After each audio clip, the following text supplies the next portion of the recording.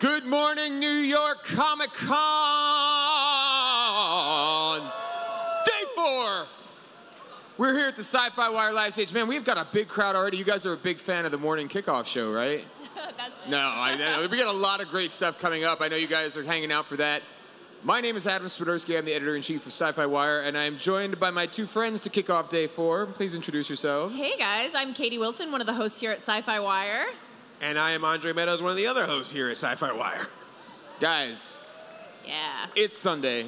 Yes, and you have It's- a lot of energy yeah. this morning. I do. I'm very jealous. I went to sleep last night. It's I, funny. I made the wiser but more boring move of going home and going to sleep. So yeah, it was good. It's funny to look out in the crowd because you can kind of see who the Sunday people like first day here. It's their only day showing up today, and you can see the people they're like, All week. "Y'all been here since Thursday." I can look Yeah. at your face and see. Saturday night was a pretty exciting, wasn't it? They've got that. They've got that steely glint That- in that their very, eye. like- Yes, exactly. Yay, pop culture! How much for the collectibles? So, how's your con been so far, guys? What are what are your highlights? What are your Amazing. highlights from Amazing. yesterday. yeah, it's been great.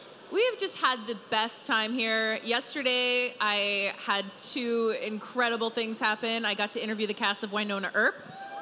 Yes, We have they in the house. Amazing and so beautiful. I was shocked. I was even able to form words in their presence. Uh, and then I got to. We both got to interview Sean Astin and Billy Boyd Yes. from Lord of the Rings, Yeah. and they're so, So awesome. amazing. So That great. I know you guys only see what happens on stage, but even off stage, like they hung out and they talked to us for a little bit. They're just amazing. It was really amazing. cool. I was a big fan of the not in the behind the scenes extras anecdotes Yes. about Yeah. you know how you keep your hobbit feet warm, for example. Yes.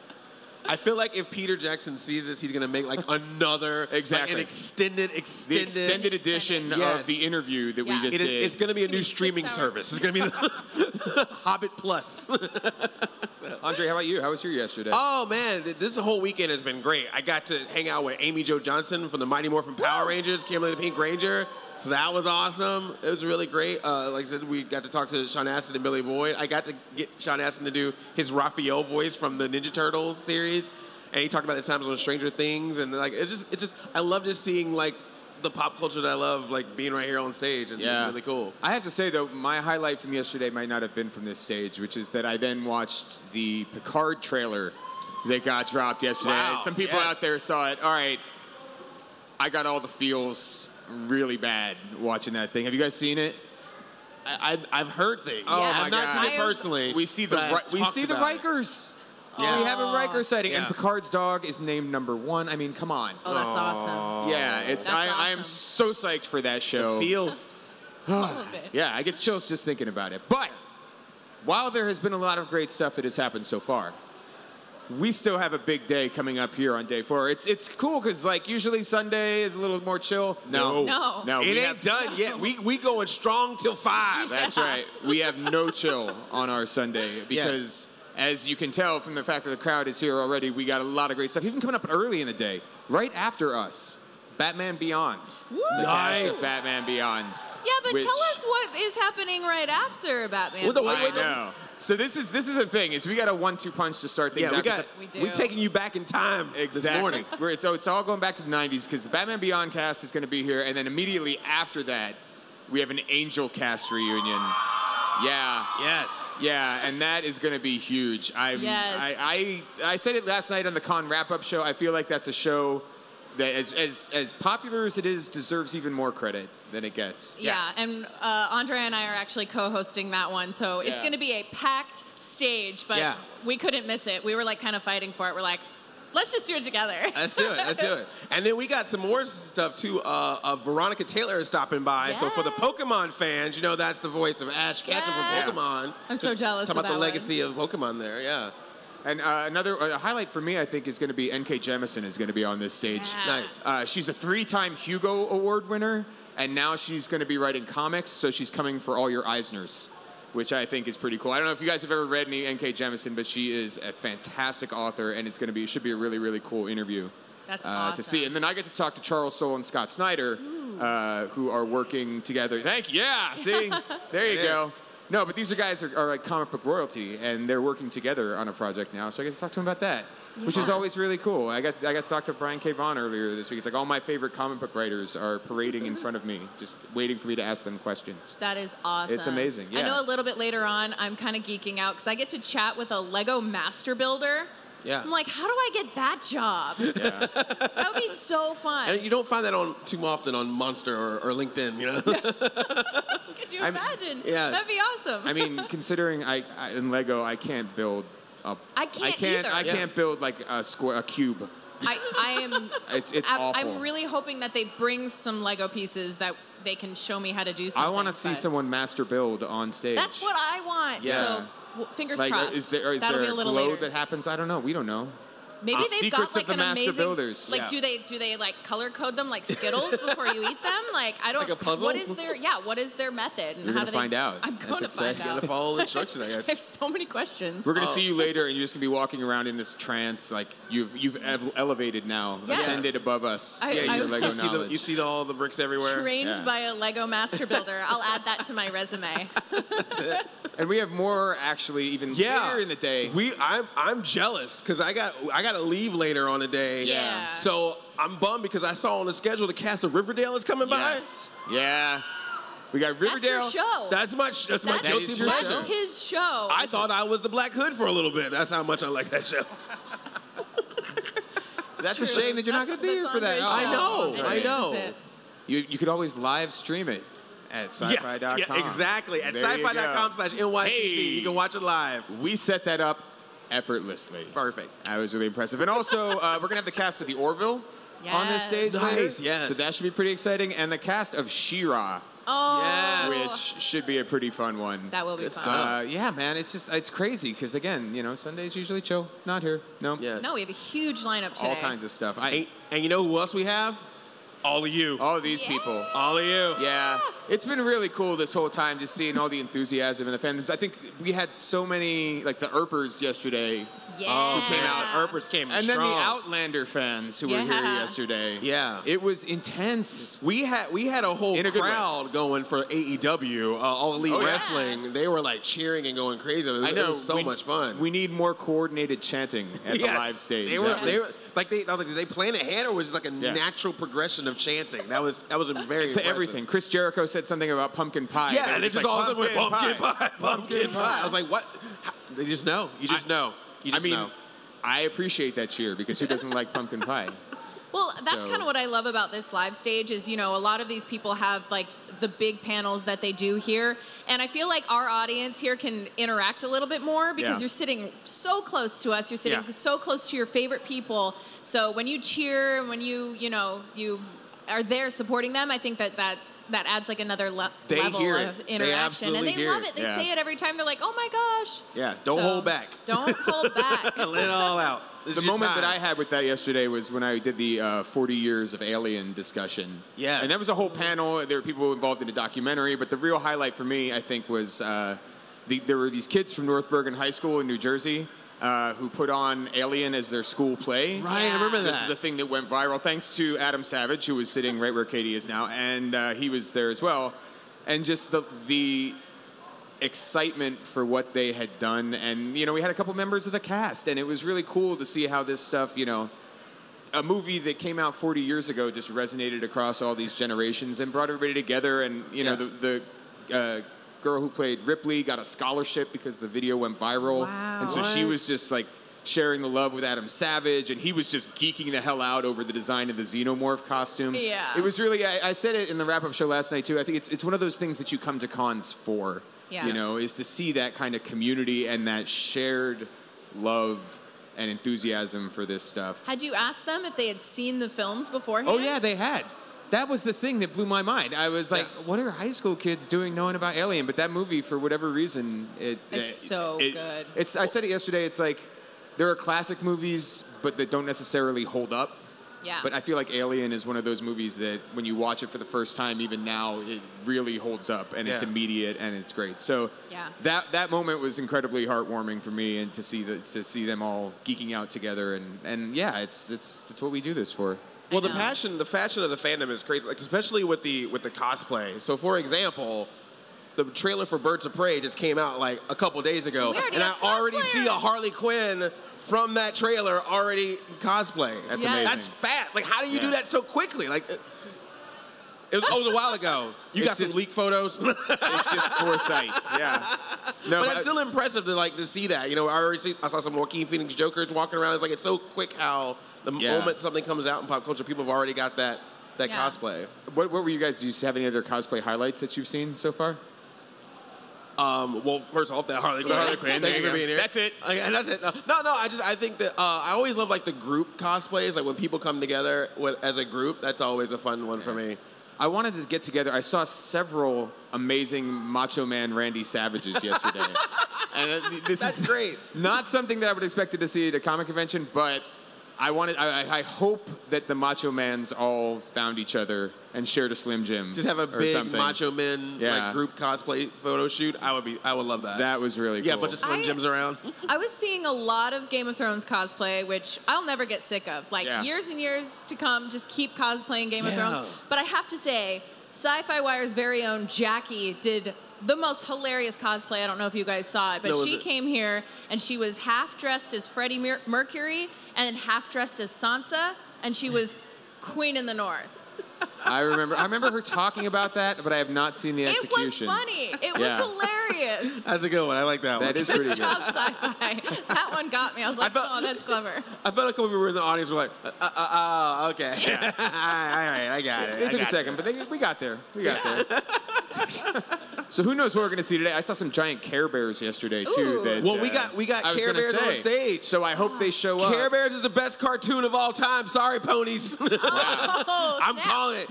I'm, I'm, the, I'm the Care Bears versus ponies the way people are at Marvel and DC. I'm all like, I'm surprised. I'm a Care that. bro. I'm a, Care bro. There's a Ninja Turtle somewhere shedding a tear, Andre. well, I, Ninja Turtles cool, but I'm just saying if you're talking about bears and ponies, I'm all belly badge all the way. Uh, nerdy heart bear right here. And on that note, we're going to wrap things up here with our kickoff show. But as we said, we have so much more to come here in the live stage. Please stick around. Up next, really excited for this one myself. The Batman Beyond cast will be on this stage. Stay with us.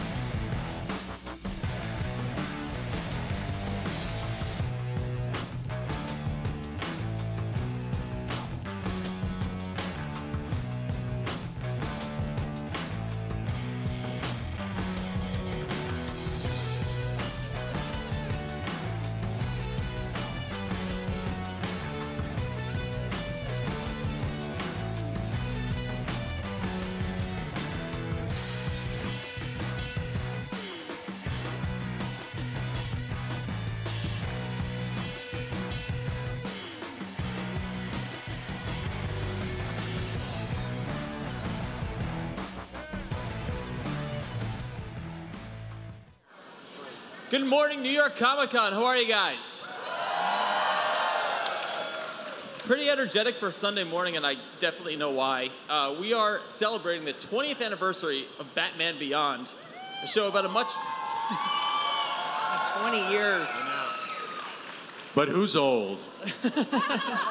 I'm not old. By way of introduction, you know them all, but I'll just do it because I got it. Kevin Conroy, Hi. Yay! Will Friedle. Lauren Tom. Yay! Alan Burnett. Woo! James Tucker. Woo! Andrea Romano. Woo! You know, this show is about a much better 2019 than I think we're living in right now. You wouldn't have thought that. How do you answer that? no, so it's 20 years since the show came out. We're going to talk about the Blu ray in a second. I'm wondering, this is such a beloved show for so many fans. How many times have you all seen it since it came out? Since it came out? Yeah. Well, we watch we watch it periodically. I mean, I watch episodes periodically. Yeah, it's it's beautiful. It never gets old Doesn't. because the artwork is so wonderful. Yeah. And now it's been remastered for this Blu-ray collection, right? And so it's good. Like we said, we have the we have the limited editions complete series here. That's the only copy.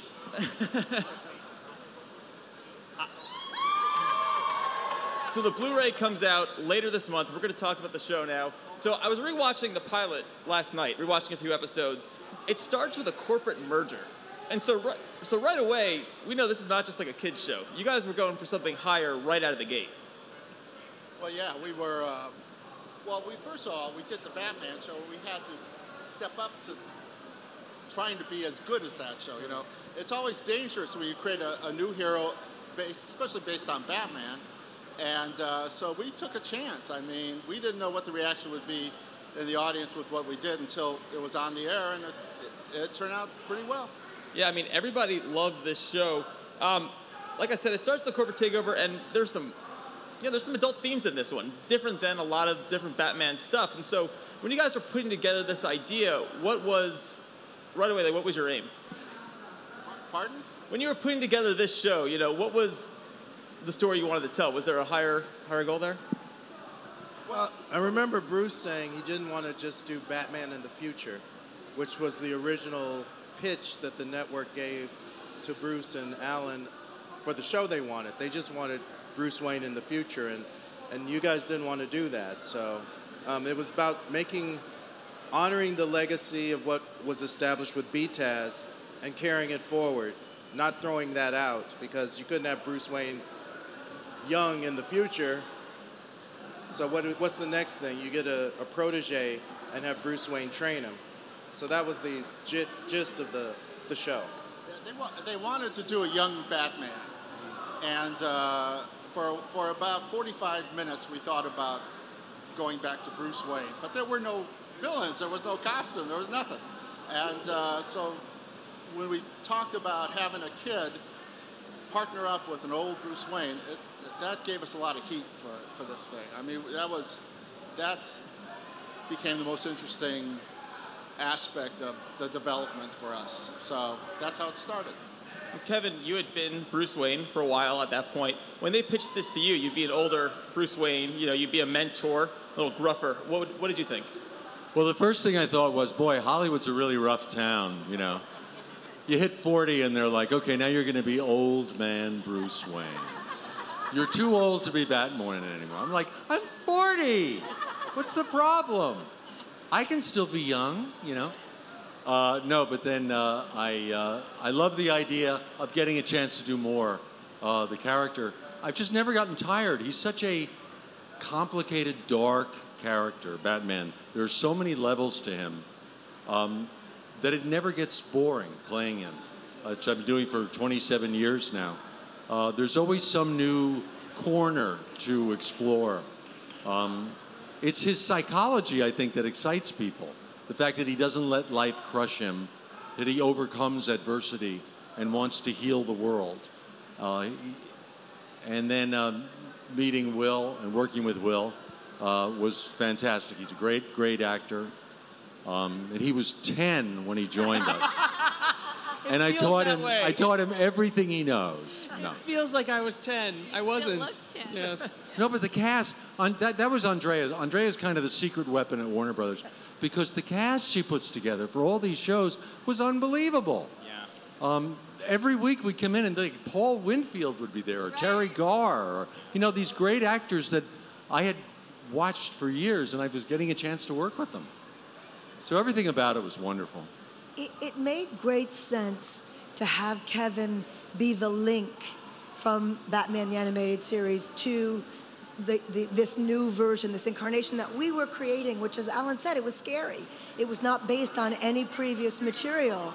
And so, because Kevin really is a more, much more versatile actor than he might even think himself, we worked together for a while on what we would do to his voice, and we didn't want it to be cartoony. We didn't want it to be broad. We wanted it to be a slightly um, gravelly, I would say, some texture we added to the voice. it's old and Bruce. and there's a little bit of crankiness down there and cranky. that we added to this Bruce Wayne, where it's, it's Typecasting.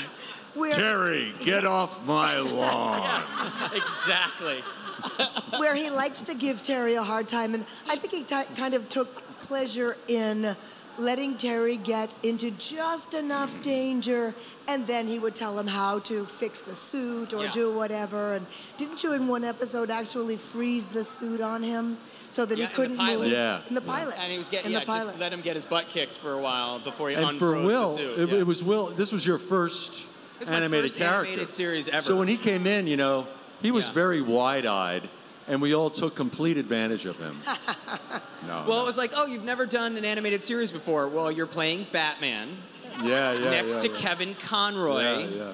Uh, you've got, you know, Andrea Romano's directing, Bruce Timm, Alan Burnett, all these guys are, and it was kind of like, here, go. And so it was, uh, yeah, slightly thrown in the deep end for a Yeah, while. But yeah. and they're awful, awful people to work with. I'm sorry, I can't concentrate. I'm We just try smelling our popcorn. best, All I can smell is popcorn since I've come Cheese in. popcorn. Cheesy. So I'm trying. I'm cheesy trying to concentrate on what to say, but it's just this waft of corn the entire Welcome time. To my last four days.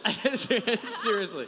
No, it was crazy. I mean, the idea that that uh, it was my first series ever, and then you're next to him for forever. It was Bat- Batman the Animated Series, in my opinion, is arguably the best animated series of all time. Yeah. So to then be like, you know, hey, you're now Batman, and this is Kevin. It was it was ridiculous. I mean, it was absolutely. To this day, I still think I'm going to be fired and replaced.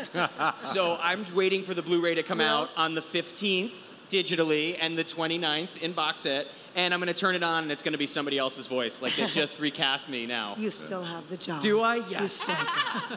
You nailed those dates. I did. I did. Right? You see how I threw that in seamlessly, and that's with Popcorn Brain. So Yeah, I'm pretty good. excited. It's pretty good. Yeah. One of the things I was really proud of is just that, you know, that when they chose uh, the girlfriend for Batman, that she could be a person of color. Like, I don't know if you, you know, if you intended to do that uh, on purpose, but um, I, especially because it was 20 years ago too. So, so that's that was a good move. Yeah. I like was- that. Yeah, I believe that the character design was Asian from the beginning, right? Wasn't she? Yeah, And, definitely. and it was always my intention, if ever a character is depicted as a certain ethnic background, to do my best to use that ethnic background to voice the character. So, and Lauren, Have it be a thank Yeah. you, thank you for that. And what's so cool about Lauren is um, she's very versatile as far as she could do that young teen sound really well. But if I also needed her to double or triple for other incidental voices with one or two lines, the math teacher has a line, no class, you're late, whatever. She could cover that too. Five-year-old boy. And so it was a, it was for me, it was not a no-brainer really. We all do a lot of lines where we cover other lines. A lot of people don't know the very first line spoken in the whole Batman universe on BTA, on Batman the Animated Series, was a helicopter pilot Correct, Yep. helicopter pilot. who sees the man bat going through the air and he says, What was that? Kevin that was Conroy. me. That's awesome. And Lauren was actually you were my first ever animated girlfriend. Aww. Yeah. How First was it? Ever animated girlfriend. You never forget your first animated girlfriend. You were lucky she stayed with you because you broke so many Yeah, dates really. with her. I know. Yeah, And, they Constantly and uh. Terry and, and Dana end up getting married. We think. I so, hope so. yeah, I mean that's, which That's is kind of cool, which is Nice. which is great. So because Bruce ended up with well with the dog. Ace. with Ace, Ace. and that was one of the things he was trying to teach Terry though a bit is you know have your own life as well. Yeah, Don't be yeah. like me. Um, Exactly. So he ends up uh, you know marrying Exactly. his longtime girlfriend, which I think is pretty pretty awesome. Yeah. I mean, we've had we've seen them in comics. The stories have continued throughout. Have you thought about bringing it back now that there's a DC streaming service? Have there been discussions, or what would you want to see? Good idea. And that's what you're coming back to do. Let's put them on the spot. Yeah. Oh, we we do it in a heartbeat, but you I know, you got, you it. have to let them know that's what you want. Absolutely. You go Well, buy you those can let Blu-rays. them know digitally streaming on the 15th, and then the box set on the 29th. so if these sell out Yes, very make, quickly, make that we, a big hit, Yeah. and that'll help and we a can lot. go from there. You know what? That happened when I, I was on Futurama, and, and because the fans all bought the DVDs, that's what brought us back. See, Oh, that's interesting. That, See? that is exactly what happened. that's the thing. Where did we land on the popcorn? It's still there. Okay, Yeah, I was just, I was just curious. Sorry, Will. Well, you guys have your marching orders. Go pre-order the Blu-rays. Yes. Get it on streaming soon. Thank you guys so much. We're gonna keep going here. Thanks, everybody. We've got another cast reunion. The cast of Angel is coming up, so keep it here on SYFY WIRE. Whoa!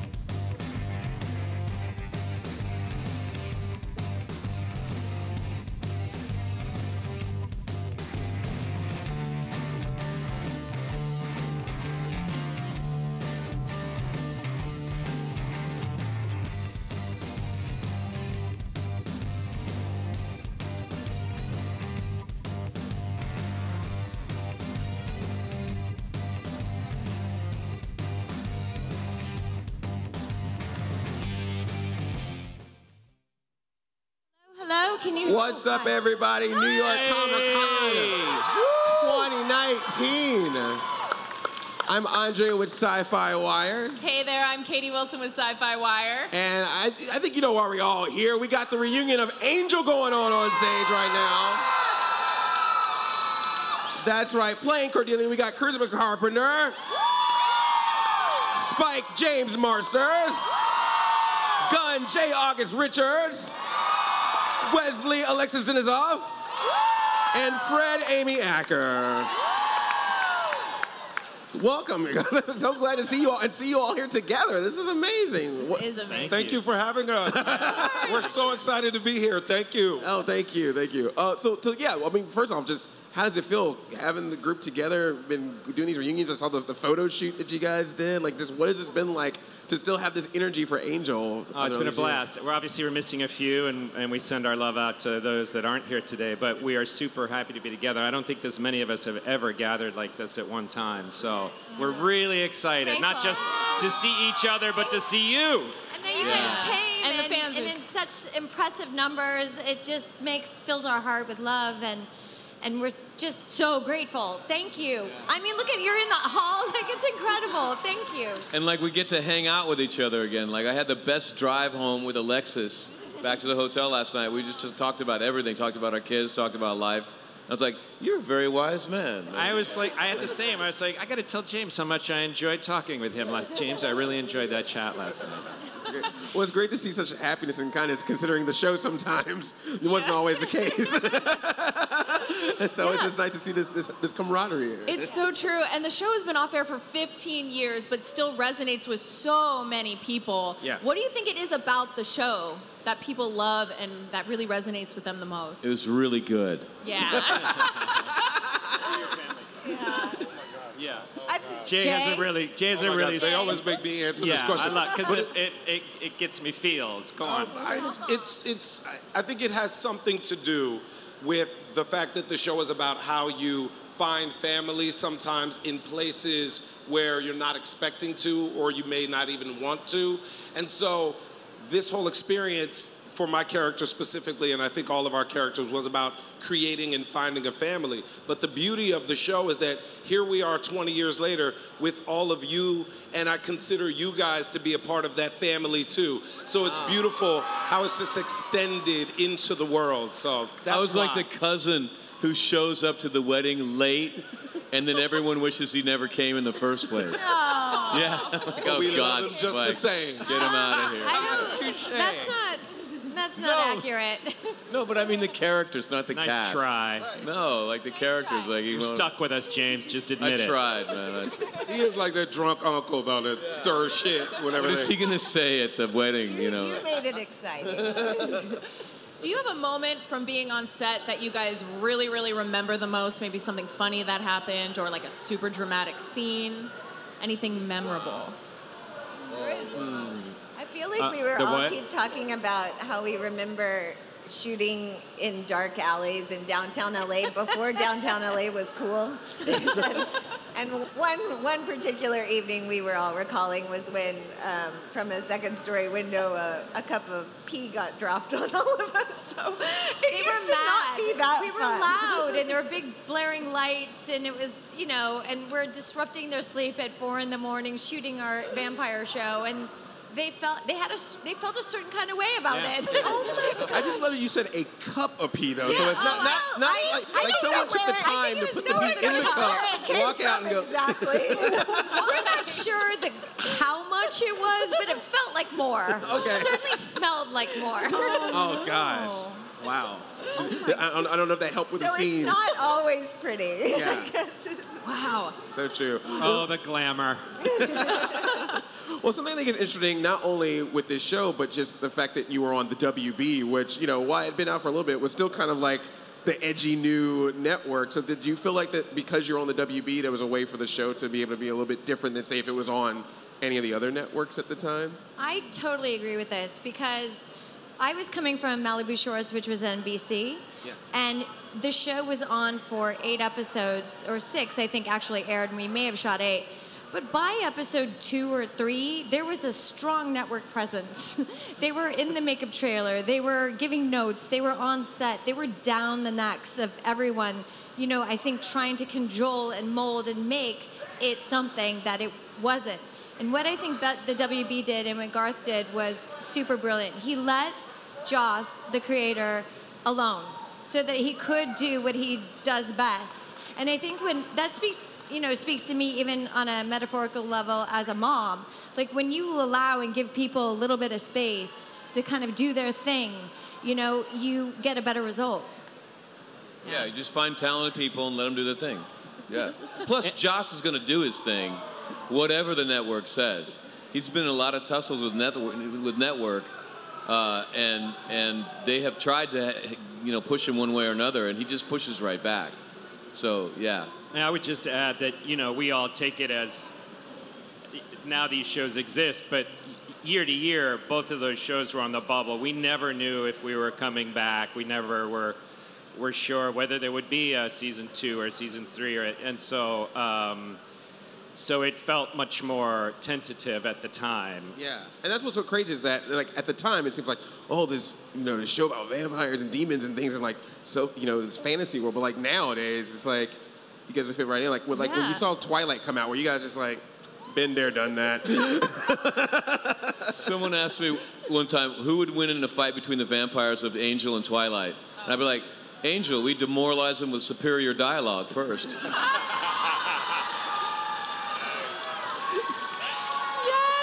By the way, Alexis, I was watching you on TV. You look good, man. Yeah, right? And like, damn, that's a good close-up. Who you, who are we talking about?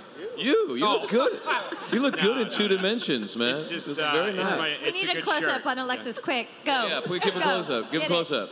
You guys watching this? too? Camera. Oh, they're, they're like Close-up on screwing you Now, guys. moving Camera along, moving swiftly to the next I question. see you, camera three. Do the close up. Camera three. Oh my goodness. Give us We your need to see sheet. this. I want to see your blue steel. Wow, they're we're asking, they're asking for a close up of J. August Richards. Can we? Oh. What's oh. up? there we go. There's Alexis. Got Let me see. Can I see how I look real quick? Yeah, there it is. Good. Oh, yes. Give us that WB heat. Come on, baby. Oh my God. Oh, what a night. I look pretty good for how much drinking I did last night. Yeah. Hey, oh, it's Oh, my the last God. day of con. I mean, hey, all bets are off, right? That's the beauty of the con. Y'all accept us as we are. yes, Very much. I got. well, I they're got, all drunk too. Yes, Are kidding? exactly. Just to help you out, there is that giant Care Bear is actually there. You're not seeing things. Thank you. But yeah, I got invited to the SNL after party, so I had to oh. go. Oh, yes, of And course. I had to get that crump. down. Hot. But going a little bit based off of what you just said, a lot has changed in 20 years. How do you think the show would be different if it were airing this fall instead of fall 99? Ooh, that's good. First of all, I mean, no shade, but it would be more diverse. Yep. Yes. And we didn't we didn't really have any social media at that time, so I'm sure that would Yes, have that been would be a big Big difference. difference. We would have multiple sources of income coming from branding and social media has led to I think what was not acceptable back in the day for us to do endorsements or whatever was sort of passe and, and, and doing cons even were sort of down looked down upon in, in terms of like, oh, only like has-beens or whatever type people do this, they must need the money or whatever. And what I feel like our generation and this show actually may have done is bridge that gap and kind of made it okay to embrace the fandom that is way before San Diego Comic Con was what it is today, where all these big commercial television shows and major motion pictures come and they, they understand the devotion that you guys all have, but we knew it first. Yeah. I started. I started coming to cons in 1974. Oh my God. Back when, whoa, whoa, whoa, yeah, yeah, I was dressed. This is back when there's only two things you could like: Star Trek or Space 1999, and we hated each other. we stared daggers at the Space 1999 people, and like I, I came dressed as Spock, like full regalia Spock, pointed ears. Uh, the boots, the tricorder, blue, tie, and big blonde afro because I couldn't control my hair back then. Was- A blonde photos? afro Spock. I like the sound of that. but it wasn't on purpose. I was like, I can't do anything about the hair. Are there pictures of this somewhere?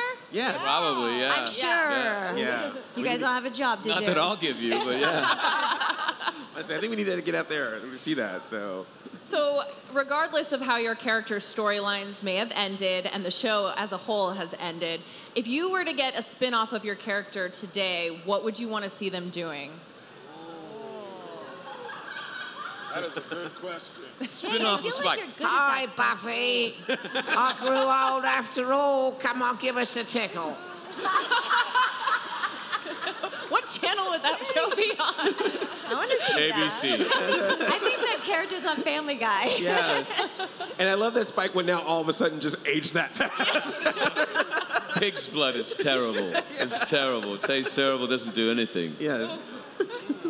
I would just do whatever Joss says.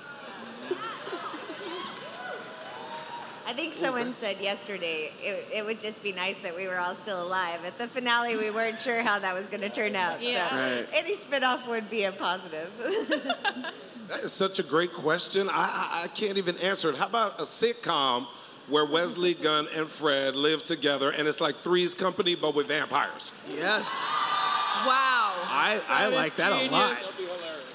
And I All guess I'll be Phantom Dennis. I would actually watch that show. I'm I would watch it That's too. a good pitch. Mr. Furley. CW, let's do it. All right. You could be Mr. Furley. Yeah. Yeah. Nice. You kids. Uh, well, speaking of continuations, they have been making like these comic, uh, like sort of extra seasons through comic book form. Have you guys ever seen any of those, or, or have any thoughts on any of that? Yeah, I look good. You wrote two, right? yeah. Yeah, I wrote a couple. Yeah. Oh, nice. Yeah. Uh, I wanted. I, I did one where I, I wanted to write a story that was constrained by the same budget that we were on on the show. This was on the other show. I wrote it for the other show's budgetary constraints. So it, uh, I wasn't flying a spaceship. I didn't have like a crew of bugs helping me out, and I wanted to do one where Spike, because I think Spike is an underdog, so I wanted him. Um, I wanted him to be not like Angel. It was like, how do you do, how do you do a vampire with a soul without being Angel? And Angel's like an epic character. He's always in a mansion with a big roaring fire, sipping port wine, worrying about his soul. What should I do with it today? You know. Um, so I thought Spike should like, he can't kill anybody for a meal, and he can't steal anything for like say a new pair of boots because his boots are falling apart. So he should be homeless and he should be starving to death because he can't figure out how to live without us, you know, without doing those things. And I wanted him to think that he, I wanted to have like a, a bad guy that he thought he could beat. Like, oh, I could be the hero. I'll take that, sure. And it's like so I, I, I wrote like a. Uh, this little, uh, like a nanny pushing a pram monster, ghoul, Right. and she's stealing babies. He's like, oh, I, I'll take her. I'll take her. But he attacks the monster and it unfurls to 30 feet tall and just kicks his butt. and he tries to play the romantic. He finds a girlfriend, but he doesn't. He doesn't have the courage to tell her what he really is, which is a vampire. She finds out when she sees his ass get kicked in the fight. She dumps him flat, and he's just down on the ground. But he does find a way to, to, to get a new pair of boots without hurting anybody, and that's the win. That is. that is the win. I'm sorry, what did he say? It was a long thing. It's, it's Sorry. never mind. Alexis and I were just reflecting Sorry, on we where were- our microphones we were, chatting placed in about your close-up. How naughty our mics look. Well, this show is so well known and so beloved. You have so many incredible fans out there. Do you have a fan encounter that you really remember, something that really stuck with you? So many. It was probably yesterday. Yeah? Yeah. I mean, we met so many truly wonderful people who had really intelligent and insightful and awesome reflections about the show. Um, yeah, um, you know, who told us wonderful stories about how they found the show, what the show helped them get through in their own personal lives. So it's a, it's, it always happens at events like this, but the people we met yester- yesterday, I, I thought were really special, and I just loved meeting the people Yeah, that I met I think the yesterday fans- and Friday.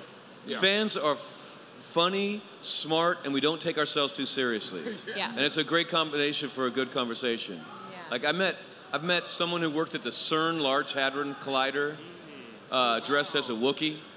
You know, I met, I met, I'm, I'm just physicists, doctors, like people with really interesting jobs, uh, and they're all fanboys like me, and it's it's great. It's also been fun since it's the 20th anniversary that so many people have passed this down to their children. So there's people now that we're meeting that are fans who were not alive when, when the show is even on. And that's really special just to see how. I, I really love seeing the families who come up together and, and have it as a bond between I love the moms who say, This is Spike, honey. And the little kid goes,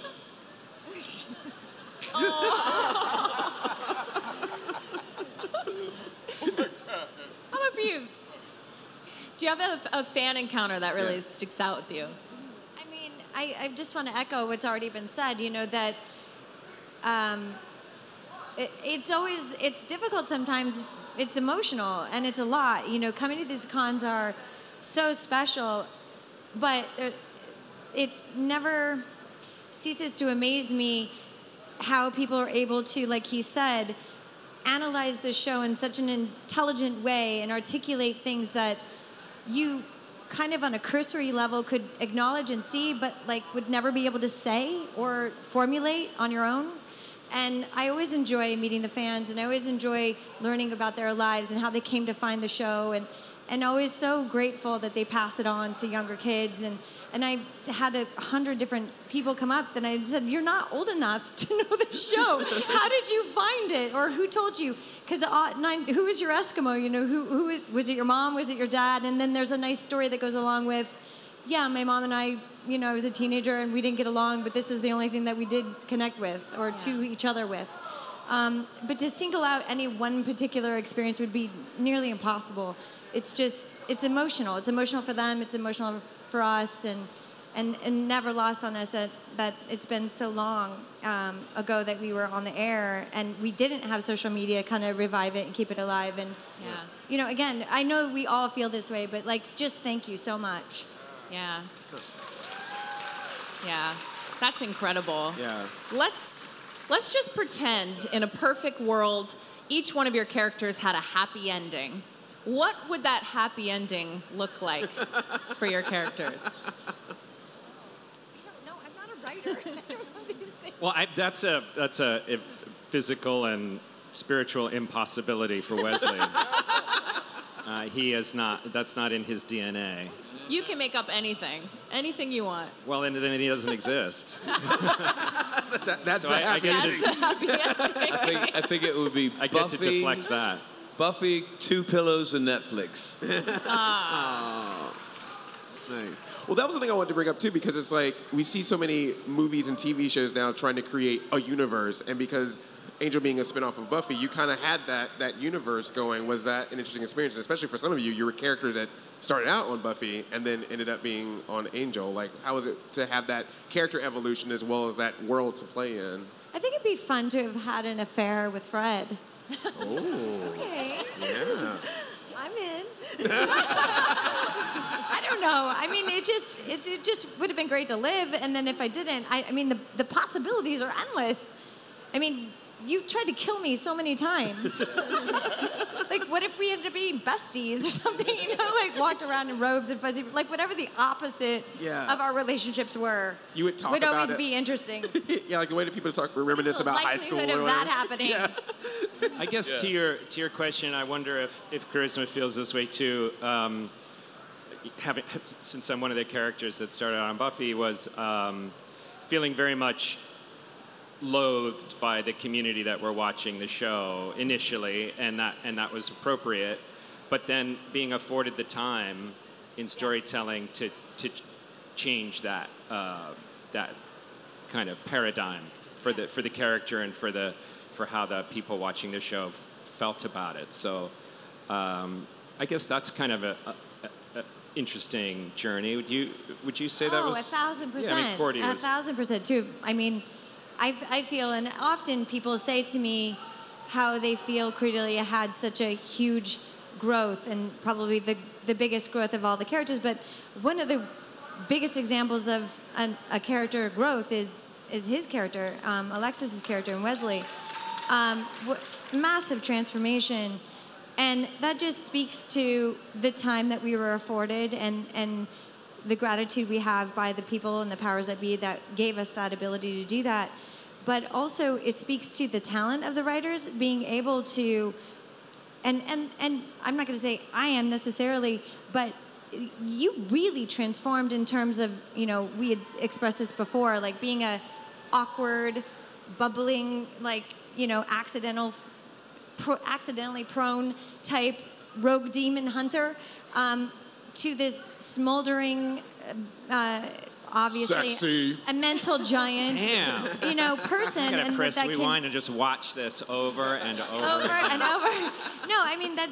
I mean that's an example. And then obviously, you know, your character turned into Illyria, and then you turned into a lawyer. You were the antithesis of a street thug that once was, you know, one-dimensionally portrayed initially. Like I feel like the the talent behind the scenes is is that you know. I, I, I, don't know how much you changed. We No, barely like, ever worked the like, together. you thought, but like- you don't know. Like like people surprise you in life. You think you, you pigeonhole a person, and then you get to know them, and then they surprise you. So like Joss, as a storyteller, will bait the audience into judging a character a certain way, and he's manipulating the audience to do that, and then he'll flip it, and then judge the audience for ever pigeonholing the character. like, ha ha, you thought you knew, you don't know anything. I and feel that- like Buffy or for Cordelia that there was this, it was a slow burn. There were cracks, you know, early on in, in, in the season, like when I have been told by you guys, and and also could. I don't get a chance to rewatch, uh, or you don't when you're working on it. But like there were cracks and moments that indicated that there was more going on. But it, it really took time. For me, it was just a total flip. Like, Yeah. you think he's a badass? No, he's a poet. You know, Y- y- like he's just like, oh, I, I wrote a poem for you. I hope you like it. You know, like a, yeah. I, think was it like, I was like, actually goes- what? Goes back a lot to what you were saying about why people still like the show too. I mean, I think that's something that Joss did, and that a lot of genre shows do is allow characters to have these. I mean, it's not like you're on a case of the week law law show where you're the same character doing the same action, and it's such a gift as an actor to be able to, you know, start as the ditzy cheerleader and become this amazing character to start as a girl in a potato sack and become a demon goddess. I mean, that's just not not something you get to do on every show and I think that's what is celebrated at Comic-Con and makes it exciting to be part of genre and, and television and why we all seem to gravitate towards that kind of stuff. I think both as viewers and as actors. That's awesome. Well said. Come on, essay question. Very true. So, of course, we have Halloween coming up around the corner. So, we're curious what would your character dress up like for Halloween? I don't know, but I just figured out what I want to be. yes. I want to be Polly on Peaky Blinders. Ooh. I, I saw a picture. I was like, oh, that's so dope. Now I just need a party to go to. Here we go. I think Illyria would dress up as Fred. I don't know. Thank you. Oh. wow. Wow. I think Spike would dress as Billy Idol and no one would notice. I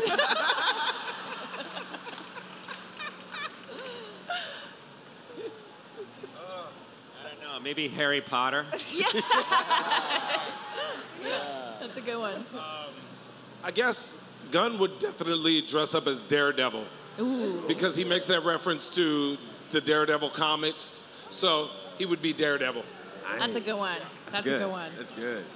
So uh, we're gonna play a little game here that we like to call Snap Judgment. So how this works is I'm gonna ask you guys a question. We're gonna count to three. I'm gonna snap, and then you just all say what your answer is at the same time, just to see if anyone matches up here. So, Yeah. all right. This could be Everyone at the dangerous. same time. All right. At the So same the time? first Okay. one: Who in the cast was most likely to get caught napping on set? Three, Me. two, one. David. Who'd you say? David. David. Really? Who'd you say? I didn't say anyway. Who'd you say? Me. I said me. Okay, okay, so we got a three-way Very tie mixed between. answers. Yeah, a lot of A lot of sleeping on the set. A lot of sleeping, a lot of naps. we had long hours.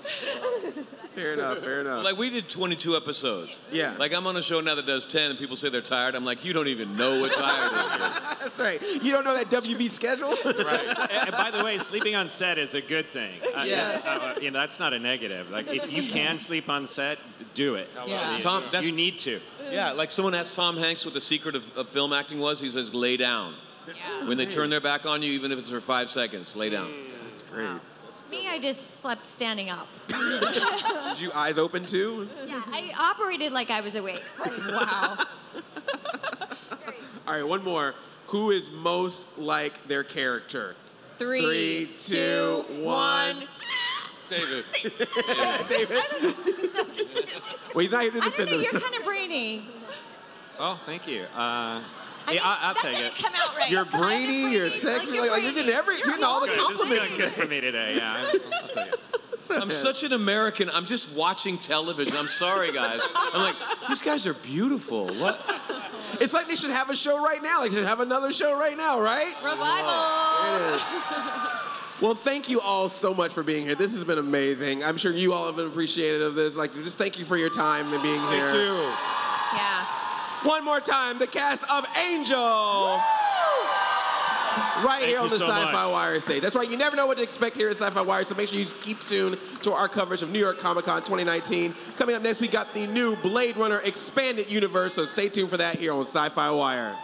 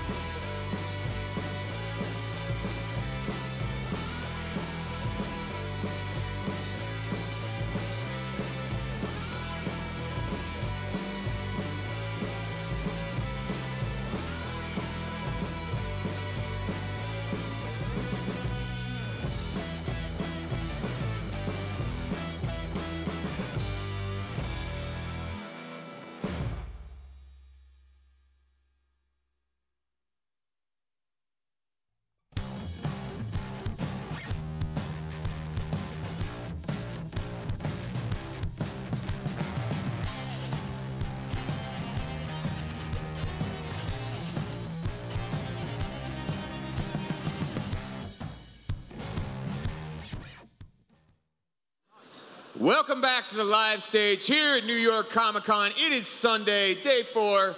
How's everybody doing? You guys pumped? Yeah. There's some pumpage out there. I saw it. I saw it.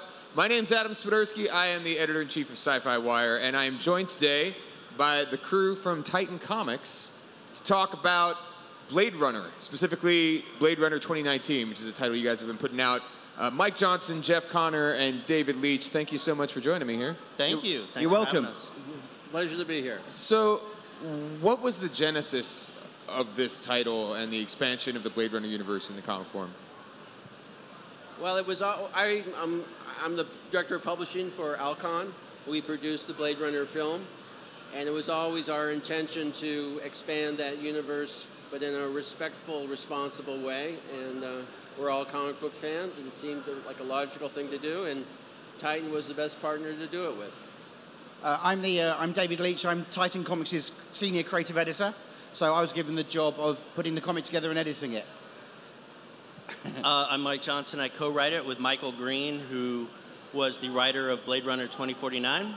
Um, and uh, Alcon and Titan asked Michael to oversee the comics, and Michael called me and said, "Do you want to work on Blade Runner?"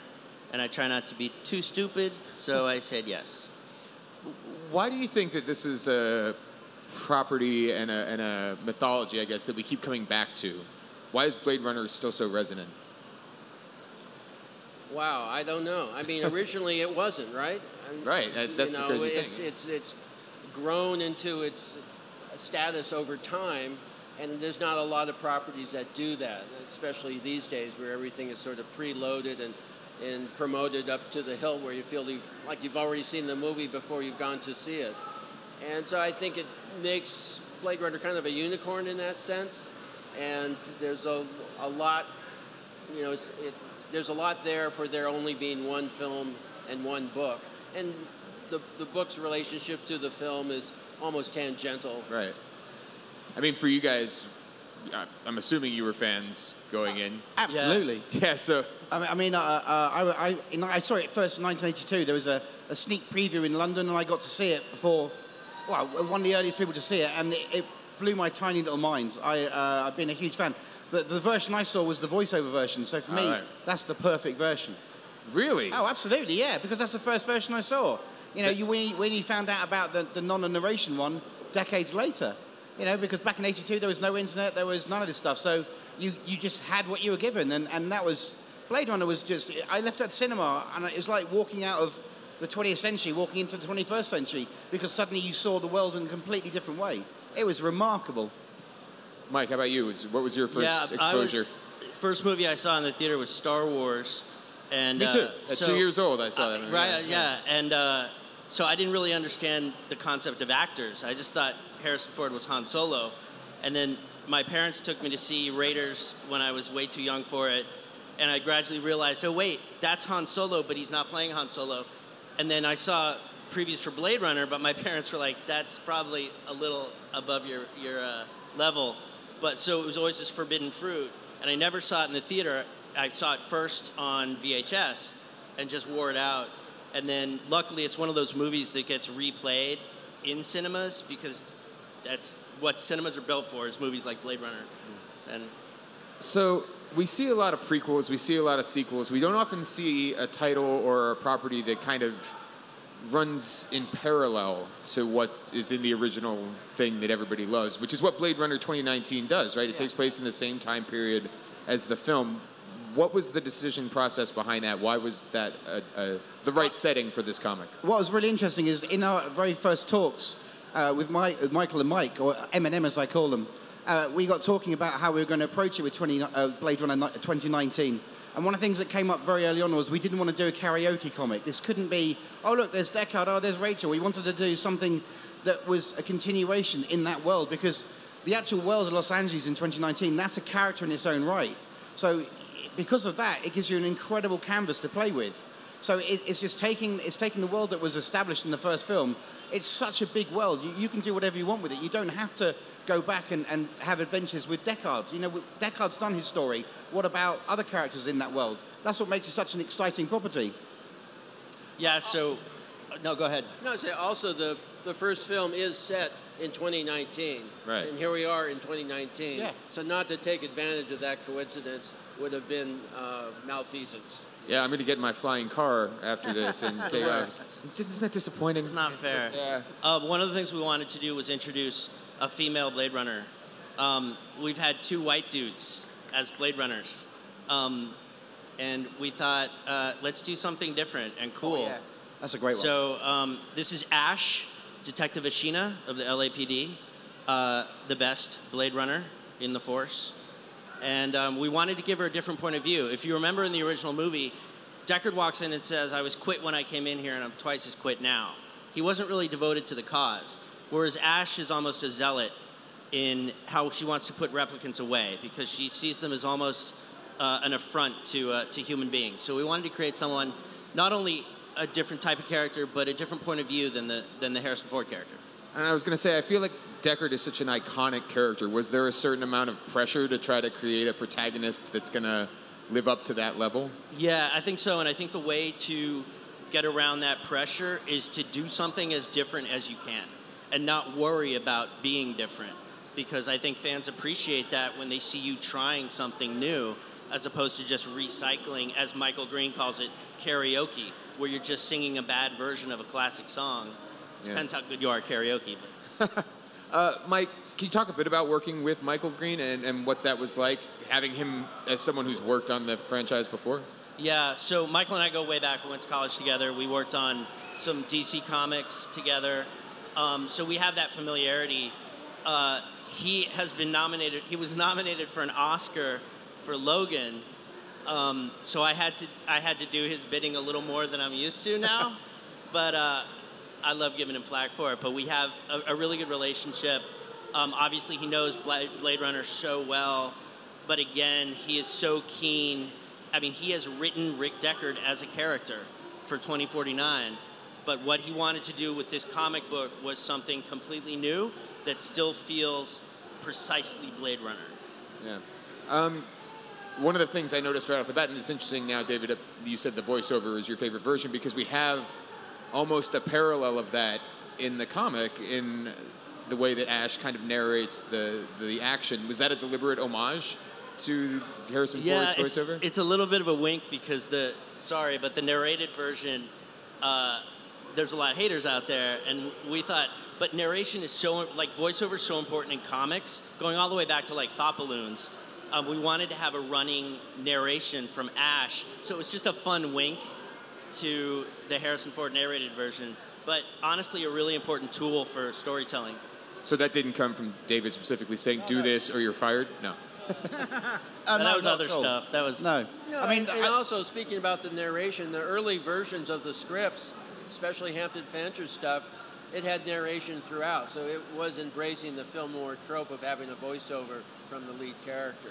It w- really wasn't tacked on at the end like a lot of people believe it was there all along. They just tweaked it and tweaked it. I mean, there was actually th- three narrations recorded. That's cool.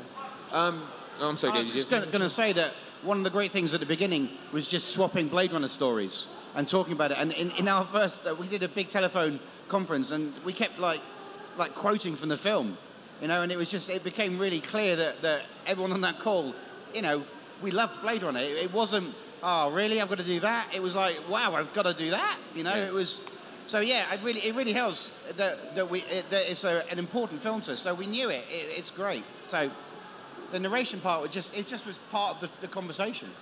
One of the things that differentiates, I think, the comic though from the movies that we've seen so far, the two films, is it has multiple point of view characters, right? Because we have Ash, and then we also have Isabel Selwyn, who gets centered several times. Can you talk a bit about the decision making behind that, and, and, and kind of breaking from that singular perspective that's defined Blade Runner films up to now, or Blade Runner, properties? Yeah, I was talking to Nick Landau, uh, the head of Titan, this morning about how um, we both feel that Roy Batty, Rutger Hauer's character, is the protagonist of Blade Runner. You're presented with the movie star, Harrison Right. Ford, um, and you you first meet Roy Batty on a screen where they're giving information about the replicants. But the heart of the movie, we're all watching it to get to that speech at the end, the tears in the rain, and so from that we, we started thinking yes ash is very much our protagonist but we wanted to have not necessarily the same kind of character as roy batty but just the same point of view uh, to, to play off our main protagonist so um, yeah having two points of view was essential I know that you said you don't want to do a karaoke comic or a title like that, but there is a contemporary aspect here. As the series goes on, can we expect to see anything from the? I mean, without obviously giving spoilers away. This is me just hoping you'll say yes, Roy Batty's going to show up so that Rutger Hauer can live on in some form. But Uh, I, I really want to do that, but uh, wait, I, I can spoil now. Don't- that, you don't have um, to spoil anything. Well, I I won't just- spoil, but the the first arc is the first four issues. Issue five, we go off world for the first time. Oh, wow. So it's all about sort of going places we haven't seen. And I have to give a shout out to our incredible artist Andres Guinaldo. Can we show the spread from? Yeah. From issue number one, it was so important to get the right artist because Blade Runner is so visual. Oh, we, Um, we didn't, we didn't watch issue Oh, four. can we show just some interior art?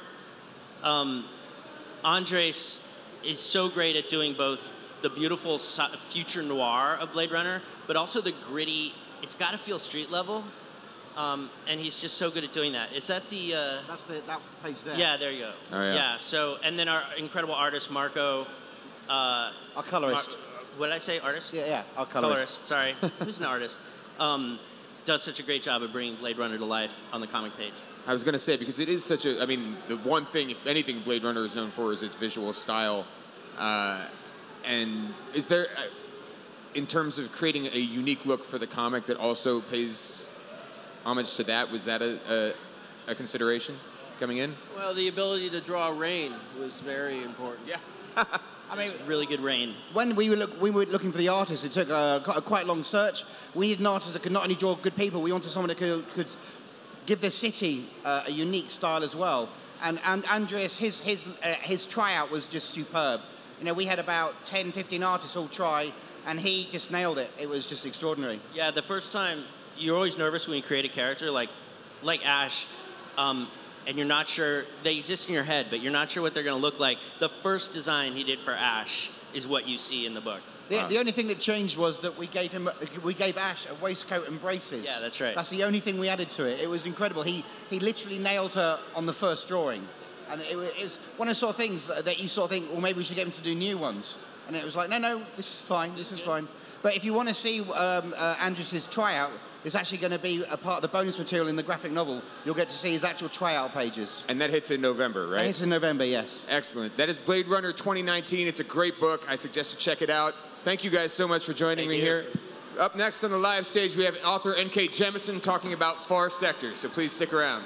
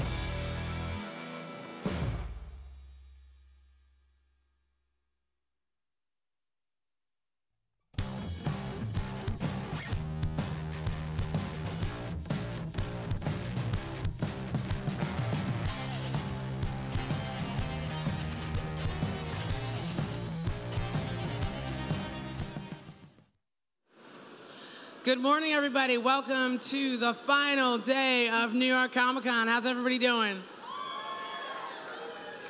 I'm Karama Horne, contributing editor, SYFY WIRE. Some of you know me as the Blerd Girl on, on the socials.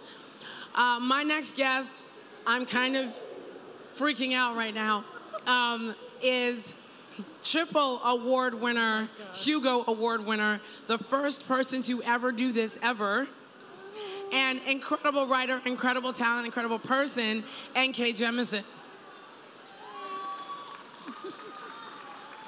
Oh, thank you. So NK is here to talk to us about a new comic book that she's doing, which I'm really, really super excited about, in the Green Lantern universe. But it's not necessarily Green Lantern. We're gonna get to that. Right. So tell us about how this all came about and uh, how you got involved in And comic how, book. how I ended up writing comics after. Yeah, I mean, you. Just, I know you've conquered the fantasy world, so now it's like, hey, let's try this. Uh, You know, I'm not dead. I'm still writing fantasy. um, uh, basically, uh, it, it happened after the, the first Hugo. I started getting lots of calls from uh, lots of different media, kind of trying to find out if I was interested in maybe dipping a toe in those waters. Um, and I was vaguely interested in comics, but I got a call from Gerard Way uh, from Young Animal. As one does. As one does. I was not expecting it, but. deadly um, class, you know. and he presented an idea to me for like the first black female Green Lantern who would be in a completely separate se- sector of space. Um, in a completely unique world, uh, who would be able to, the, the writer of that would be able to create the world from scratch. Um, and he Which, had some- and you're so good at world building, so that's well, amazing. I mean, it, it, you know, immediately he, he gave me some basic ideas that he had sort of been thinking about, and the whole thing sort of spun to life in my head. And I've learned to listen to that part of me. And when when I hear like my my creative gears start to spin, then I'm like, oh, okay, I need to do this. So I did it. So tell us about Sojourner Joe. It's Mullane? Mullein. Mullein. Sojourner Jo Mullein. Uh-huh. And how she ends up on the far side of things. Um, well, some of it is spoilers, so I'm going to be a little careful about that. But um, basically, so she uh, is a former soldier. She's a former NYPD. Um, she was in the NYPD at a time that, like, the Eric Garner murder happened, things like that. Oh, so this Um, is happening now. this is modern. She is a contemporary person, yes. Okay, so we're in a Um, parallel universe where lanterns exist in this time Oh yeah, she knows. She's, Okay. she's she's got a John Stewart bobblehead. Um, so um, yeah, she's a fan. That's awesome. So um, so she's living in you know our world basically, but uh, with with DC heroes around. Um, and so and she knows about Green Lanterns, but you know she never like wanted to be one. She wanted to be a cop, and she tried to be a good cop, and bad things happened. Uh, I don't want to go into the details, um, but the result of it is that she still believes in justice. She's just not sure how she feels about large organizations and the politics and all that stuff. So, So, but she ends up basically working for the universe of cops. exactly. So she now, as part of, she now lives. Uh, she is a Green Lantern, but she now lives on the other side of the universe, um, in a society called the City Enduring, which is just a small city of 20 billion people. Um, so, uh, in the city Enduring, she has to work with the local police force, which is huge, of course. Um, but she is the only Green Lantern there. And she's also the only person there that has emotions. Because the city Enduring, because of some stuff, things happened, mistakes were made. Um, they decided that they wanted to uh, outlaw emotion. But they're having a problem now because emotional things are starting to happen. They're having crimes of passion again. So, And so it's almost like the human, or I shouldn't say the human condition. Yeah. But the well, natural. specifically, they wanted a human Green Lantern because clearly there's so many human Green Lanterns. Clearly, there's something that we're doing right. Um, but but also humans are very emotional. Green Lantern power is rooted in emotion. Yeah. So they wanted someone who's basically a specialist to help them deal with this stuff. Um, and so Jo, as the only lantern there, she doesn't have to deal with the. She thinks she doesn't have to deal with the bureaucracy. Spoiler, she does. She does. Um, because she politics. does. Um, politics. well, because there's 20 different billion eth- people. and there's also different ethnic groups in this area. There are three different species. Um, the species have sub breakdowns within them. Uh, there, there are. There's a number of ways in which their society is stratified, and she's got to learn to deal with the, the power dynamics and the interactions of how everybody kind of interrelates as they're dealing with this sort of weird breakdown of their usual order. And she's got to help them navigate that. What's fascinating about um, your writing in general, like even on Broken Earth, what, what people think is evil isn't necessarily evil, it's Mm. misunderstood. So I are we going to get some of that kind of feeling in, Yeah. in this story? I mean, uh, I, in fantasy, we say that every villain is the hero of their own story.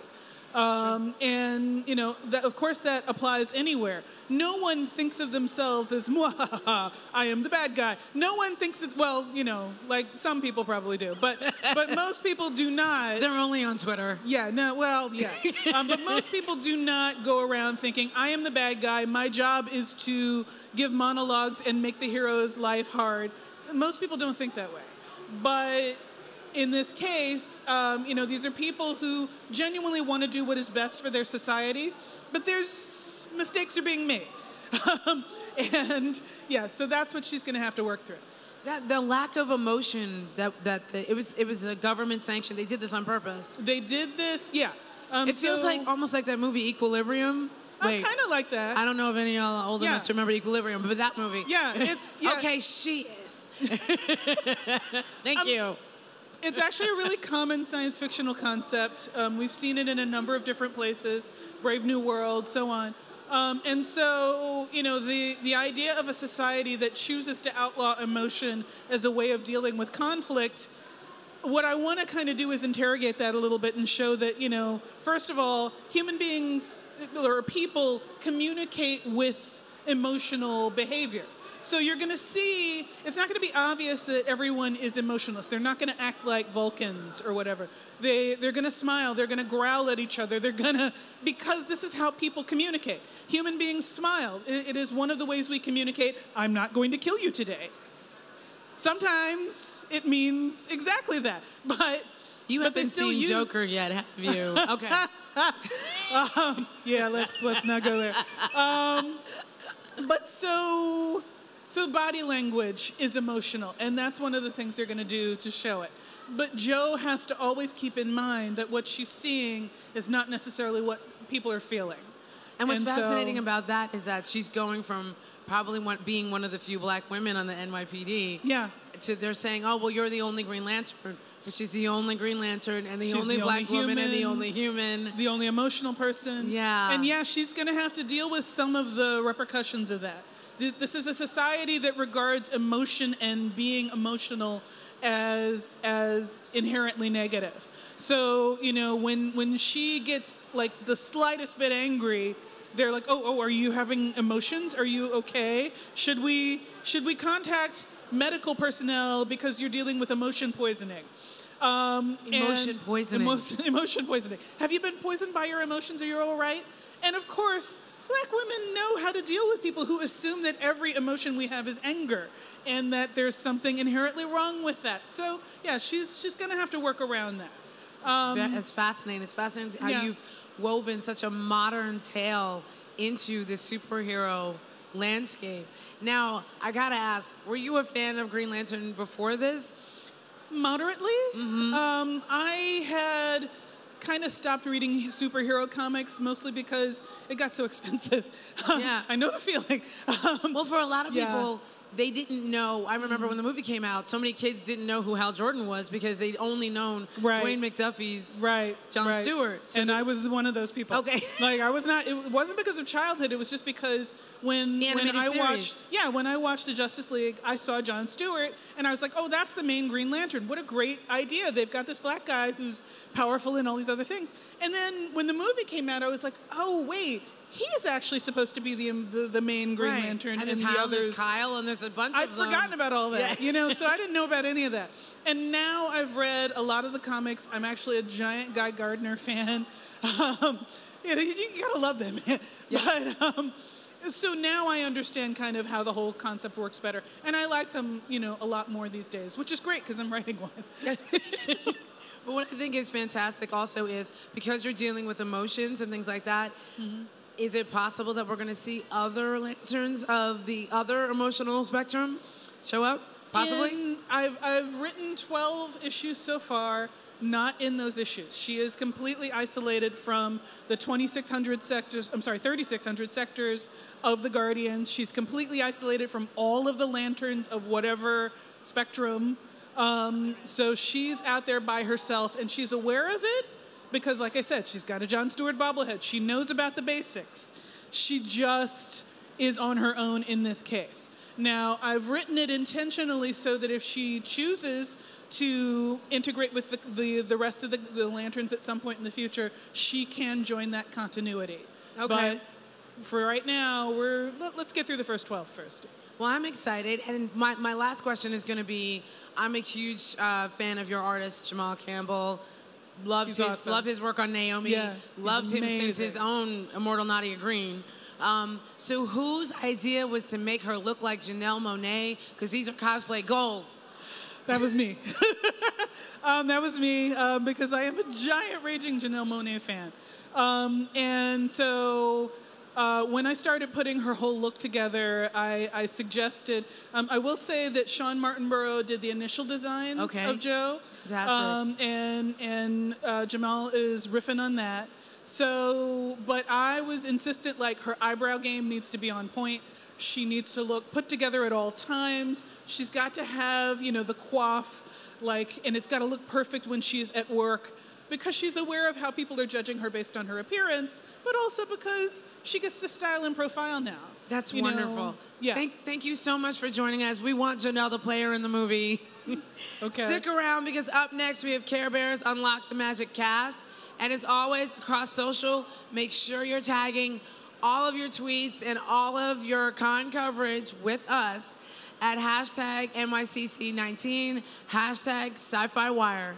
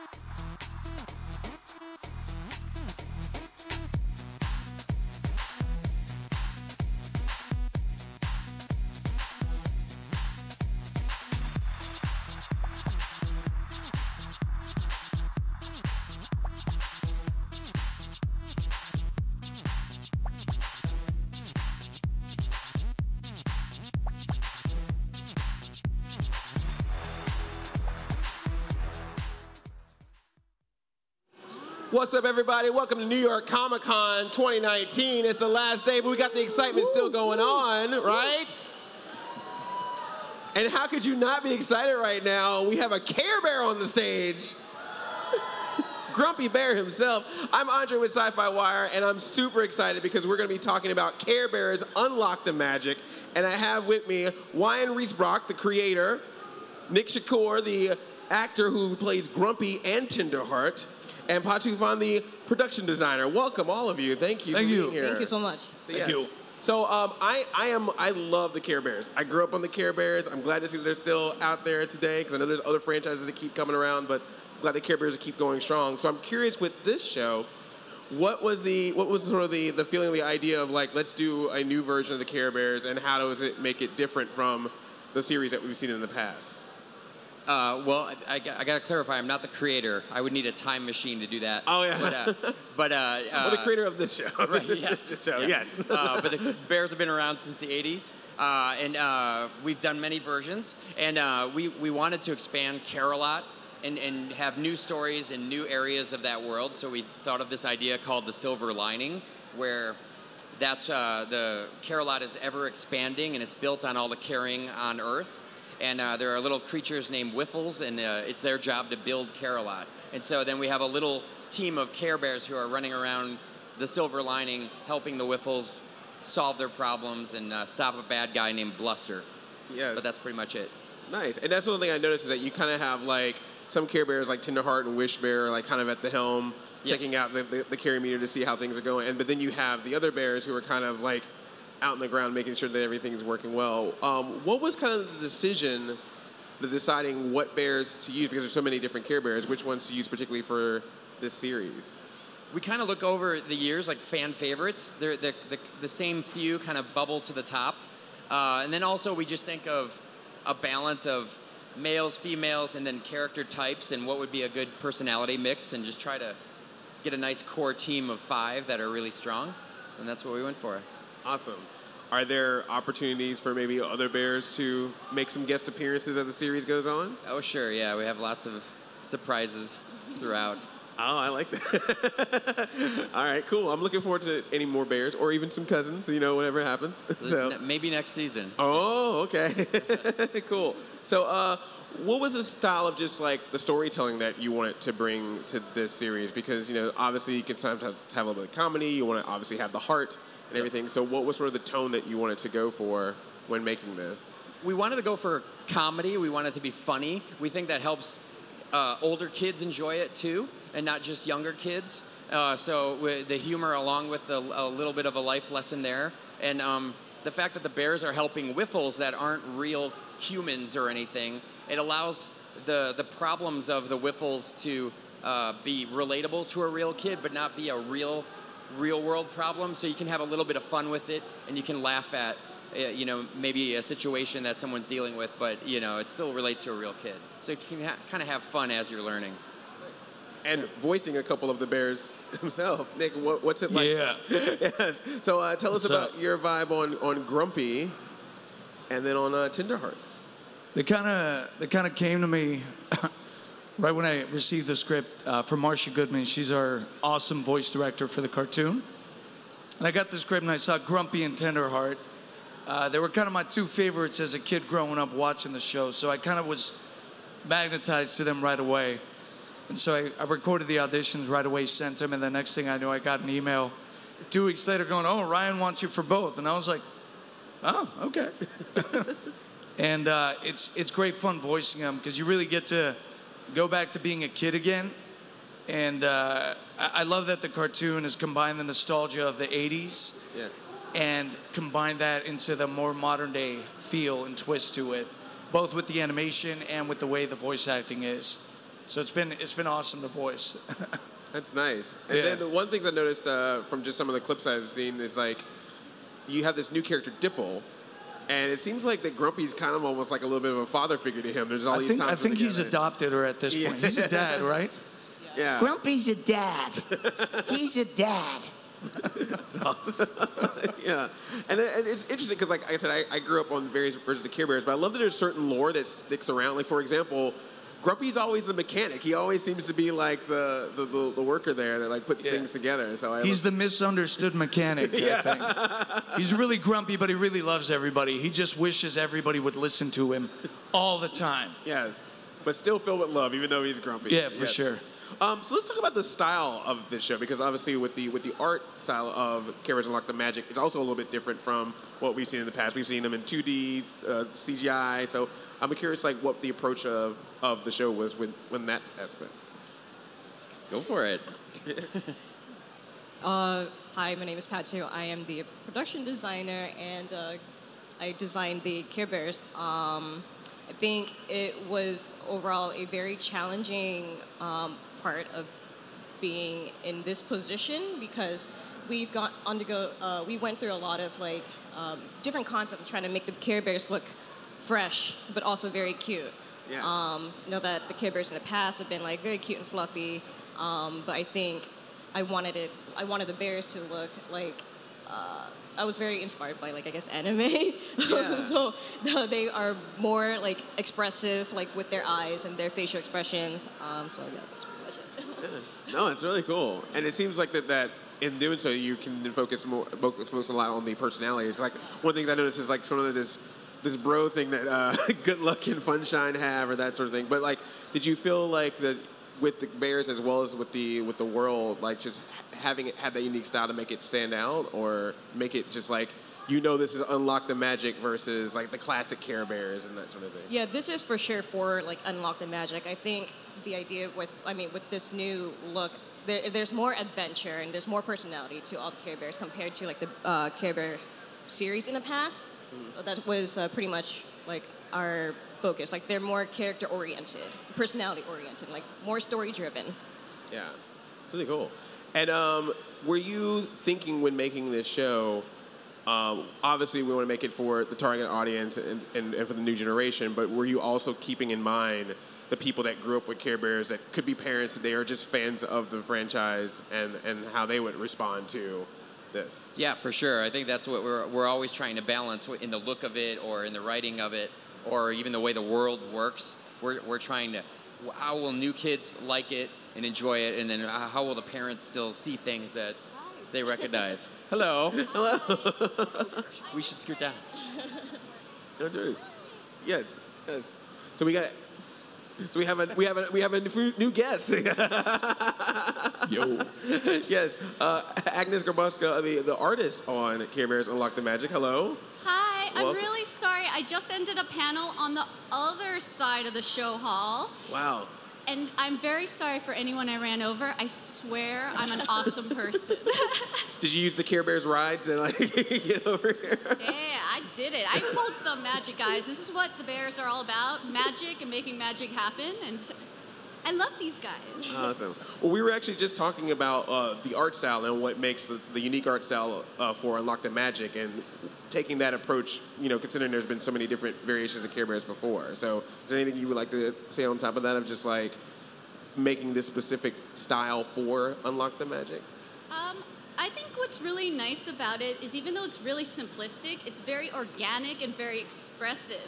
You would think animals with such little body parts and little paws wouldn't have so much emotion to them, but it's all about the subtleties and the subtle movements that every bear has a different personality and just do a really good job bringing it out in their mannerisms, which are really important, and even like subtle expressions with their eyes and their mouths. And I think that makes it really relatable because we could all see ourselves making these same expressions when we're annoyed or happy. Yeah. And it seems like something that you guys are doing that's kind of fun too is that, you know, you, back in the day we were like the Care Bear stare and it was just like rainbows and hearts and everyone started caring. But it seems like that you're using the belly badges to kind of almost have some, some powers there uh, uh, and stuff like that. So is that also kind of a fun thing to play around with is what exactly sometimes these belly badges can do? Yeah, that was a, lo- uh, the, even the inspiration of the title of the series being about unlock the magic. We really wanted to play that up, and it's just so fun visually to see all these hearts and rainbows shooting out of their bellies. It's just it's so fun and colorful that we re- we just wanted to emphasize that in this series. Nice. And what's also really cool about the series, piggybacking off what Ryan was saying, uh, it does emphasize the unlock, the magic, and the rainbows and the, you know, the sh- hearts shooting out of the stomach. But what's really, really cool about this specific series is that sometimes their powers go on the fritz because they're in the silver lining. yeah. So then they've got to come up with an ulterior plan besides using just magic. So that way, it, it kind of it teaches a good lesson of not relying just on one thing, but being able to have to use your wits and understand, you know, how to how to guide yourself and navigate in a world that you've never been in. So I like that twist that they added to it. It was it was good. That's awesome. I like that. I It's a very good concept. Um, one more thing. If you could make up your own Care Bear, what would it be? What Care Bear would you create? The convention worming bear. He has the talent to get anywhere he wants super, super fast. so fast. Okay. Honestly, I would like to see myself as a Care Bear. So I'm just like, you know, behind the scenes, kind of like, oh, you know, creeping on the bears and stuff like that, just being weird. That'd be awesome. All right. Like a hot rod bear. he just drives fast. I like it. Nick, what would be what would be your Care Bear? I think I think I would do uh, a combination of Grumpy's powers, which is the rain clouds, almost like Storm. So it's like Flight Storm Bear. She was one of my favorite X Men. So Flight Storm Bear, he just takes off and just rains everything. I love it. I love it. I love to see a geek heart, a geek heart bear. like a, like a, Oh, yeah, that's fun. good. So cool. Well, thank you all so much, and check out Care Bears Unlock the Magic. And thank you all so much for being Thank here. you. Really Thanks for having appreciate us. it. Yeah. Thank you guys. Thank you. We got more coming up here at New York Comic Con here at SYFY WIRE. Oh wait, right before we go, we got to tell us about these real things real, real quick. Over at uh, Pop Insider, we're giving away these uh, cool prints, ex- exclusive here. You drew these, right? I did. And then uh, we have something for you, Pig Pin. Uh, Yes! These are all sold out, but uh, they made these really cool Care Bears uh, pins, uh, but they'll have a line coming out in the spring. Awesome. Well, thank you all so much. Keep tuning in here at SYFY WIRE for more New York Comic Con coverage. Coming up next, we got Scott Snyder and Charles Soule talking undiscovered countries. So stay tuned for that.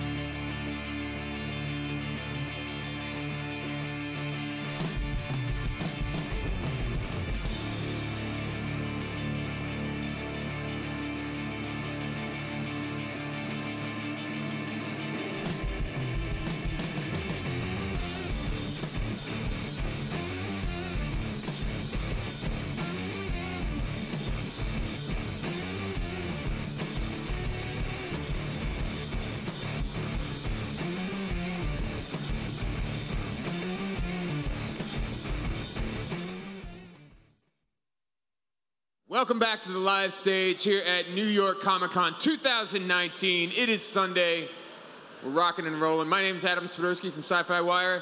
How are you guys doing? Got some good Sunday energy out there. It's good to see.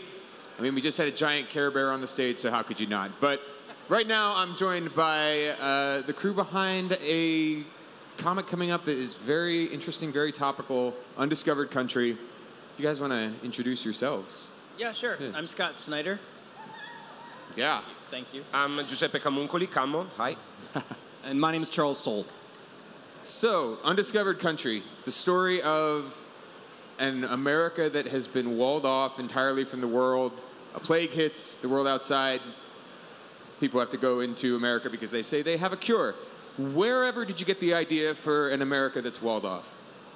Well, just kidding. But seriously, like, how much of that was informed by what's going on now? Was this idea? Yeah, I mean, it, it's the the basis of the idea. Scott and I know a guy who um, who is a retired CIA agent. He says he's retired. I don't know how retired he actually is, but he. Um, he, he helps us with research on a lot of our projects. We talked to him about a lot of stuff, and, and at one point he told us about an idea that's actually in the works called Fortress America, which is the idea that if needed, if need be, the United States could kind of wall itself off from the world for a time to sort of deal with security issues or whatever. And so Scott and Camo and I decided to take that idea and make it as crazy and, and, and insane as possible. So it's really more of like, uh, you know, like an insane adventure than it is anything that's super kind of politically topical.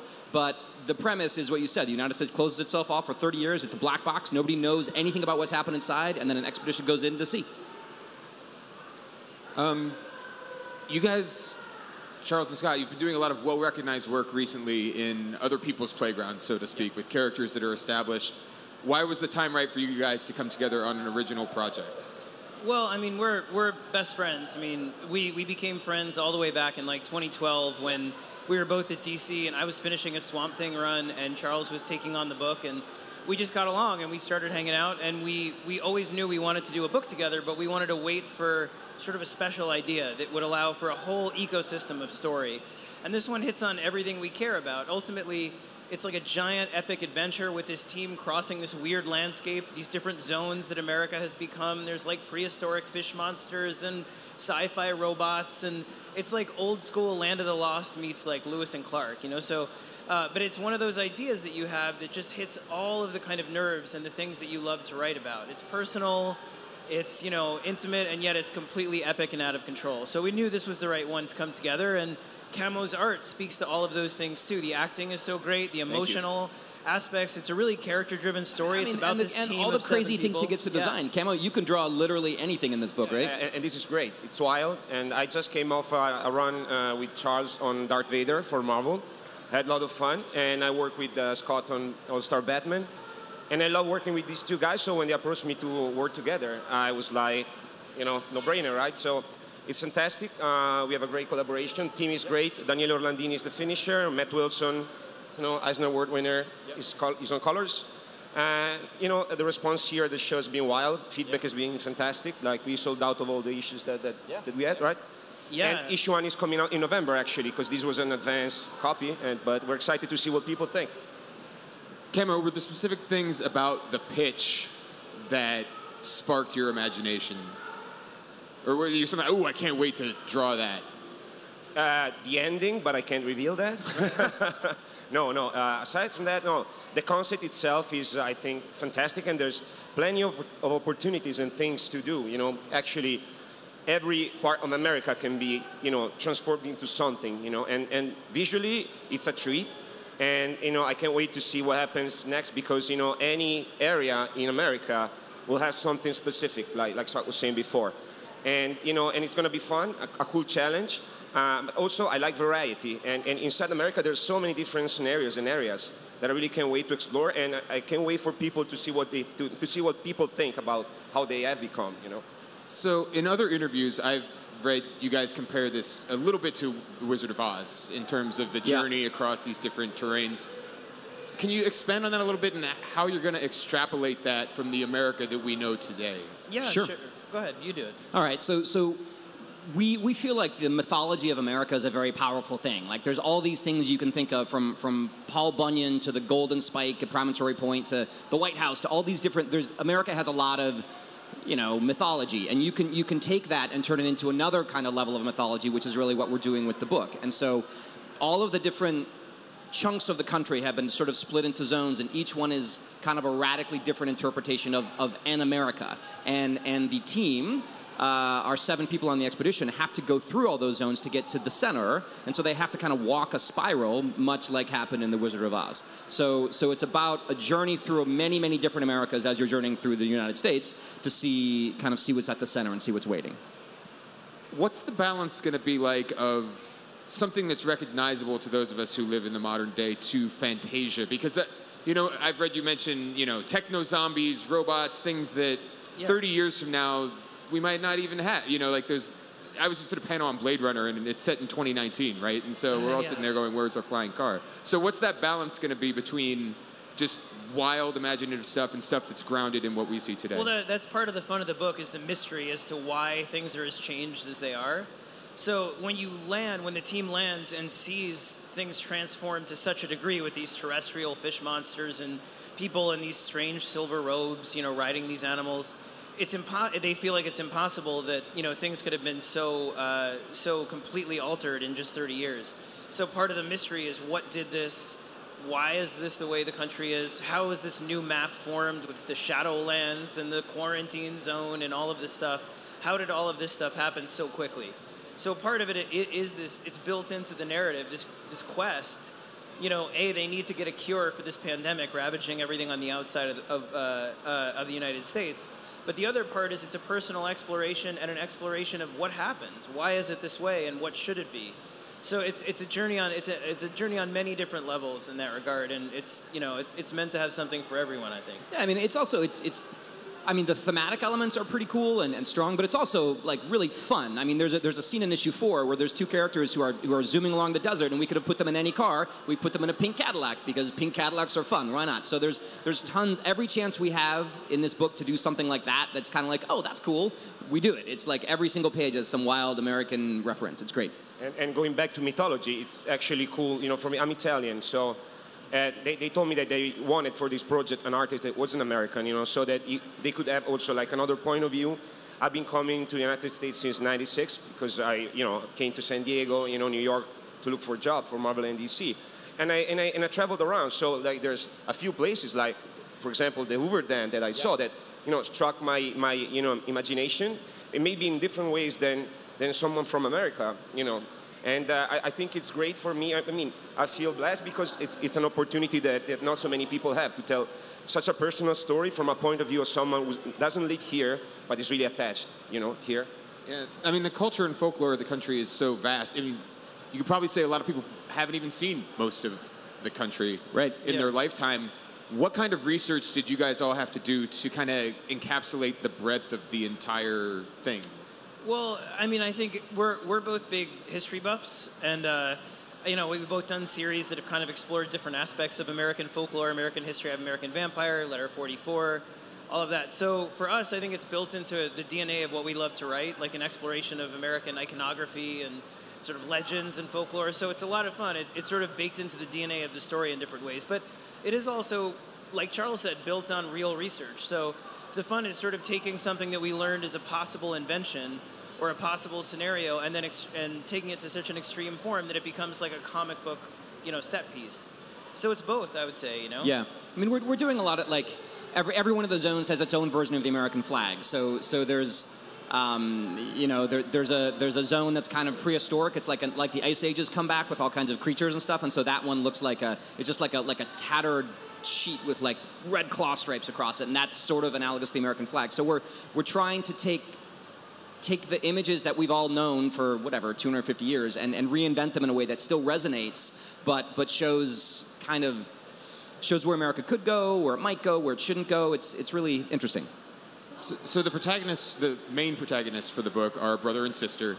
Can you talk a bit about those characters and why it was important for you to have a sibling dynamic at the center of your work? Well, we knew from the beginning that the only way the book was going to work is if we had a great cast. It really is. It's an ensemble book about this specific team of characters, and the reasons that they're chosen for the expedition are part of the mystery of the book. So the brother and the sister, Charlotte Graves, uh, uh, the sister, she's an epidemiologist and she's studying this plague, the sky virus, which is wiping out the entire world. And her brother, uh, Daniel Graves, he's a, sort of a mercenary and he has this very checkered past. And the two of them, the night before the country closed and was sealed off forever, their parents sent them away and seemed to know something about this. So their pasts are linked to kind of the mystery of what happened and why America sealed itself off as well. So it's all sort of each character. There's another character who's an American cultural expert, and he has a very dark secret. You learn that he isn't who he, who he says he is, and The other one is a is a uh, journalist. So Why did you just every say character, that? You just gave that whole thing away. No, we, we don't know what his secret is. All right, Yeah, I mean, right. yeah. But Big anyway, spoiler. the- there's a dark secret. The point is, like, every we really wanted every character to be extremely compelling, so that you love them all and you're you're waiting to see what happens with them as much as you're waiting to see what the next crazy zone is in the book. And, and the cool thing is that in every issue, there's some of the backstory of, of these characters. And it's actually very cool for me you know, to draw those scenes. And actually kind of reminded me that it's almost like in Lost when you get those flashbacks, you know, from Yeah. previous lives. And you get to see actually what's behind the character and how that interacts and, and you know, You reacts know, with, with steal what they're from the best, right? I mean, Lost is, is very much a touchstone for this series. We all love it. It's, it's good stuff.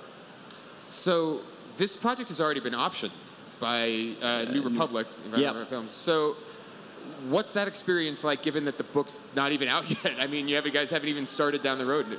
Uh, I mean, we, we've started working on, on, on the screenplay and what it's going to look like. So it's, it's an adaptation of a comic book that we're, you know, we're still building at the same time. So, Yeah. so building it for two different mediums is, is a real, it's a thrill mostly. It's like an unbelievable thing that, that the interest was this high, but it's, it's not easy either. yeah, we get to write our own, write a screenplay and together, and we're good friends. It's like the best job possible. But it's also really interesting, like Charles was saying, they're, they're very different beasts. So it's almost like writing with different muscles. I feel like. you Yeah, know? exactly. So it's it's huge fun. And again, like if I could say anything, like.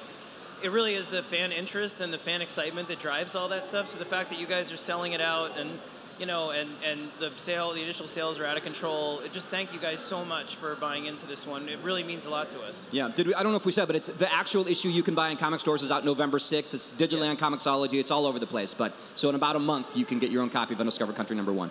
That's awesome. And Camo, are you looking forward to drawing some things that you're gonna make some VFX head, VFX specialists head explode? Just that are like, I'm, I'm ready for anything. Give them know, the like, challenge I, I really, yeah, I really can wait. And actually, it's cool because sometimes I can throw ideas. You know, like when I see something, you know, what about this? What about that? And you know, like I'm not American again. You know, so I always want to make sure that what I draw is correct, even if it's like a sci-fi book, so it's set in the future, so maybe anything could go. But going back to the past, I want to make sure that the object and items are, are the right ones. But at the same time, it's really cool, you know, these tiny details when, you know, designing, you know, flags, zones, and characters and creatures. Uh, and sky's the limit, I guess. Uh, well, going back to you know, the story, uh, I, I really can't wait to draw ev- any, every issue. You know, like it, everything is, is great. So very good. Undiscovered Country out in November. Charles Soule, Scott Snyder, Camo, thank you so much for joining Thank you, us. Thanks, guys. Thank you. Up next on this stage, we have the cast from Batwoman, so please stick around for that.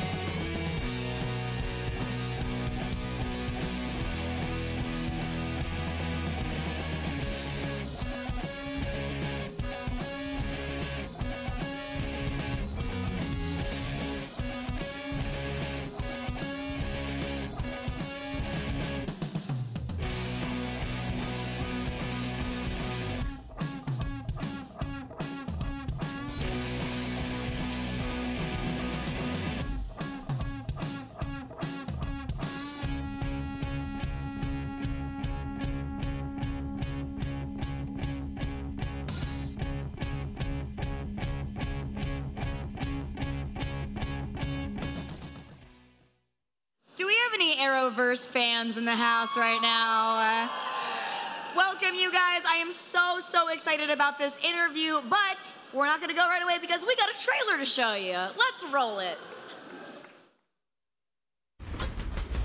This isn't the story I expected to be telling. Three years ago, when Batman mysteriously disappeared, it divided Gotham.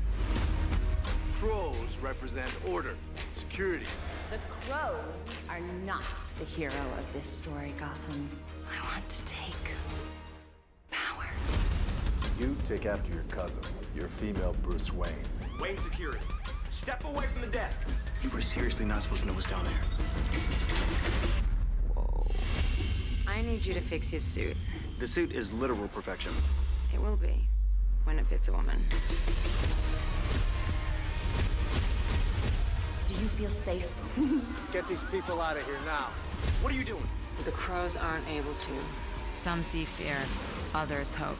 I see the freedom to be myself, to play by my own rules.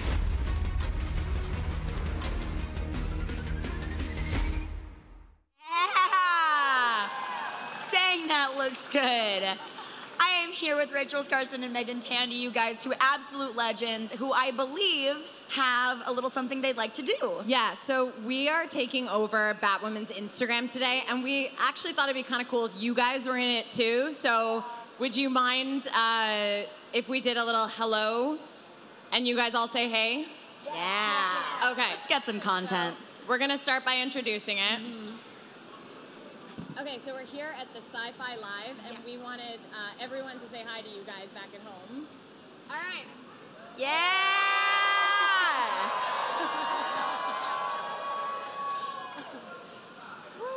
Now that's some good content. You guys look great. I just saw it. We'll be sure to tag each and every one of you. yeah. Just let us know all your handles.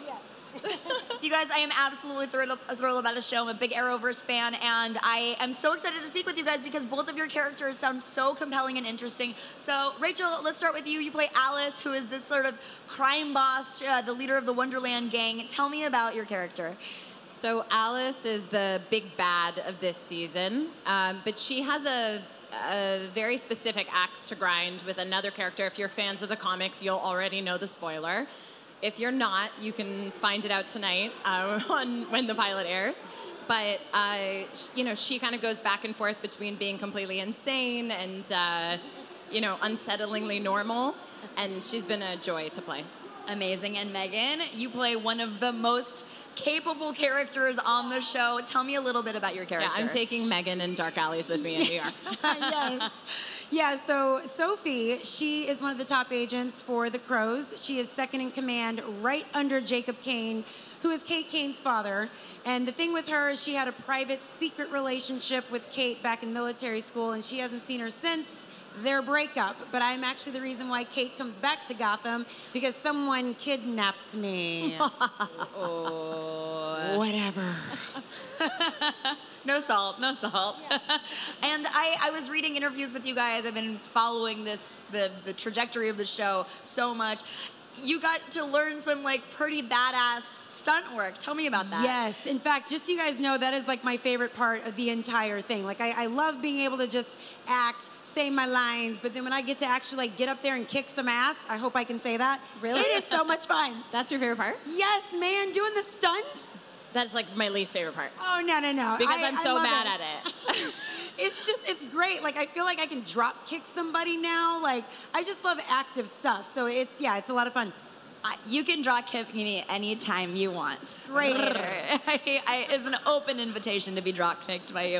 Um, and you are not a newcomer to the DCU. I, by the way, have been rewatching um, Birds of Prey, and because you can find it on DC Universe, and man. That show is still as wonderful as it was back in the day. I just remember watching that show and being like, yes, women are so badass. I love this. So tell me, what is it like to come back to the DCU? Yeah, it's actually really lovely. It, it feels very much like a homecoming for me. Uh, not only being back at Warner Brothers, and actually it's funny because Peter Roth, who's the head of Warner Brothers, was the head of Warner Brothers when I did Birds of Prey. And when I went in to test for this part, I came in and there's all the executives. Peter's sitting in the middle, and he sort of looks at me, and he's like, "I know you." And I said, "Yeah, you do because I was I was here when I was 16 doing this exact same thing." Um, so yeah, it, it's it's just very lovely. It feels like a hand in a glove coming back, and I'm very grateful. I also love DC, and I love Batman. So it's been an absolute pleasure to live in that universe twice. Yes, and now you're on sort of the opposite end of the spectrum. Dinah Lance was obviously a very good girl. Alice, not so much. Um, now I keep hearing the words crazy over and over. I would love to pick that apart. What is her issue? What's like, why does she operate the way she does? something very specific, and I, I can't say it right now until after the pilot airs, but something very specific happened to her when she was a teenager or a young teen, and it it made her into sort of the supervillain that she is today. But I, I love that about her because they're you know she's not just evil for the sake of being evil. You know she became that way because of something that was done to her, and and so we will sort of unpack that uh, throughout the season. But it's funny because when I got the part, I would tell all my friends about it. I was so excited about it, and you know, tell them about the character. And they were all like, "This part's perfect for you," and I was like, "Thanks, yeah." And then I got thinking about it, and I'm like, "But she's insane. What does that say about me?" So uh, anyway, for better or worse. Amazing. I cannot wait to see it. And let's talk a little bit about Kate Kane. Obviously, we've got some romantic ties. How do each of your relationships with that woman form over season one? Hmm. Well, the thing with Kate is, you know, like I said, they split up right after military school. Their their relationship, you know, broke up very abruptly. So the fact that Kate Kane is back in Gotham right now, it's kind of a big deal because their relationship didn't end on the best terms and there was basically just no closure. So now that she's there, Sophie gets to go on this wonderful emotional journey of ooh, do I get back with her or do I stay where I'm at? And where she's at, you will see when you tune in tonight. Yes, I love that. How about you, Alice? How does she, um, how does she sort of work with Batwoman as foes? Do they something that I, I believe that you said in an interview, both of you actually in separate ones, that both of your characters start out a certain way, but they kind of uh, subvert your expectations of who they are. And I imagine as Batwoman's foe, um, we'll get to see a lot of that. Can you speak on that? Yeah, I mean, for a reason that you will find out when you see the first episode, Batwoman and Alice are perfectly matched in all ways, both physically and uh, intellectually, and they provide such uh, a great nemesis for one another. But there's also a, a very specific reason why they can't ultimately destroy the other. So I, I think it's it's this you know very interesting situation that they find themselves in, and um, we'll explore that more throughout the season. Man, I both love and hate doing interviews I before know, I'm just dying to tell you thing everything. airs. No, you can't I wish say we could do this all again tomorrow so I can be like, let's talk about it, let's break it down. So we obviously have a ton of Arrowverse fans. Can you guys tell me a little bit about how this plays into the overall universe? Are you guys Arrowverse fans? Take it away, Rach. We were joking backstage that if there were questions that like we couldn't answer, we'd just be like, "And you, Meagan, and you." Um, yeah. So, of course, they they all play into one another. Um, some of them happen on different worlds. Some of them happen on our Earth, which Batman exists in.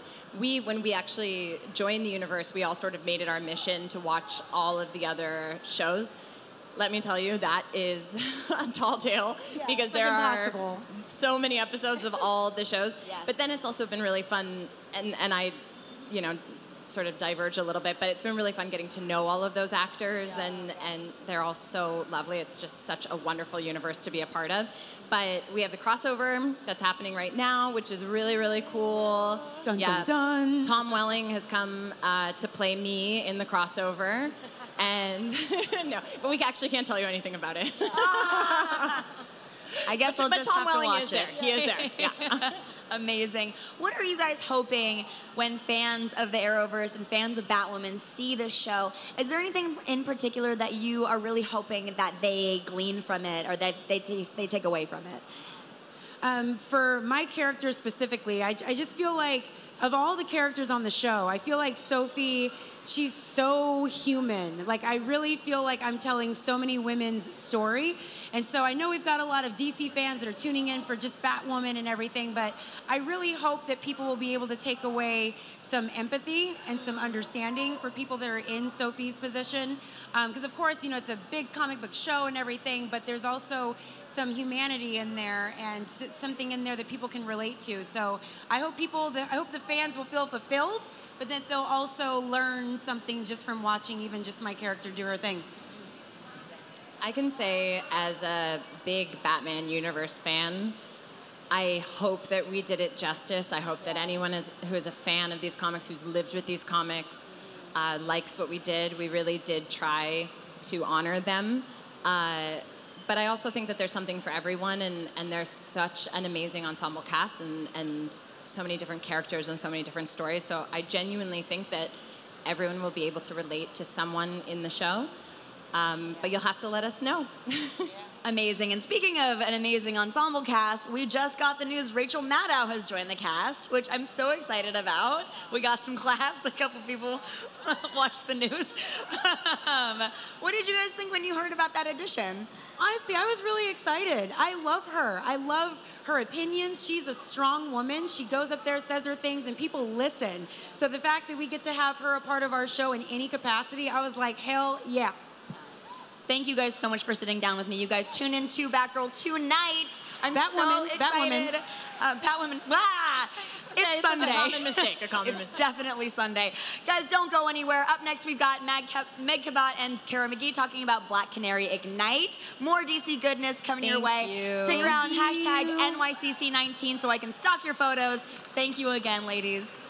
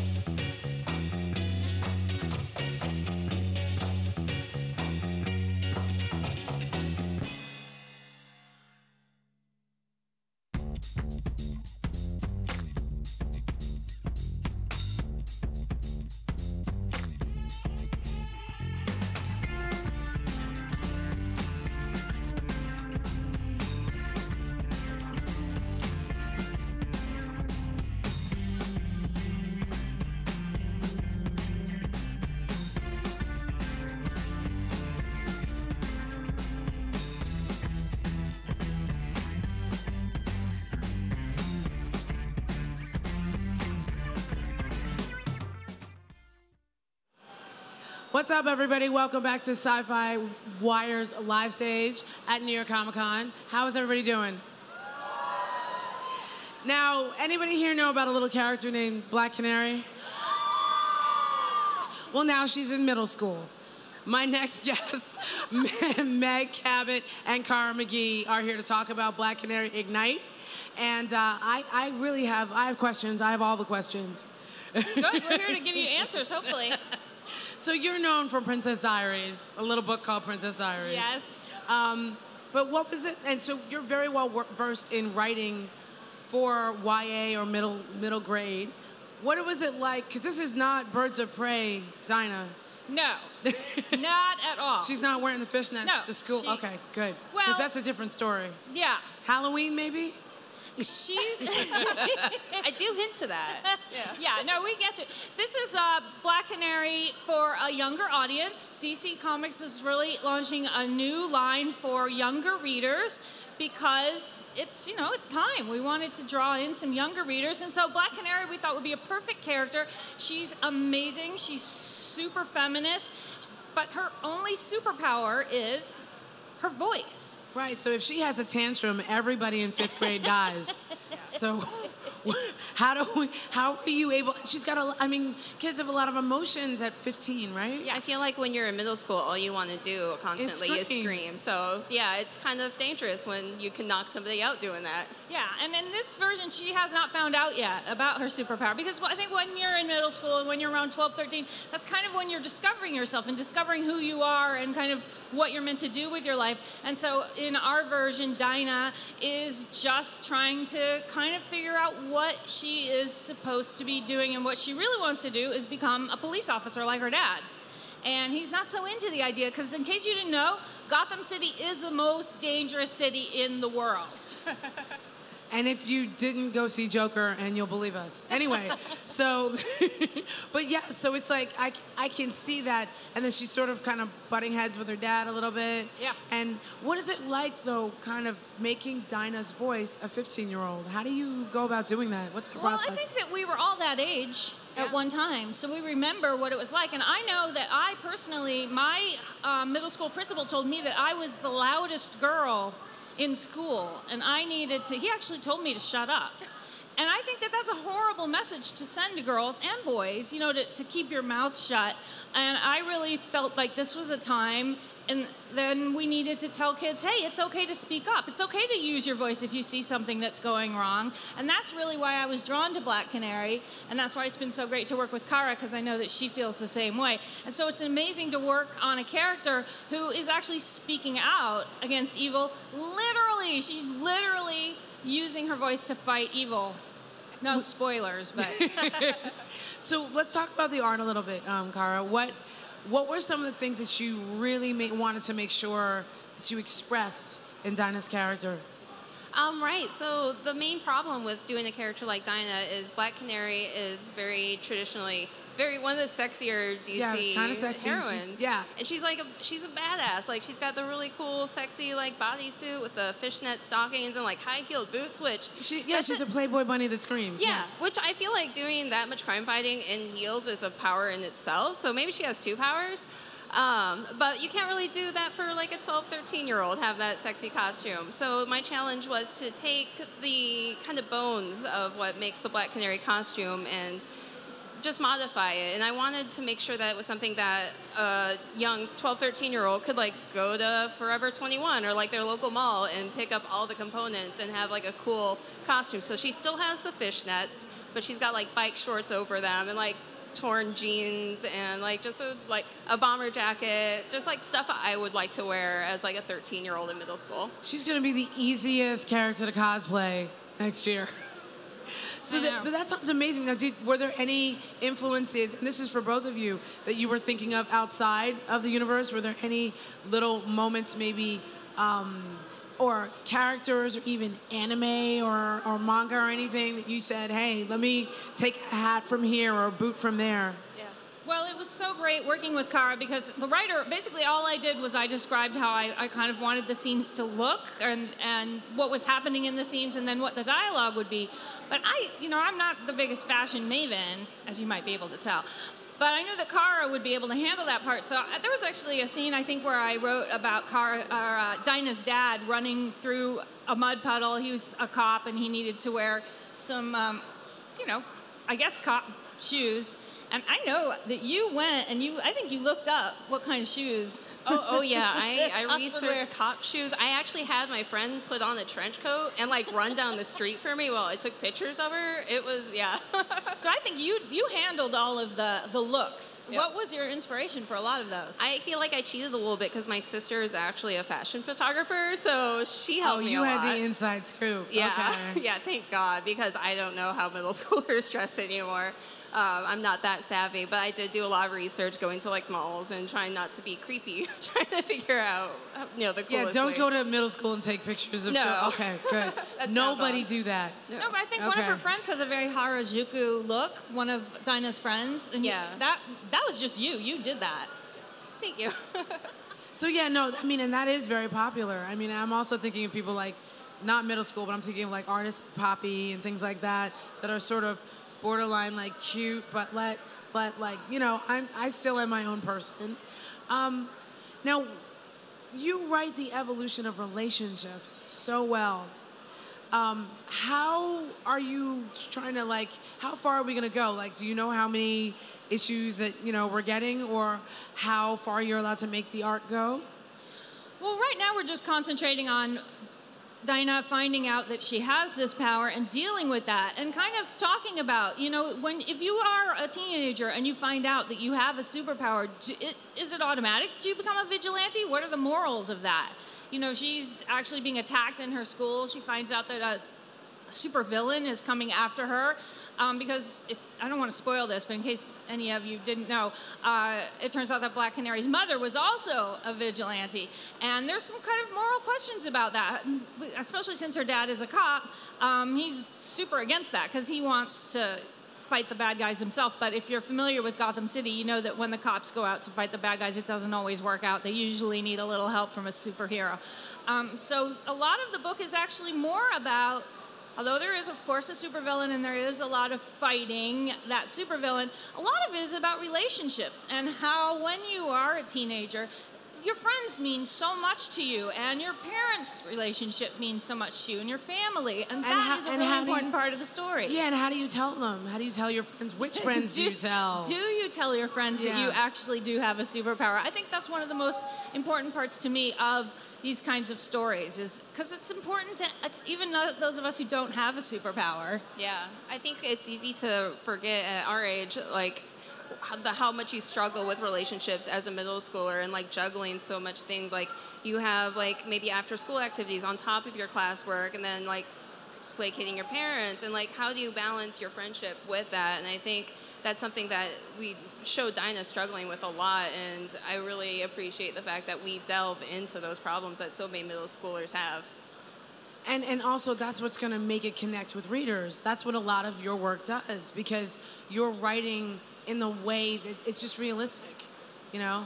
Thank you. Yeah, and I think that that's what drew so many people to the Princess Diaries too. Yes, she turned out to be a princess, but she also had a lot of problems that we could relate to, which Yeah, is me it was very relatable. she had she had bullies, she had problems with her parents, she had problems at school, and this is the exact same thing with with the Black Canary. She yes, she's a superhero, but she also has problems uh, with teachers and friends, and uh, just getting along with her parents, who are very very um, worried about her going out there and fighting crime. so I got to ask what for not to get too spoilery, but what were for each of you your favorite scene? Your favorite scene to write and your favorite scene to draw?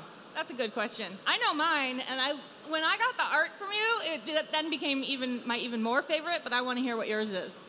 I can't. I don't know if I can really say because there's a character that pops up that I wasn't really expecting at first. Um, I don't think we've announced who it is in the book, but I really like. You know, as much as I like drawing like YA and young adult books, I also like drawing really buff, sexy men. And so this superhero pops up, and I was like, "Oh my god, yeah, I get to draw this guy!" And I do like a splash page of him like being all actiony, and I got a kick out of that. That's funny. That was not mine, but I, I know exactly who you're talking about. And now that you mention it, yeah, that, that- and you drew that very well. That Thank was, you. uh, yeah, there okay, is a- now you have to pick this book up because now I got to know who this guy is. I know who it is. Does he wear a That's cape? Very anyway, funny. He, he does have little little clothing on in that part. Um, no, I really like the family scene where they're at the Chinese food restaurant because you drew the Chinese food. It makes it look so good, and I want to eat it. I love drawing They're food. having a discussion about her superpowers, and she's a little mad because she's like, having a supersonic voice is the worst superpower. I, why couldn't I have the supersonic uh, ability to fly, or turn invisible, or supersonic strength? And her mom's a little, a little PO'd because she inherited it from her mom, and she's like, "Oh, I'm sorry, my superpower isn't good enough for you." So Drawing her parents' interactions were so yeah, fun, honestly. you did a great job with that. That's awesome. Now, uh, can you give us a hint as to any of the rogues gallery that might show up for her? There are so Dinah's a very old superhero. She was actually originally created in the 1940s and she has been going on since then. And so when I was looking back for who might she battle against in this book, we had a lot of people to draw from. And so I chose one that hopefully not too many people will recognize. Um, but when when this character shows up, this character has a very, very special power that there's a hint already that you guys might realize it could be in the title, but I'm not going to say anything more. They were really fun to draw. yes, and, and Cara did a great job drawing her, and so she causes a lot of trouble, both at school and in Cara's, or I keep calling Dinah Cara. I kind of think of her as you. Because she's so much a part of your yeah, life know. now. she like, yeah. uh, yeah, but uh, in her personal life as well. Well, everybody has to check out Black Canary Ignite. Um, I'm not in middle school, but I'm reading it. So I, we tried to make it for readers of all ages. There are some little jokes in there that adults will appreciate, as well as younger readers. And buff sexy men. And who loves sexy men as well. yeah, I'm gonna go read that behind stage right now. Okay, thank you so much for hanging out with us. Up next, we have Lego fandom, actually with a master builder. He's been building stuff backstage. I can't wait for you guys to see all this stuff. So also, don't forget, use hashtag NYCC19 and hashtag SYFY WIRE when you're talking about us on social. See you soon.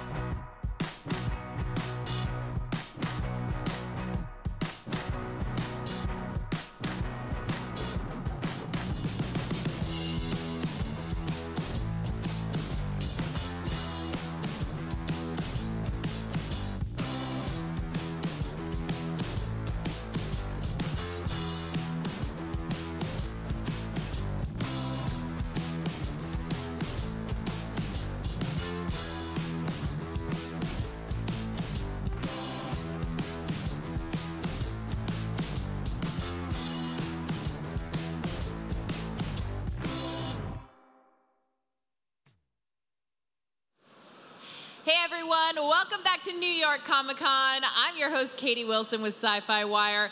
I have been so looking forward to this segment all day because I don't know if you know this about me. I love Lego, and I am sitting here with two incredible guys. Please give it up for John Lazar and Willis Rife Snyder. Now, uh, Willis, you are a master builder. You are a Lego master Yeah. builder. It says it on the shirt. It, does. How do you get that title? Well, really just practice. Um, I've been building since I was like four. I haven't stopped building, and so when I got this, when I got the opportunity to get this job, I had basically a, um, a resume of things I've been building since I was four. That's amazing. I am like so impressed with you guys because I am the absolute worst at putting together anything Lego, but I love it. I like collect so many of them and then I just stare at the beautiful boxes. I'm like, I need to hire someone to put them together for me. But you guys actually came here with our SYFY logo here, which is so cool. Tell me what went into doing this. Um, so by building this, basically, I took the SYFY logo, put it into Photoshop, figured out the dimensions of the logo, and then kind of got all the Lego pieces I needed and assembled it like you see it today. How many pieces is it? You know, I don't know the exact number. It's over a thousand. I know that. Wow. It's incredible. And at my workplace, I have a couple different programs that I can use to help render the build before I build it. One of them is actually a free program too, Lego Digital Designer. I use that on a daily basis. Wow, that's really cool. So, did you guys, you know, obviously, people back in the day used to think that Lego was just for kids, but now it's become collectibles for people of all ages. So, talk to me a little bit about your experience with Lego and, and you know, how you think that mentality has changed. Well, um, at my workplace, I work at Legoland Discovery Center, which is up in Yonkers, and um, it's supposed to be like an indoor playground for kids, but obviously you're encouraged, it's kids coming with their parents and guardians, and you're encouraged to play together. It's not just a place to let your kid roam free. You want to go with them and play with Lego with them actively at the location. That's really cool. How about for you? I mean, I've taught Lego programs, and I think it's great because it teaches mathematics, architecture, engineering.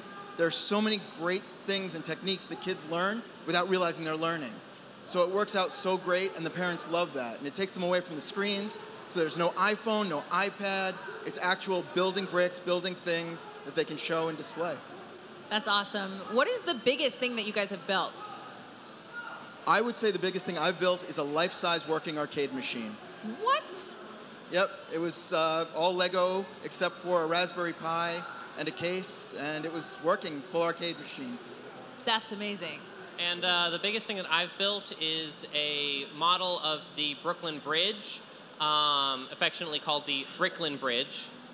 um, and I didn't build all of it. The road part portion was pre-glued and had like steel bars going through it, but I built the, the legs and the arches, and the whole thing was about 11 feet long Oh my goodness. and about eh, five feet tall. Wow, that's super impressive. What do you think is the most challenging thing that you've built? That's tough because building so much, um, especially really the large things, because they weigh so much and the structural integrity isn't very important. Uh, for instance, like his bridge and the things you see that Lego builds and brings to events like life-size people, they have to reinforce with metal because otherwise it can break and injure people. Wow. Um, I recently finished building the new Lego Star Destroyer, and Yes. that thing was difficult for a lot of different reasons. There's a, a Technic frame on the inside that's very angular, uh, but then on the outside it's literally all light gray pieces, and that can be a hassle to uh, to sort through as you're building. Um, but something I also built recently uh, last year is I built a um, a Lego Nutcracker. It's about yay tall, and I built it from scratch. I was using Wow. um, I was using reference pictures, uh, but I was just kind of building as I went, using Lego programs to help. But once I had that thing built, it was a pretty uh, pretty sizable, heavy build. Wow. And functional. Really? That's amazing. What's like the Lego dream you haven't something you haven't had the opportunity to build, but it would be your dream to to bring that to life. It's a tough question. Because just building so much, uh, like after this, going to be doing a Lego convention in a few weeks. So I'm constantly building, constantly looking for ideas, and there's always ideas that are on the backlog that you want to build, and you know you have a list, and these are the things you want to get around to, and it's really just a question of when will you have time rather than what will you build. True. And I guess my Lego dream would just to be to have access to every single Lego piece all at once. Just like a giant yeah, yeah, area. Just a database. I can just like that piece and now that piece. Wow. Does that exist somewhere? Uh, I guess jobs at like Legolands and Legoland Discovery Centers get close, but not quite. That's really cool, though. You're actually going to build something for us here Yes. today, which I'm really excited for. I Please have, tell us what you are uh, making think for us. It'll be, you'll, it'll make uh, itself known as I'm putting together. it's a famous New York icon, certainly. And how many pieces went into this? Um, to be honest, I barely started building it on um, a computer program. I kind of free built the rest of it, so I don't have a good piece count. Definitely several hundred. Wow. Uh, maybe a thousand. And how long did it take you to, to put these pieces together? I built this uh, within a work day, so an eight-hour shift, you know. That would take me like two years to do. That's incredible. It helps to have, you know, reference pictures and such. And you say that a lot of times you use the programs to help you. Oh yeah, definitely. Um, especially, you know, wrapping my head around the mathematics of the Lego pieces. A Lego program can kind of do the work for me. That's really cool. Do you also use Photoshop as well? Um, Photoshop, not typically. I do have a proprietary program that allows me to render images into Lego bricks, and so I can work off of that. What happens if you guys are going to build something, but you just can't find that like perfect color? Oh. Well, it, if Lego makes the color, then it becomes a question of ordering it and waiting. If they don't, then it's about finding the closest approximation. Yeah. Making mosaics out of Lego bricks, I typically have to make a gradient of multiple pieces so that when you look at it from a distance, it turns into one color. Oh, wow. All right. That's So, really cool. I bet it's pretty noticeable now. Here, can you take the mic? Yeah, there are a lot of like secret techniques people have come up with involving layering different pieces for different colors, especially in the mosaics. Oh, wow. Um, you know, Arthur Gugick, who uh, recently passed away, was a brilliant builder who did things like that and really created the techniques that a lot of the people who play with Lego do use today. That is so cool. It's completed. Amazing. That is so cool. Thank you. That took you like a minute. Yeah. Um, now, the, the window panels all come off of the individual segments, so that might have made it a little longer to put together. But um, funnily enough, I built this a couple weeks before Lego announced that they were making their own architecture Empire State Building set, so I kind of beat them to it. Wow. wow. What sort of advice do you think you'd give a young person who wants to turn their love of Lego into a job, a career? Um, it's really getting out into the community and and making something out of it. Um, I know a fellow master model builder, in addition to having his job at his own Legoland Discovery Center, um, works with commissions on the side. Like people will ask him to build something out of Lego, and he'll do it for a price. Wow. Um, so that's one way that you can you can work with it. Now, John, you're a part of a Lego user group. Um, tell me about how that works. So yeah, so I'm part of a group called I Love New York, which is the New York Tri-State Area Lego Users Group, where a bunch of adults get together. We work on ideas. We've done displays, including here at New York Comic Con several years ago, and it's all about working together, building ideas together. And really, my best recommendation for anybody who wants to just get better and learn to play with Lego is build. Build as much as you can, as, and you know you'll just keep getting better and better the more you practice. I think that's good advice, but I think it's too late for me. There's always time. So, if you guys had to give a rough estimate as to how many Lego pieces you own at home, how many? My parents would say too many. Um, but to be perfectly honest, I my collection is pretty small in comparison to some other builders because it's mostly just made up of sets that I've owned over the course of my lifetime. Other people will, will purchase bricks from third-party vendors so that they have a you know a huge collection of all the different pieces. Wow. And since I don't have the luxury of working for Legoland or Lego, I have hundreds of thousands at home Oh easily. my goodness. That is so many. That's lot. incredible. Guys, please give it up again for John and Willis here. This is really, really awesome. And guys, make sure you stick around because up next we have Veronica Taylor talking about the 20th anniversary of Pokemon. So you can follow along with us using the hashtag NYCC19 and at SYFY WIRE. Stick around.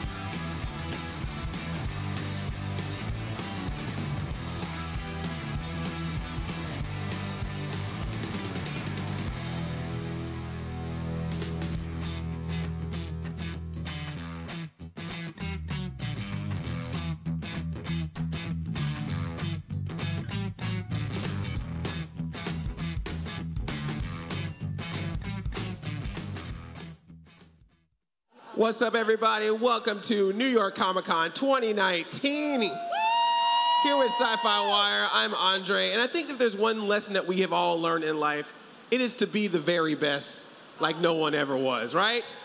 Right. and who better to do that with than the, the voice of Ash Ketchum herself, Veronica Taylor. And we also have her daughter, Rita Taylor, as well. Voice extension.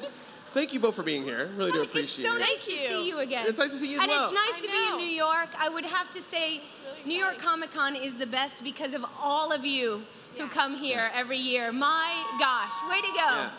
We were talking backstage. You, you were saying that uh, Rita, you were here like as a kid, like when you were much younger, Yeah. and like you both have been like seeing the New York Comic Con experience grow and evolve over time. So what has that been like? All these years. I mean, I started going to conventions with my mom when I was four.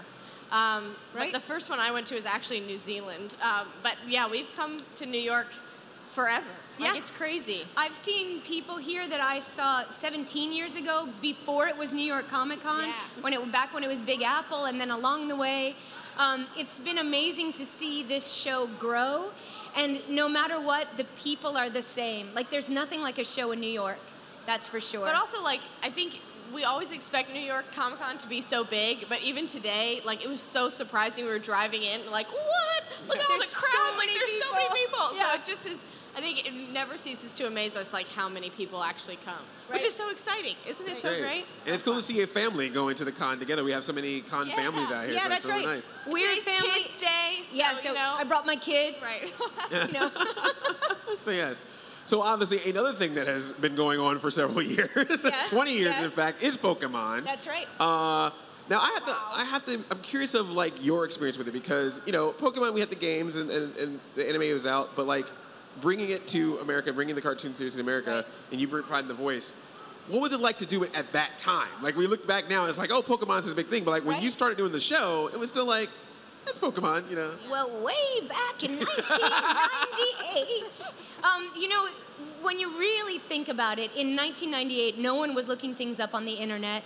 There wasn't really um, a way to find out a lot about something in advance of auditioning for it. I did know that Pokemon had caused seizures, and I still auditioned for it. I don't know. Ask me about that another time. But um, we just launched into this. It was a job that I was cast in, and it was an amazing show, amazing energy to it. But we didn't know if anyone was watching it. We had no idea. And then the first movie came, and then we were like, "Yeah, maybe some people are watching this." but it was um, it was a wonderful job to have, not knowing if it would ever go on. You know. Yeah. And then it has. it did. Yeah. I was on the first eight years of the show, and they were really incredibly wonderful. And now I still get to talk about it all the time with people and kind of relive your memories and my memories Yeah. as well. What do you think from a, from a fan's perspective is the reason why they connect to Ash so much, your character, and and was that sort of an inspiration as you continued with the show I uh, think to it's, what that character it's more inspirational to me now as I realize how much we all learned from the show and have kind of taken to heart. Yeah. I think Ash, especially, is he represents all of us.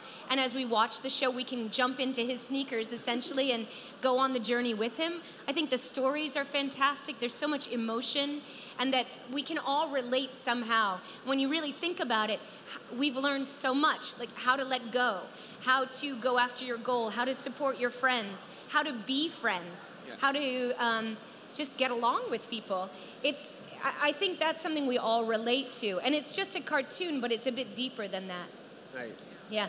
Are you able to keep up? Because they keep adding all these Pokemon. Are you able to? There's so many now. It's insane. I know. Yeah. Um, I, I honestly don't keep up, but I do keep in touch with the show because people tell me who their favorite Pokemon is. Yeah. And then I find out who that is. Yeah, I'm we a big- definitely find out from everyone here. I Right. think neither of us really know that much about the show anyway. Like, I it was the only show I was allowed to watch in the mornings before going to school. I was So, very like, strict. Yeah, you know, So- parenting at its finest. Yeah. But um, so like we kind of watched the show, but then now like people just come up and they're talking to us about Pokemon and different scenes and Yeah. things. So like. Definitely, I think both of us have grown in knowledge through coming to Through conventions. other people, for yeah. sure. Yeah.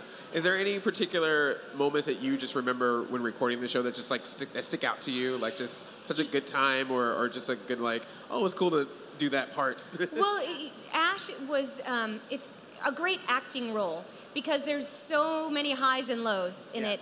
The first episode is one that I love. Look at all the emotion that was packed into that one thing. Right. Plus, I am one to get up late, so I could really relate to him. Um, in the Butterfree episode, that letting go when um, Ash and Brock and Misty parted ways. Spoilers if you haven't gotten that far. um, but you know the, the times that were the most real when Ash came home to his mom, there was always some sweet interactions between them. That was, I, I just really loved the real parts of it. Where um, in the first movie, when Ash is saving Pikachu, Yeah. you know, like that's incredible, and that's a movie for children. Yeah. Um, these are things that I really, really hold on to. yes. So you mentioned you like the moments where Ash went home to see his mom, Yes. Also voiced by you. right, right. So how was it like being mother and son? pretty great. I mean, as a mother, I wouldn't let my daughter go when she was Never, 10 on her own journey. I just take her with me, I guess. She does remind me though to you know change my underwear and do laundry. Right, right. So that, there are some similarities. Some similarities. Oh, Oh, yeah. yes. Um, but the, it was nice to have scenes with myself because then I could hear the lines and Yeah. actually talk and listen, which is what acting really is. Uh, so that was a treat Yeah. for that. That's really cool. Yeah, it was always cool to see the mom. And then I'm, I'm still questioning mom's relationship with Mr. Mime. I know that you they were like friends. Hey, you know, who doesn't want someone to do the dishes, help with cooking, and not talk back? I mean, we could all use a Mr. Mime, I think, right? But that's true. Well, Um, now I we may have to question it. settle. We may have to settle for a crock pot, though. That's right. That's- we that's have like a the crock closest pot. thing. She has a Mr. Mime. Crockpot, which will that will be in the next Pokemon. Crock pot That's right. evolves to. Hey, to. no, that was fighting food-ons. Yeah, yeah, That there was there it is. So yeah, but that's actually I'm, curious about because as a voice actor, you know, obviously Pokemon was something that you had to dub versus some, some other animation where you where it's made up after you do the voice. Like, as a voice actor, what is the challenge in the different types there? So when you're dubbing something, you're fitting the lip flap. Yeah. And when you are doing prelay, you get to kind of go wherever with it and they draw to you later, which is quite a luxury. Yeah. Both of them have their own challenges and both are equally wonderful. I do love the challenge of trying to make something fit even though the flap is not working. You know, so you're constantly Yeah. um, but there is something great in strict parameters and then bringing it to life. When you have prelay, it's good because it's like you're in a radio play. Yeah. You can just act it through and then we can try it a different way. Often you're in the booth with people. When you're dubbing, you're not, you're Right. alone. In the case of when my daughter played Centric, for instance, she I held her up to the mic, so we were in the, the booth together, Oh, but yeah. rarely does that happen.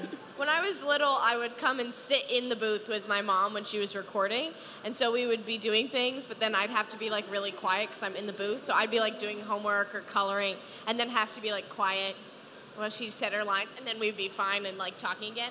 So like that is a group effort, but right, definitely right. not. But like, when the same. relay, you couldn't do that because we're all working together continuously. Yeah. In in dubbing, you have a little break in between while they set up the next take. I would say though too for prelay you get a lot more opportunities for like improv, Yeah. which is definitely another way of kind of utilizing your skill. Um, but when you're dubbing something, it really does depend on the writers, and having really good writers makes it super easy to dub in that sense because Right. you don't feel like, oh, I wish this scene had more X, Y, Z or stuff. So it just depends. Nice. Right.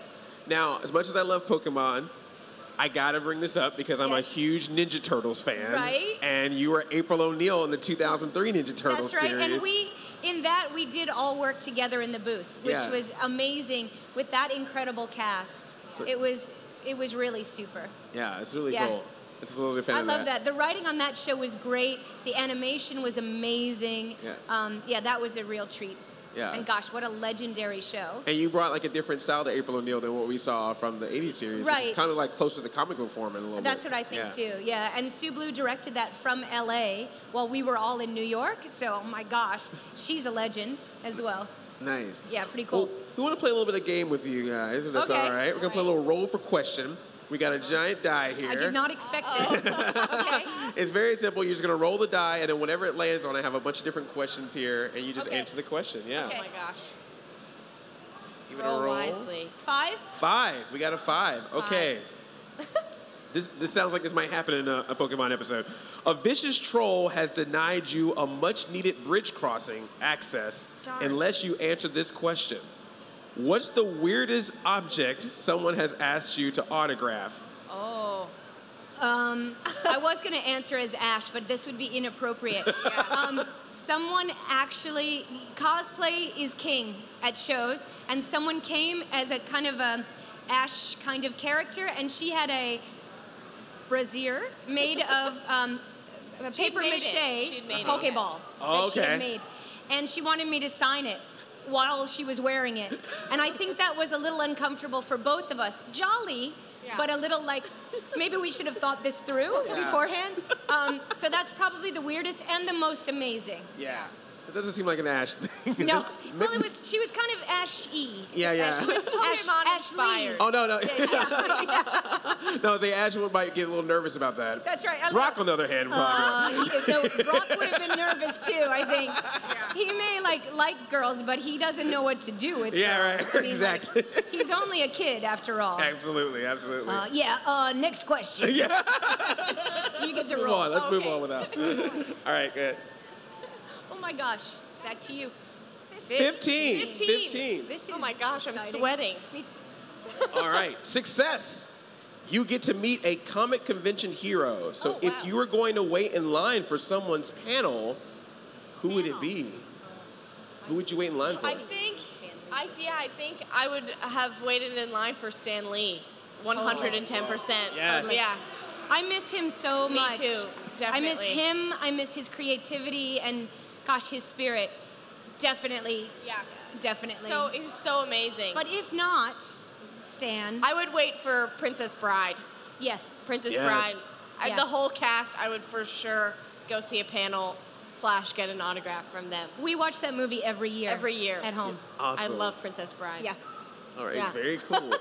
well, thank you Is that so it much. already? Yeah, that's it. Um, We're I just already want to say, New York Comic Con, I choose you. You guys are the best. You're the so best awesome. too. Oh, Thank you are a wonderful one. Thank you so much once Yeah. again to Veronica Taylor and Raina Taylor.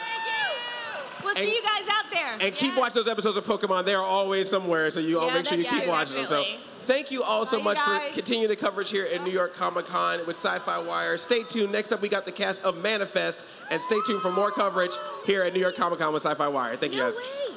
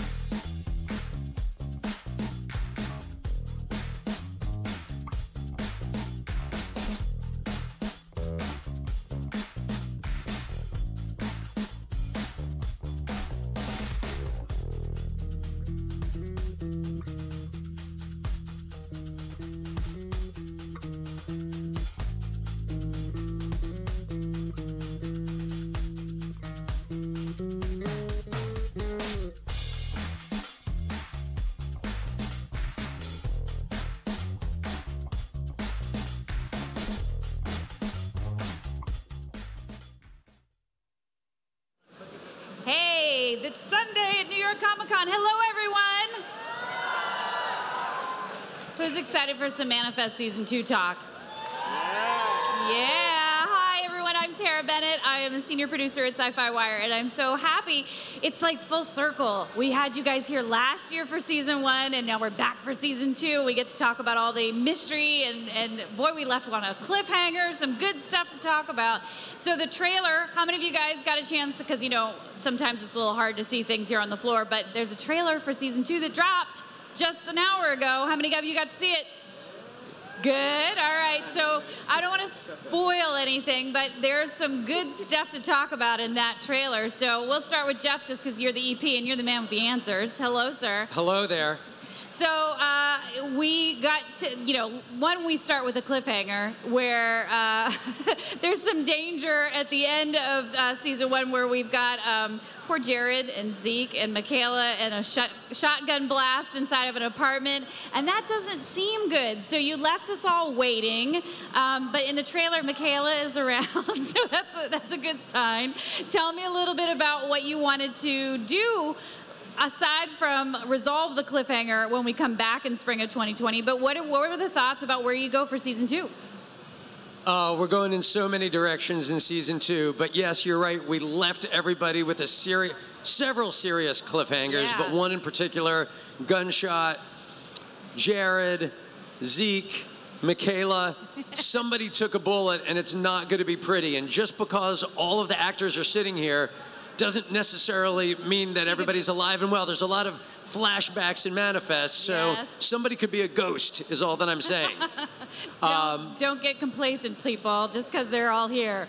Um, you know, obviously, the, the, the core of the show is with Ben and Michaela and their relationship. There's a little bit of conflict in that trailer that we see between the two of you. You guys have gone through it as siblings in season one. Where are we in season two with you guys? Where are we season two? I mean, I think Ben and Michaela are uh, still trying to figure out where they stand and how they feel about the callings. They each come at it at a, at a different angle, and I think that's going to flip flop as we go through. So I, I think it does create some tensions going through, especially at the beginning. However, Ben and Michaela, there's nothing that's gonna really break them apart. Tension, right? Tension like brother and sister. yeah. yeah. No matter the conflict, they're still together through all other of this. way nothing, too there's much. nothing like the love that lets us share our last name, something like that. I don't know. I can't remember. So otherwise, well, Ben and Grace, uh, a little bit of information that came out at the end of that finale. Someone's gonna have a baby, but uh oh, Someone is There's gonna a- have a baby. Who will it be? Drama. So- that's you know, listen. Uh, it's already been hard enough in season one. You know, you guys were apart for so long, building that marriage back together again. This is just another facet to that. I- uh, bringing together, apart. How's how? What can we expect for for this little information to to do to the the still building back together marriage here? You will learn who the daddy is. Ooh, okay, that's good. We like to hear that. I won't say who. In a very surprising way. Actually, I was surprised when I read it. I was like, "Oh, this is great! I love that Nice. they've done Okay. this." Um, they being this wonderful man.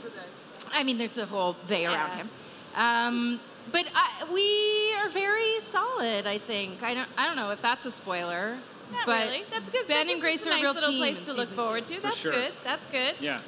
All right, so let's talk about the kids. You guys, tell me, give us a little tease of what's going to come with the with the with the brother. You know, we've got these siblings, as, uh, but then you guys, tell us what what you can tease about what's coming for you guys.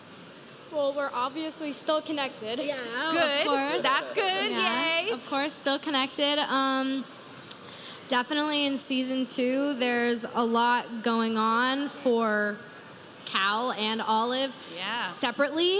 Um, for myself, I can say that it's definitely a massive turn that happens and a little bit of a downward spiral for Miss Olive Stone. But, you know, we're getting through it as everyone is on this show, I guess, is Yes, getting through it. Um, but uh, but yeah, it's it's great, and I'm looking forward to shooting more with this dude. Always. Yeah. Good. Good. Good. Good. All right, let's talk about Saanvi and let's Okay. talk about where we left her and what's coming up uh, that we can tip into this season.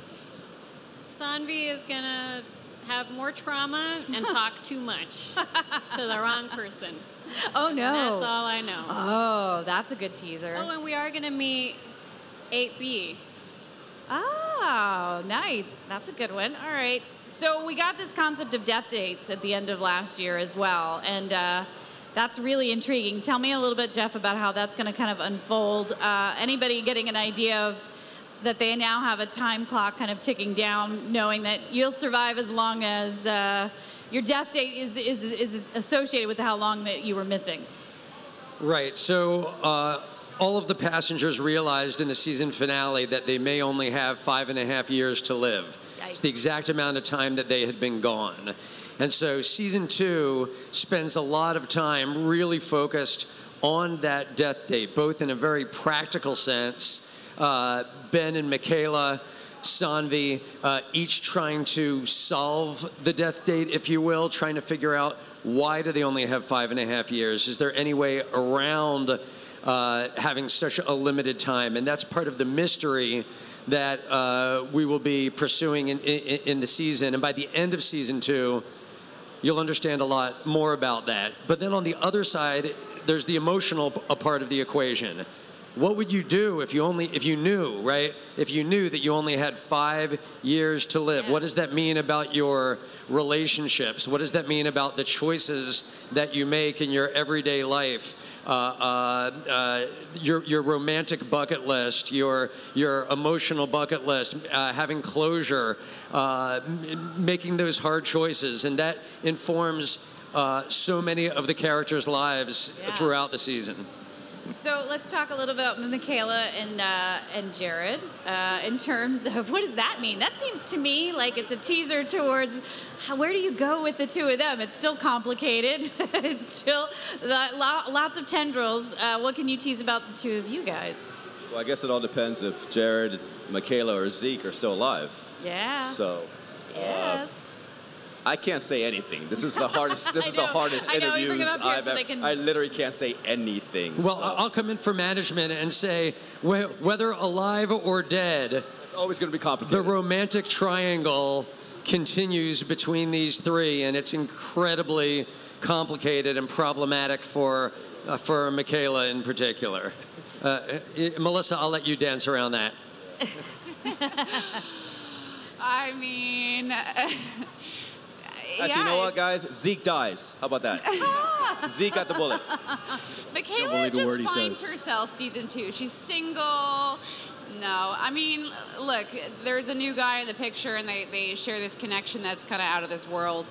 Um, her heart's, you know, gotten a lot of complications with Jared, and and then yeah, we don't we don't know who makes it. Maybe that narrows down her choices. So there you go. Oops, one died. Well. Matt, talk a little bit about coming into the series and what you wanted to do. Zeke is such an interesting character, and how you wanted to bring him into the show, and now as you get to evolve and you know, kind of show him now with this group of people, uh, what's been most interesting to kind of uh, build with him, and where you want to go with him. Uh, I've been really fortunate and, and very thankful to have a lot of really interesting backstory and really compelling things to tell uh, from Zeke. I loved uh, his character at the beginning, being out in the woods and, and stuck in the cave. It was very different than anything I've played before, Yeah. but also really near and dear to me because we go, my family and I go camping a lot. We love to go hiking and backpacking as much as we can. Uh, and so when I got to the stone home, I, I kept telling Melissa how weird it felt to be there because I had Yes. I only knew Zeke out, you know, surviving. You're doing your own Yeah. thing, exactly. Exactly. Uh, and I mean, not to give anything away this season, but there's some really great. I, I, I don't even know what I can say. I, am I'm worried about. Your boss is here. He's yeah. going to yell at you I after. don't want to reveal things. Um, it continues to be compelling and interesting, and we have flashbacks, so it's not really telling anything at all. Yeah, good. Yeah. Well, spring 2020, we get to see all of this unfold. We're so excited that you guys are back, and thank you for coming back here. Thank you. so you. happy rest of your Comic Con. having Thanks for coming out, Comic Con. Thank you, guys. And up next, guys, we got Matt Wagner and Brennan Wagner, and they'll be talking about all their good stuff. Thanks for being here.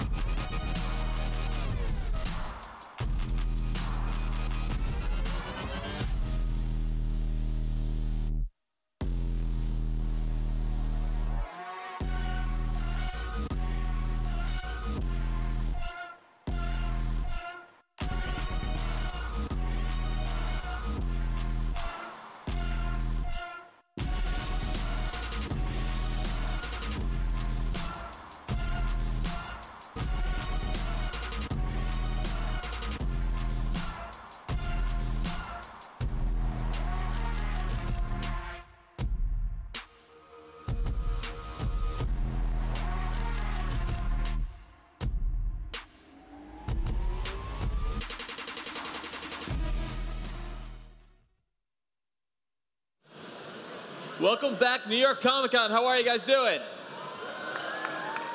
All right. Now we got Matt Brennan Wagner, the creator of, well, he does a lot of comics, but Mage is your big personal Mage and. Grendel. Yep, Mage and Grendel. You finally finished Mage. Yeah. Yeah. After 35 years. It came out earlier this year. Huge, epic final chapter. How does it feel? It feels awesome. Uh, I, I keep telling people I feel like I stuck the landing. After a project that lasted this long, you know, with so many years between each volume of the trilogy, uh, there was a real effort and a real uh, uh, uh, onus on me to make sure that it ended and felt correct, you know? And I, I feel like I, that happened. Do you miss Kevin now? a bit here and there. Uh, I also was kind of surprised with how kind of creatively exhausted it left me, because I find Mage particularly is a very invigorating creative process. When I'm writing and drawing in Mage, I feel very up and energized. And boy, after it was done, it's like somebody pulled the plug, and I was just. then you knew you knew it was time. And the difference here now is that you had your son working on it, coloring Yep, yep. The, the book. And so how was that? I You keep guys- telling people that I took so long between the second and third part, I was able to breed and grow my own colorist. I mean, you guys have worked together before, but how was it working on a book that was so personal to your dad? Uh, I, I had been trying to push him to do this book for a while because uh, He it, did. It, it always meant a lot to me growing up reading it and uh, pushing it on my friends and, and seeing him go to conventions and stuff. So working on the final chapter was uh, uh, very much like a legacy thing and uh, felt full circle for both of us. In fact, he, he kept he used to keep telling me, "Dad, you got to do Mage three next. You got to do Mage three next. You got to do Mage three next." And we finished the one we'd been working on before that, which was Grendel versus the Shadow. And uh, he said, to me, "So what's next?" And I said, "Well, what do you want to be next?" And he said, "Mage." I said, "All right, it's Mage." I mean, growing up and reading that book, it's semi-autobiographical, you know, and so most kids don't have that sort of book that their dad wrote and re- illustrated themselves, kind of about their lives. What was that like for you growing up reading that story that your dad had written? Uh, it's, it's all very personal, you know. Um, of course, a lot of the book is, is fantasy and is not reality. Uh, but It's the an bits- allegory. right, yeah. Not exact, not true story. The bits that mimic reality are, uh, are personal and, and meaningful to me. Yeah. Well, he's got a kid in this book, too. He's got two kids, he's got a wife, and so how much is it based on your own kids? Oh, very much. The settings are very much various places that we lived as a family. But I, I kept telling people that one of the reasons the third part took so long, it took even longer than the space between the second and first part, was that I had to wait for my kids to grow up.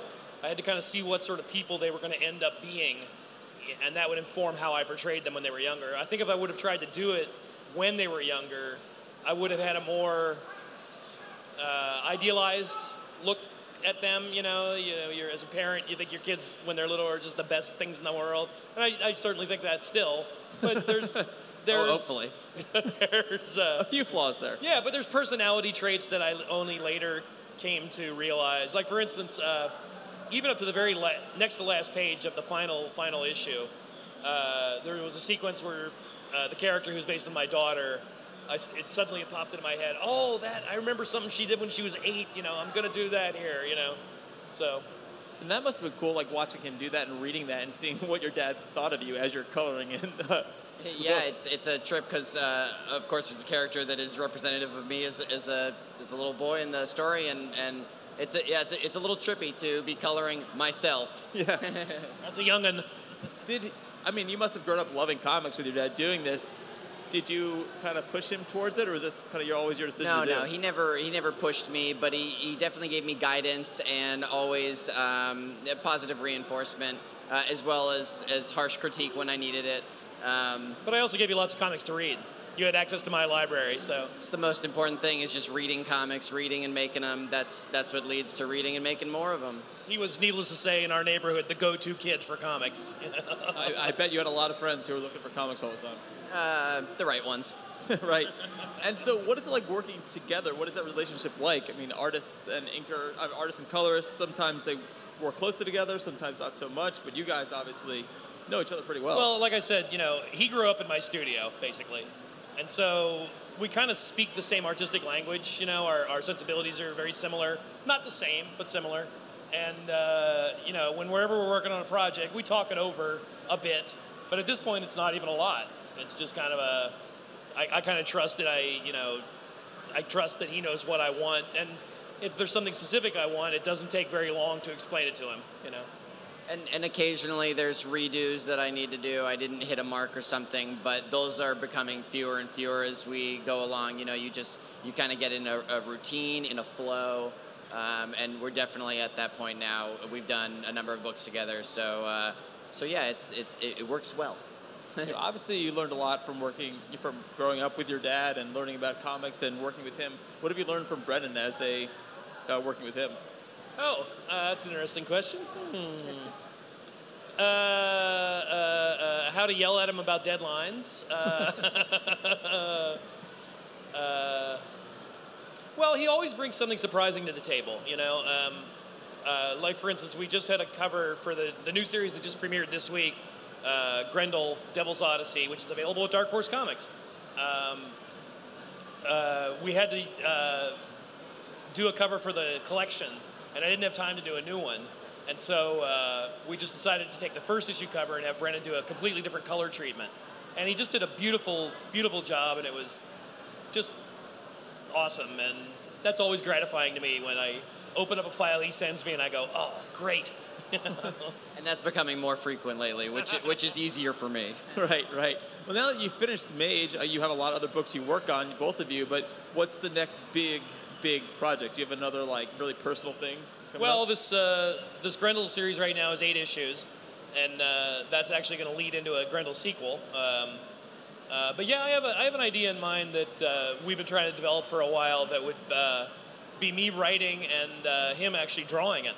Oh, cool. Not, not just coloring it. So uh, hopefully we're going to get that to fruition sometime soon. But uh, it's actually a, a all ages project as opposed to my other stuff tends to be a little more adult.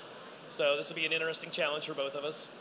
That's really cool. So, what is it? Any you want to give us any? Uh... Nope. Okay. All right. Fine.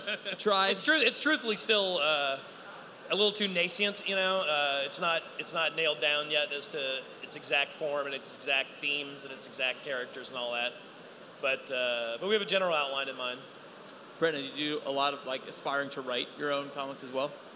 More time, sorry. Do you you know aspire aspire to write your own stories as well? Uh, sure. Yeah, yeah. I, I'm more um, more inspired to uh, do the art side of things, but ultimately, I think the best writers in comics are the ones who draw their own material too. There, there's um, a cohesiveness there when you're working on your own writing, um, not as disjointed, and I think ultimately, I'd like to do that. Yeah. You know, I have to ask. A long time, a while back, Mage, the, the rights to the movies were sold at one point. I'm wondering, is there a status on that, or what do you think is going to happen? Uh, it's continually swirling around. Put it that way. We've had several attempts and they've just never worked out. But I'm kind of confident they will eventually.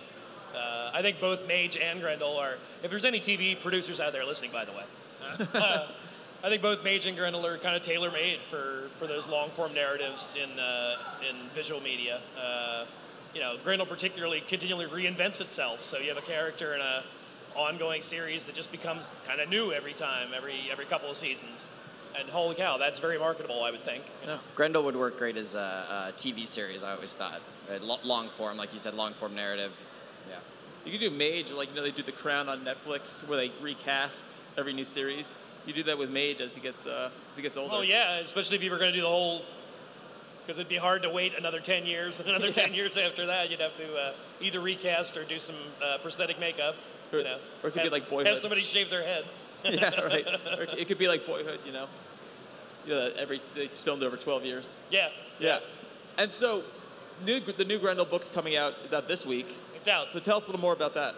Well, that's uh, coming back to Grendel, uh, the Grendel verse, as I like to call it. Uh, you know, it had been a while since I had been in that narrative structure, and I felt it really needed shaken up somehow. Uh, we had done a lot in that setting, the post-apocalyptic world of Grendel Prime, and I thought, uh, you know, if we're going to come back after so long, we really need a, a narrative boom. And I thought, what better way than to take him into outer space? And you know, by doing that, I'm kind of paying homage to uh, the early issues of Heavy Metal magazine, which I discovered when I was 16 or so. Really had a huge influence on my formative career as a comic artist. Really showed. It was the first comics I had ever seen that weren't aimed at kids, that didn't follow the comics code. had adult themes and such. So this is kind of like my opportunity to pay homage to that, and like I said, to drop a kind of big narrative bomb on the Grendelverse. So.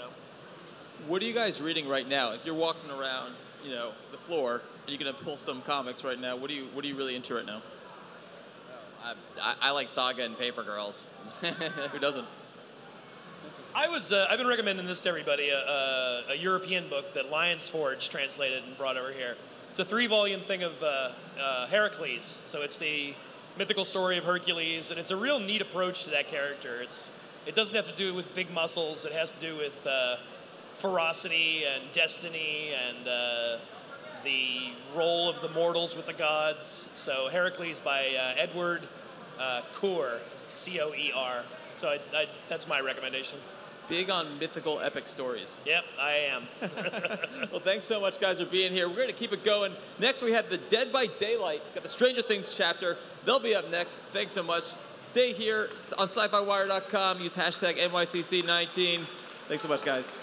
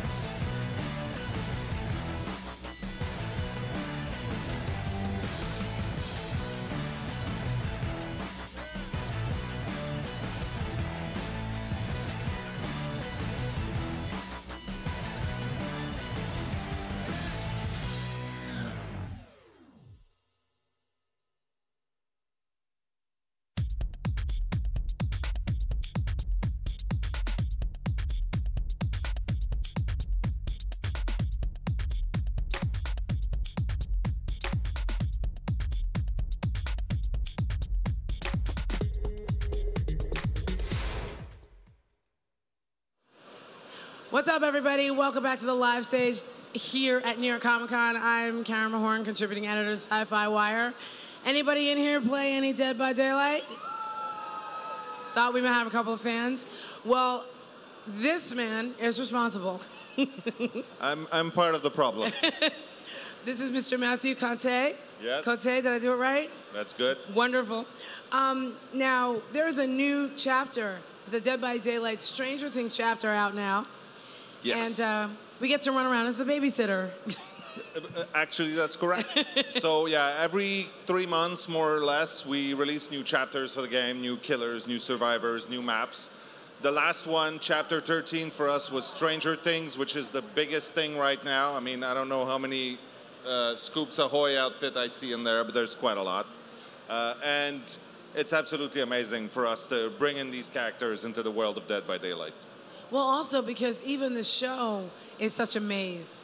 And the show is just like lends itself to the game. It- It's true. It was. it- It's very close because they, they live in that sort of nostalgia of the '80s, which is very very strong within our game. Our game was inspired by the horror movies from the late '70s, '80s, '90s. So I think the two universes meshed really really well. The the type of uh, alternate reality kind of thing that they deal with was essentially a match made in heaven for us. That's awesome. So we still have the standard five players, four players are human, one is evil. Okay, but the evil one this time is a Demogorgon. Yeah, absolutely. So this is the first time where we actually have a monster. The rest of our killers are, are human or at least human-ish. Uh, this one was a monster. It it really pushed what we uh, were able to do because even on the side of the animations, really creating a, a character that didn't look human, that didn't move human, Yeah, and was then really fun. You got a rig like four leg and two leg because he can get up and down. Yeah, that's it. When he goes over obstacles and things like that, uh, the animations are really creepy. Uh, it was super fun working with Netflix on that because they, they were very forthcoming with a lot of the reference material. They were also very open to us uh, taking a few creative liberties with what we did with the characters. So, like, briefly walk us through that process a little bit. So they send you uh, images of Nancy Wheeler and, and Steve Harrington, and you kind of use those to create these characters. Yeah, and to a certain extent, they also sent us like a 3D model that they use in the show to create the scenes with the Demogorgon. Uh, obviously, we couldn't reuse the exact uh, system because uh, games work slightly differently, but it was it was amazing reference material. And sometimes it was super small things. Nancy as a as a necklace at some point, and we couldn't see it in the shot. And we made something, and then it forced them to go and dig into the archives of what they had, and like, no, no, no, they're ballet shoes. And we're like, okay, we'll we'll redo it.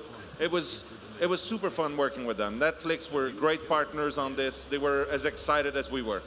So, but there's things in this uh, game that the Demogorgon can do that I don't remember them doing in the show. Like it's teleporting or something. Well, that's it. So we we sort of use the gameplay mechanics to try to uh, paint a picture of what that character could be. It's a bit of a nightmare version. Uh, whenever we create things in our game, it's sort of happening in a different place, which is a nightmare version of whatever it was in real life. So in that sense, that character can now do things in our game that weren't necessarily seen in the show, but that makes sense within what they created as far as their character goes. So that the Demogorgon can create portals down and, and then use those portals to go through the upside down and go to different places in the map.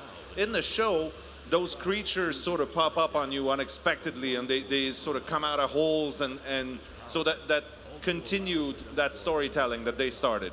So that's that part where you see the Demogorgon when, he, when they put their hand down and it looks like all of a sudden they're in the upside down. They're creating that portal. That's it. Got and it, then the okay. other part of their power is when they go into a stock mode and the face opens up and they become super scary. They can also sense if anybody is close to one of their portals somewhere on the map, and that gives them uh, information, and then they can actually teleport there and go get these people. Got it. So do we also have the same situation where if you help somebody on a hook, that they can teleport to where you are and, and If they you? had placed a portal there, then yeah, they'll be jumping at then you. you're then you're dead. Yeah. Do, can you share with us what might be the next licensed property that you got coming out in the next three months? I would love to, Can't do it but I can't.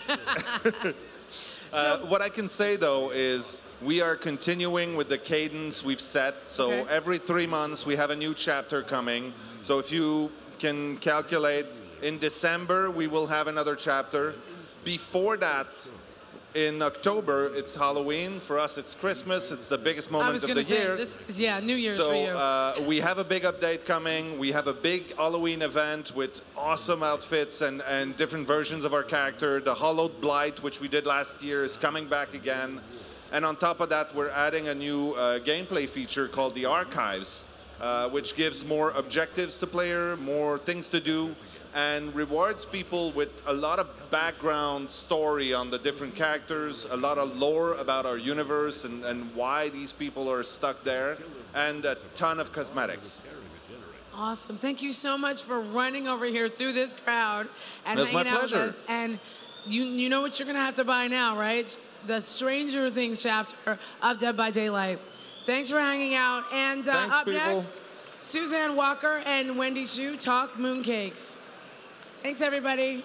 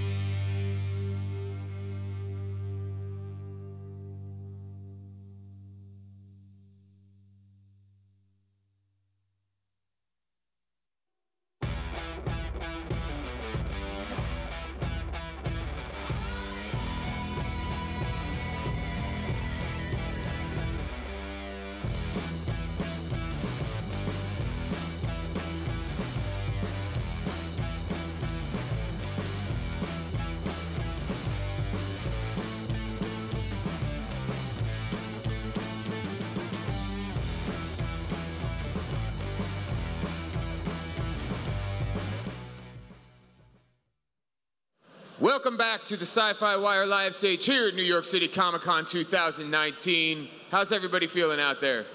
Good, yeah. All right. It's good to see. Uh, last day, but we have lots more to come. We're on stage now with the creative team behind Mooncakes. Uh, Suzanne Walker and Wendy Xu, thank you so much for joining us. Thanks, for having us. So, why is the time right for a quote queer Chinese American paranormal romance? When would the time not be right? Or just, I guess, let's talk about the inspiration for the book, right? What was what was the impetus behind putting so this out there? Who's seen Halloween Town? That's a we're both big fans of Halloween Town. Um, whenever I watched Halloween Town as a kid, I always read that as like a diaspora story about uh, an immigrant, uh, an immigrant girl. Her grandma comes from a weird place and takes her to a weird place, but she kind of comes into her culture, her family heritage. Um, a lot of that resonated with me as a as a Chinese immigrant and I thought it would be super cool to do a witch story about that. Um, and you know, Suze and I combined our powers together and made um, these characters and this world, and that's how it came to be. Yeah. We, we've been working together creatively for a while now, and we've been sort of looking for a story that we could do together that would really like allow both of us to do what we wanted and to like let both of our respective strengths shine. And this was really what came out of that.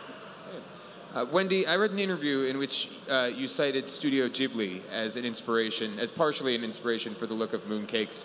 What particular films from their library spoke to you as an Um, artist? So I love all of Ghibli's uh, filmography, but I would say that um, Kiki's Delivery Service is definitely a big inspiration. My Neighbor Totoro is also a big inspiration, um, but definitely Kiki as a kid. Um, one summer, I think I was maybe nine or ten, I would wake up and make myself some cereal and watch Kiki's Delivery Service like every single day that summer. Um, it was definitely this idea of a, of a young witch coming into her own. Like that's a story that I've always been interested in. And um, if you read Mooncakes, there's like lots of little forest spirits, and my love of all the critters in like Spirited Away, Totoro, um, definitely inspired that look. Cool. Uh, Suzanne, in that same interview, uh, you mentioned Harry Potter as a touchstone, but in an interesting way because you said that you wanted to portray a world in which the magic characters and the mundane characters coexisted in a way that they didn't in Harry Potter. Why was that important to you? Um. Well, obviously, like Harry Potter was a huge inspiration to me when I was a kid. But looking back on it, I was always like, well, you know, why is there this big statute of secrecy? Like, it doesn't really make sense that you would have magic be so separate when there are ways that we can mutually be beneficial. And one thing that was really important to me was that um, our characters who are magic like go to school and like go to regular high school and it's not like she reveals the secret to everybody, but the people that she trusts, the people that she's friends with, she can let them in on this world. And um, we, the dynamic between her and her best friend, her best friend is very into science and very into things that um, are more logical and so she doesn't really understand the magic but she's supportive anyway and I, I thought that that would be a dynamic that's not really explored very often in magical witch stories and i wanted that to be really in the forefront. Have you read All the Birds in the Sky by Charlie Jane Anders by any chance? no but it is on my list. I we both love charlie jane. She's great. Yeah, and it really it touches on that too, like the, the, the harmonious union between science and technology, or the search for, or science and magic, I'm sorry, and the search for that, and that was something that you were really going for, yeah? yeah that's something that we both really wanted to explore Cool. So, uh, I know this is a difficult question. What do you guys have against horses? what, What do you have against horses I and have horse against people? horses. Um, Because we have horse demons, and then there's the horse woman who is also not the nicest character. Well, I am terrified of horses. They are huge. Like I was at a wedding once uh, with my partner, and they it was in a barn, and there the, the reception was in a barn, and there was a horse outside the barn. And I was just standing there minding my own business, and it like snorted really loudly behind me, and like that it was so big, it scared me. I was afraid it was going to trample me to death, um, and I've never really I don't know. They're just so they're so intimidating. I um, I'm a recovering horse girl. Um, when I was a little kid, I read Lord of the Rings, and my favorite like group from Lord of the Rings was Rohan and the Horse Lords, and I loved them, and I loved their horses, and I wanted so badly to be Eowyn, and I wanted to ride horses. So I tried to take horseback riding lessons. I went to summer camp and I rode, and they terrified me every time because they can kick you in the head and you can die.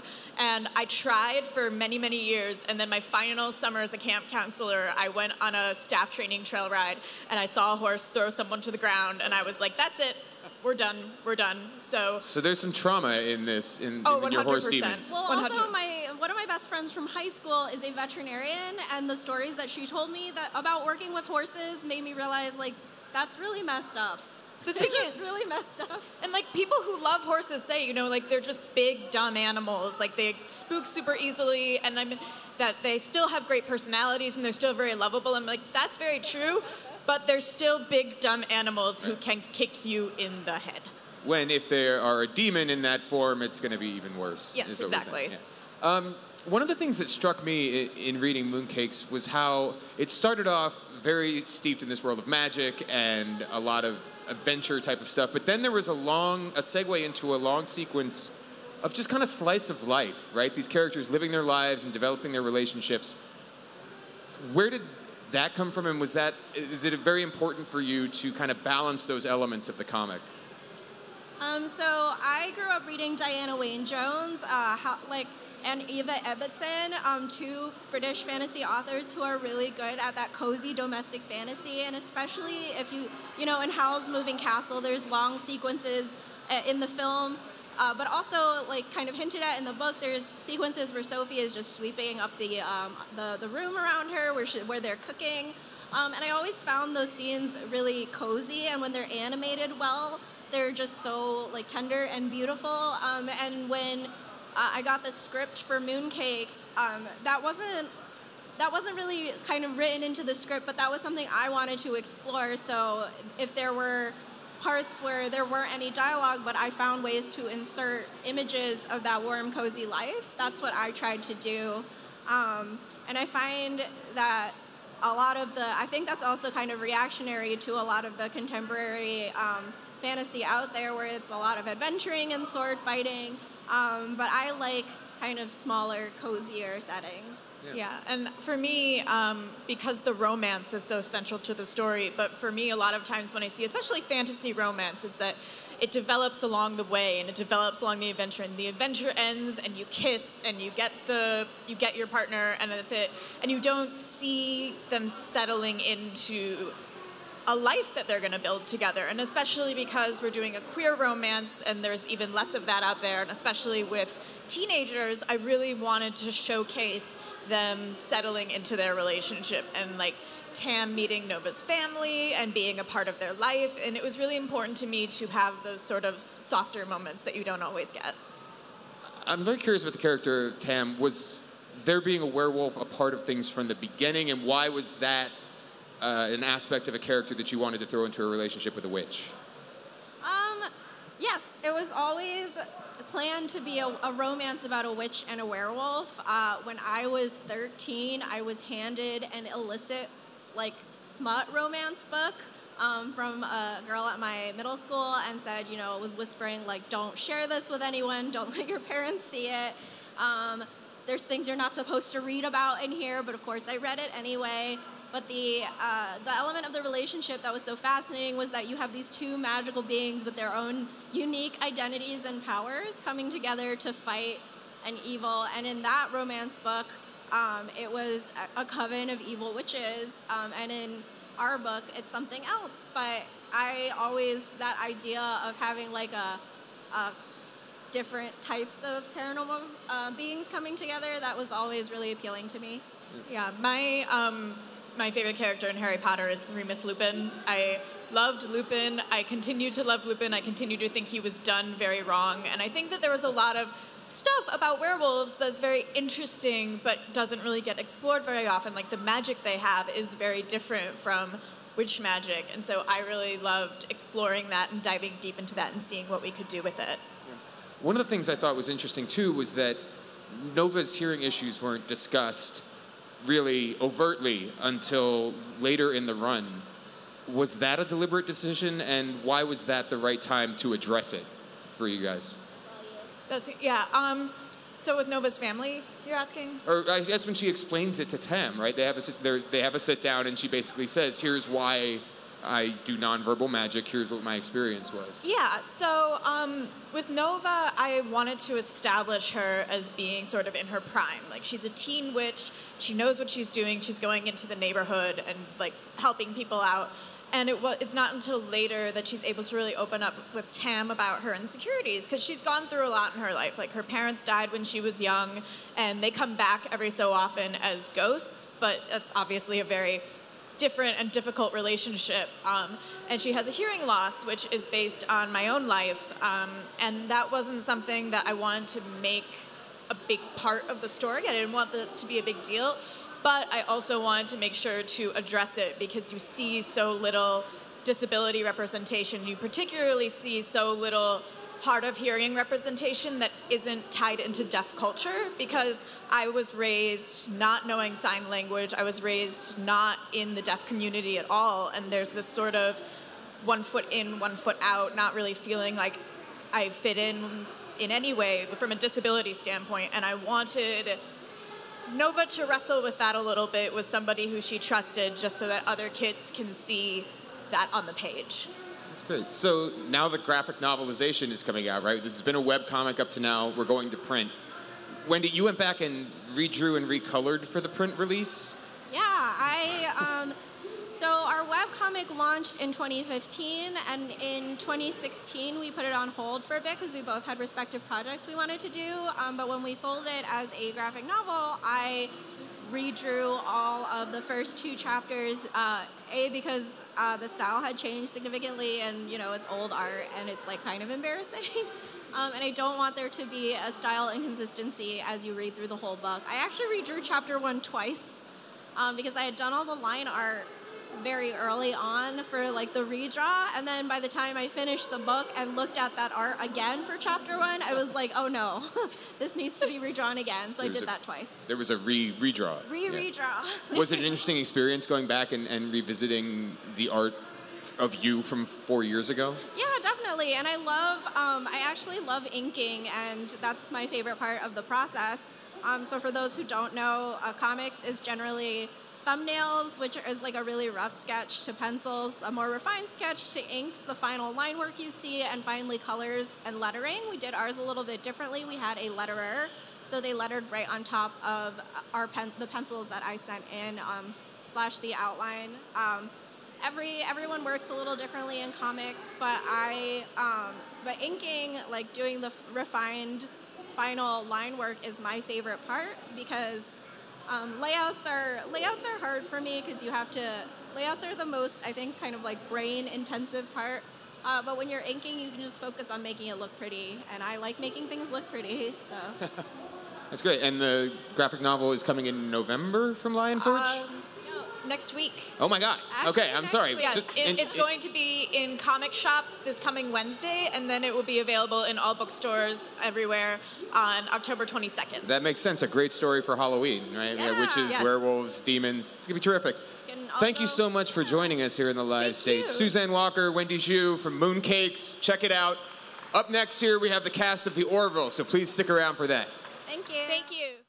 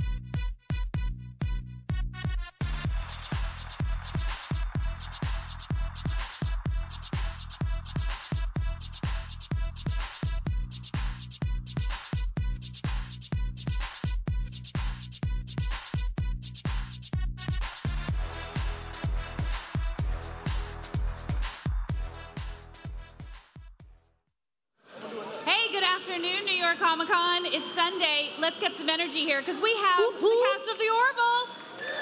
Holla, holla, holla, holla, holla. Hi, everyone. I'm Tara Bennett, a senior producer here at SYFY WIRE. I get to end my day with you guys. This is the end of my con. You are my highlight. Hello, how are you? My first, my last, my everything. All right, so obviously, guys, let's give some love for the Orville. It's coming back, season three. Hulu! Can you guys hear me? I just want to hear all your names in the count of three. Ready? One, two, three. What's it at? Got it. Take notes. Uh, guys, so it's so exciting that you guys get to come back. You guys, um, you know, you kind of left us in a place where we kind of got a reset, which is wonderful. But, you know, as with all things with time travel, cracks start to show through. So, what has Seth and the EPs kind of given you as a little taste of what we're going to get maybe for season three now that we've reset, but maybe there'll be some reset and complications? Anything? Anybody told you anything? We were going to ask you because we're, we're told nothing. That's always the way, I'm right? only Isn't half it? kidding. Yeah. No, we're meat puppets, right? No, we don't. Meat they- puppets. they You tell just show up, you do what you got to do. That's what it is. Uh, what are you guys most The excited? microphone too. Yeah. All right. Penny's gonna tell us. Yeah, because I'm really going to say absolutely nothing by saying a lot Oh, of that's things. good. You- you but know. I can definitely tell you this: it is going to take us an entire year to film everything that you're going to see. so an entire year means you're going to have everything that is going to be epic. So you can you you, can- you can can mark take my words for that. That's good. That's awesome. Mini so, movies. Let's talk about any of you guys. What is your favorite moment from season two? A lot of great stuff happened, but you know when we look at where your characters went, the things that happened. Was there anything that you were really happy that they gave when you flipped open a script and you went, "Oh, thank you. That is excellent. I am glad that you gave that for me." Yeah. Yes. Yeah. Yes. Let's hang out at the lagoon with a few of your friends. Let's just go to the, the lagoon and put some oil and salve on each other. That was That pretty was a highlight. That was my favorite as That well my for fa- you, Yeah. yeah. Cheston. Cheston. Yes. Spit in my face. No, just, just spit in my face. No, I threw up three times smoking all those damn Yeah, cigarettes. the That- that- time that was capsule, not fun. cigarette smoking Yes. episode. Bortus's mustache. That was my favorite. Yes. The best part. The mustache. singing now, so we've had more of that. It's crossed over. How, uh, who now is going, all right, I'm next. I must be featured as singing in season three. Yes. She started it. Adrianne started it. Well, we're, we're finally going to have to hear Bortus. It's gotta at be some Bortus. point, Yes, right? right? Bortus has to Come sing. on, like it was cut off. We need the we need the full thing. Come on. We don't. We, we'll, we'll, I don't know. It, what, what's Give the it joke? to us, Peter. Is Come it on. funny? Come on, do the do the song Give you it were to us, practicing. Peter. The song I've been Give us practicing. a taste. You'll never find. You'll never find. No, I don't know. What if he's tone deaf? Like that would be like great. That'd be good. Would be perfect. Nope, I'm not doing it, Scott. The secret, the secret of that. Um, anything that you guys have said, listen, we're, we got we got another year, and that you've already kind of like slid a 20 to Seth and the EPs and gone, guys, come on, make this happen for this year. Anything anything on your I don't, wish I don't, list? I don't More think Seth needs an extra 20, so. I know you're right. That That's gonna mean nothing to him. That is Literally what I nothing. was gonna Hey, Some hey, real Seth, I don't- incentive, I don't, know 20 if you've seen a $20 bill, Seth MacFarlane, but I have Seth hasn't one. seen a twenty dollar bill in ten years. I know. He's like, what is that? That's, that's I, I'd like Gordon to have a love interest where he doesn't have to simulate her. That would be nice. That'd be okay, yes. Are you ready for that though? Is Gordon ready for that? Can he do it? Um, yeah. Yeah, I think yeah. so. Yeah, yeah. I'd, uh, I'd like a, he's to, a man. I'd like to have more simulated love interests. Not Take the too boy many. out the bubble. I, I, I would like to see my um, my children's father come on the scene. at some point. Nice. That I'd would like be to great. know what he looks like. I would too. That would be fantastic. I'd like to see because we saw two Kellys last year. Yes. Three Kellys this Are you ready for that, Adrianne? Do you need another version of Kelly to come up with? I think Bortus should be a More work? substitute teacher. More work? John just wants to go to work. You know, I just want to do my job. That's it. We want to see you with your shirt off. That's really right. I heard this. Go ahead. No, I mean Go right now. ahead, I mean right now. Take it off. All right, so we're going to play a little game. It's called the Orville Cast Snap Judgment. And here are the rules. I'm going to count to three. I'm going to snap, and then you're going to all shout out the answer for the question, okay? So I'm going to say the question, snap, and then you guys all at the same time say it, and then we'll figure out who we need to get some clarification Oh my God, I'm so ready for this. right, I love this game. All right. Let's go. So, question is What is your favorite science fiction film? Oh. Th- one, two, three. Banana Planet. Hammock. You guys heard that, right? All right, y'all Everybody? heard that, right? It's very yeah? clear. All right. Explain, Adrianne. Explain which one was yours. What? Yours, Star your answer. Yes. so, right? Which one? I like the third. Ah, That's my Return of, the. Return of the Jedi. Uh-huh. Do you all agree? You're okay No. with that? No? Is there a debate now? Yeah, no, no. What no, was no, yours, no. Peter? I said banana hammock. I, I, I misunderstood the question. Okay. It's the greatest science fiction movie you say ever. banana that pudding? was Can, fantastic. can I change mine? yes. I think Return of the banana The hammock is even better. Return of the banana hammock. Orville the movie. I like that. That's yeah, good. the Orville the movie. Let's do that. Let's Oh, let's make I that like happen. this idea. Mm-hmm. All right. I Next think you know what we should do. Can we just start in down the line and you guys all tell us your favorite movies and we'll just Yeah. pass the mics and we just Yeah, we want to hear from you guys. yeah. Yell on We're here for three. you. on three. Three, everybody- two, one. Give me. Banana a, hammock. What was it? What was it? Yeah. Citizen Kane. Oh, Spaceballs. Citizen Kane. Oh, Hell yeah, Boom. Spaceballs. Done. Rosebud is the Citizen most Kane's a good amazing sci-fi Nice. movie. Return of the Jedi. Okay. All right, okay. we'll, Next one. we'll try it with you guys. Are we ready? Okay. Yeah. In three, two, one. Favorite snack? Twinkies. Banana hammock. Twinkies. It isn't at all. I just didn't know what I was saying. Did you say banana hammock again? I misunderstood the question. what Scott. It's not. It's not my favorite. T- Twinkies? It's Twink- not. I, I just shouted just it out. said it out of fear and, I wanted to win. zo- and That's all. Zombieland, right? never had a Zombieland was I've in your never head. had a Twinkie. In, in, in four Stop years. lying. Looks like a You just banana had a. Twinkie on the bus right over here, bro. Did you? I did. That's true. Fried or normal? Have you had a yoo-hoo? Is a Twinkie a metaphor for something else? What? Yes. It is. Twinkie. Uh, I asked him if it was a fried live, or so- normal Twinkie. Fried Normal Twinkie. Twinkie. Okay. But I have. I Wait, you didn't can that. fry Twinkies? You d- they do it at state fairs. They do it it Texas. Seems like right. fry that seems everything in like Texas. that is like murder. I'll take a heart attack to go, please. No, no. Exactly. Mark, what's your favorite snack that you eat in London? Uh, pickled pig's testicles is what we eat in uh, so England, as you all know. You know better to That's ask him nice. anything. Utterly delicious. Don't- That's nice. All right, so this one's uh, about the show.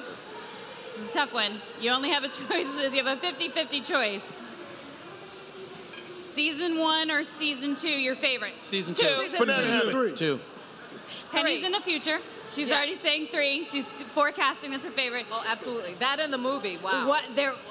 It seemed like what was the leaning there? One or two? Like what was the majority? It's two. I know not it's in two. one.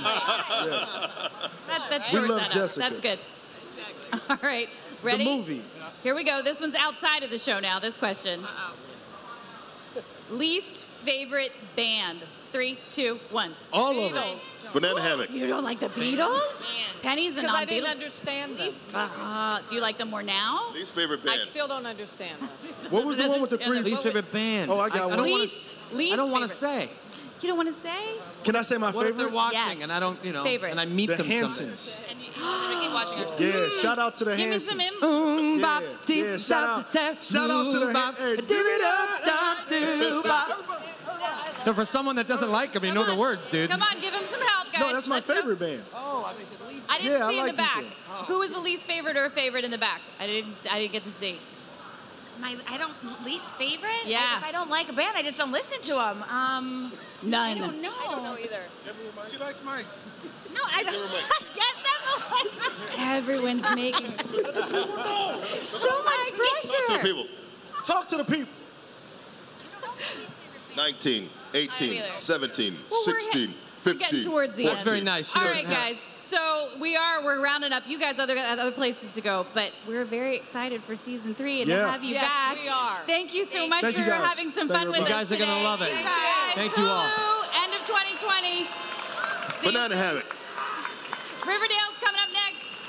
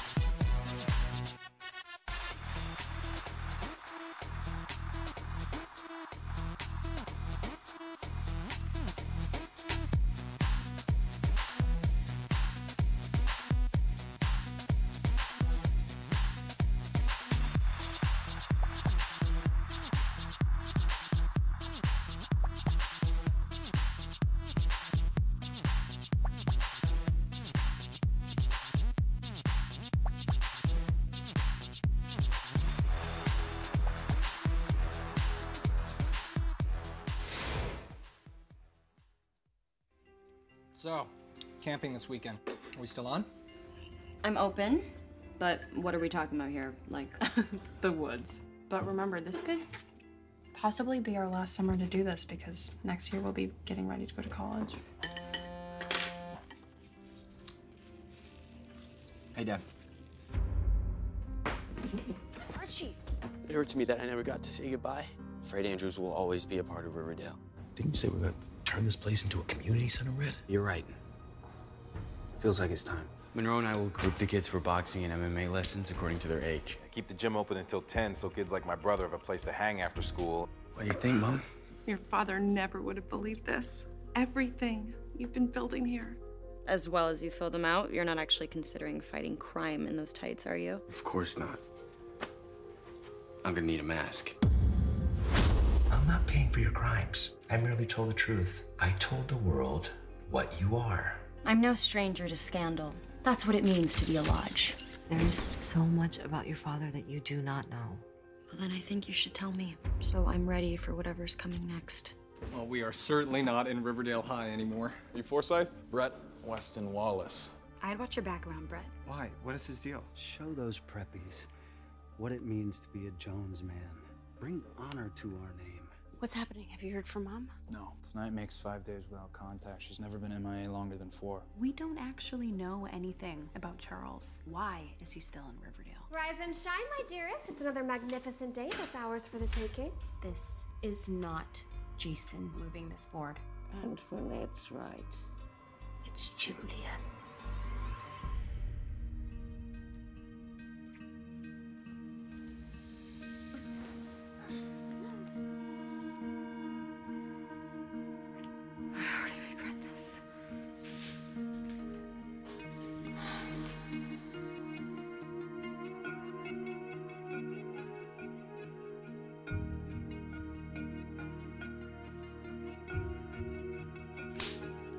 Foreplay? Get to me, Andrew!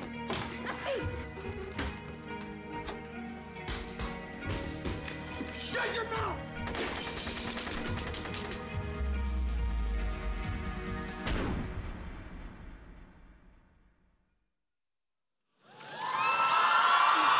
Hello, New York Comic Con.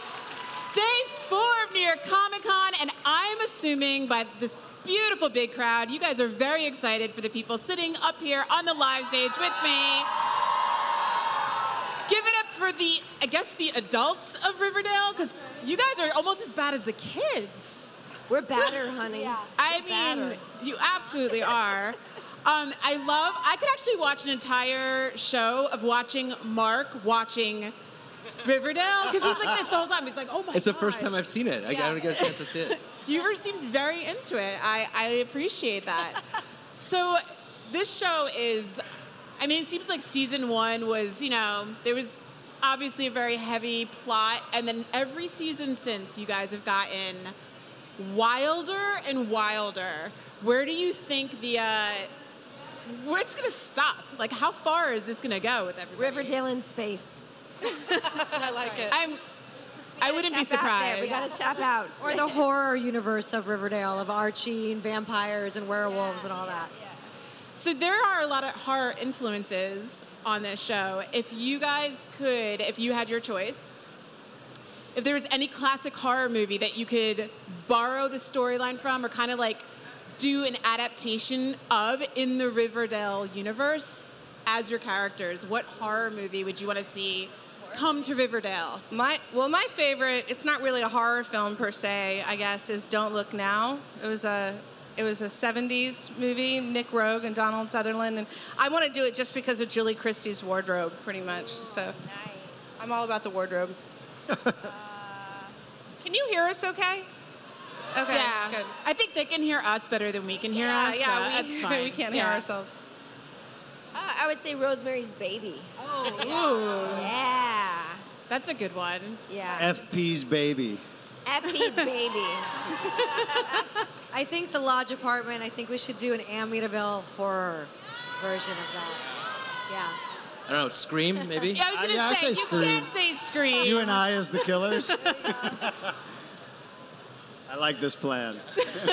Skeet's I, like, I, I already, know, the it. lines. The call is coming from inside the house. Oh, what's your favorite scary movie, Mark? What about you, Skeet? Uh, yeah, I go with Scream. I already know the lines. I don't have to learn them.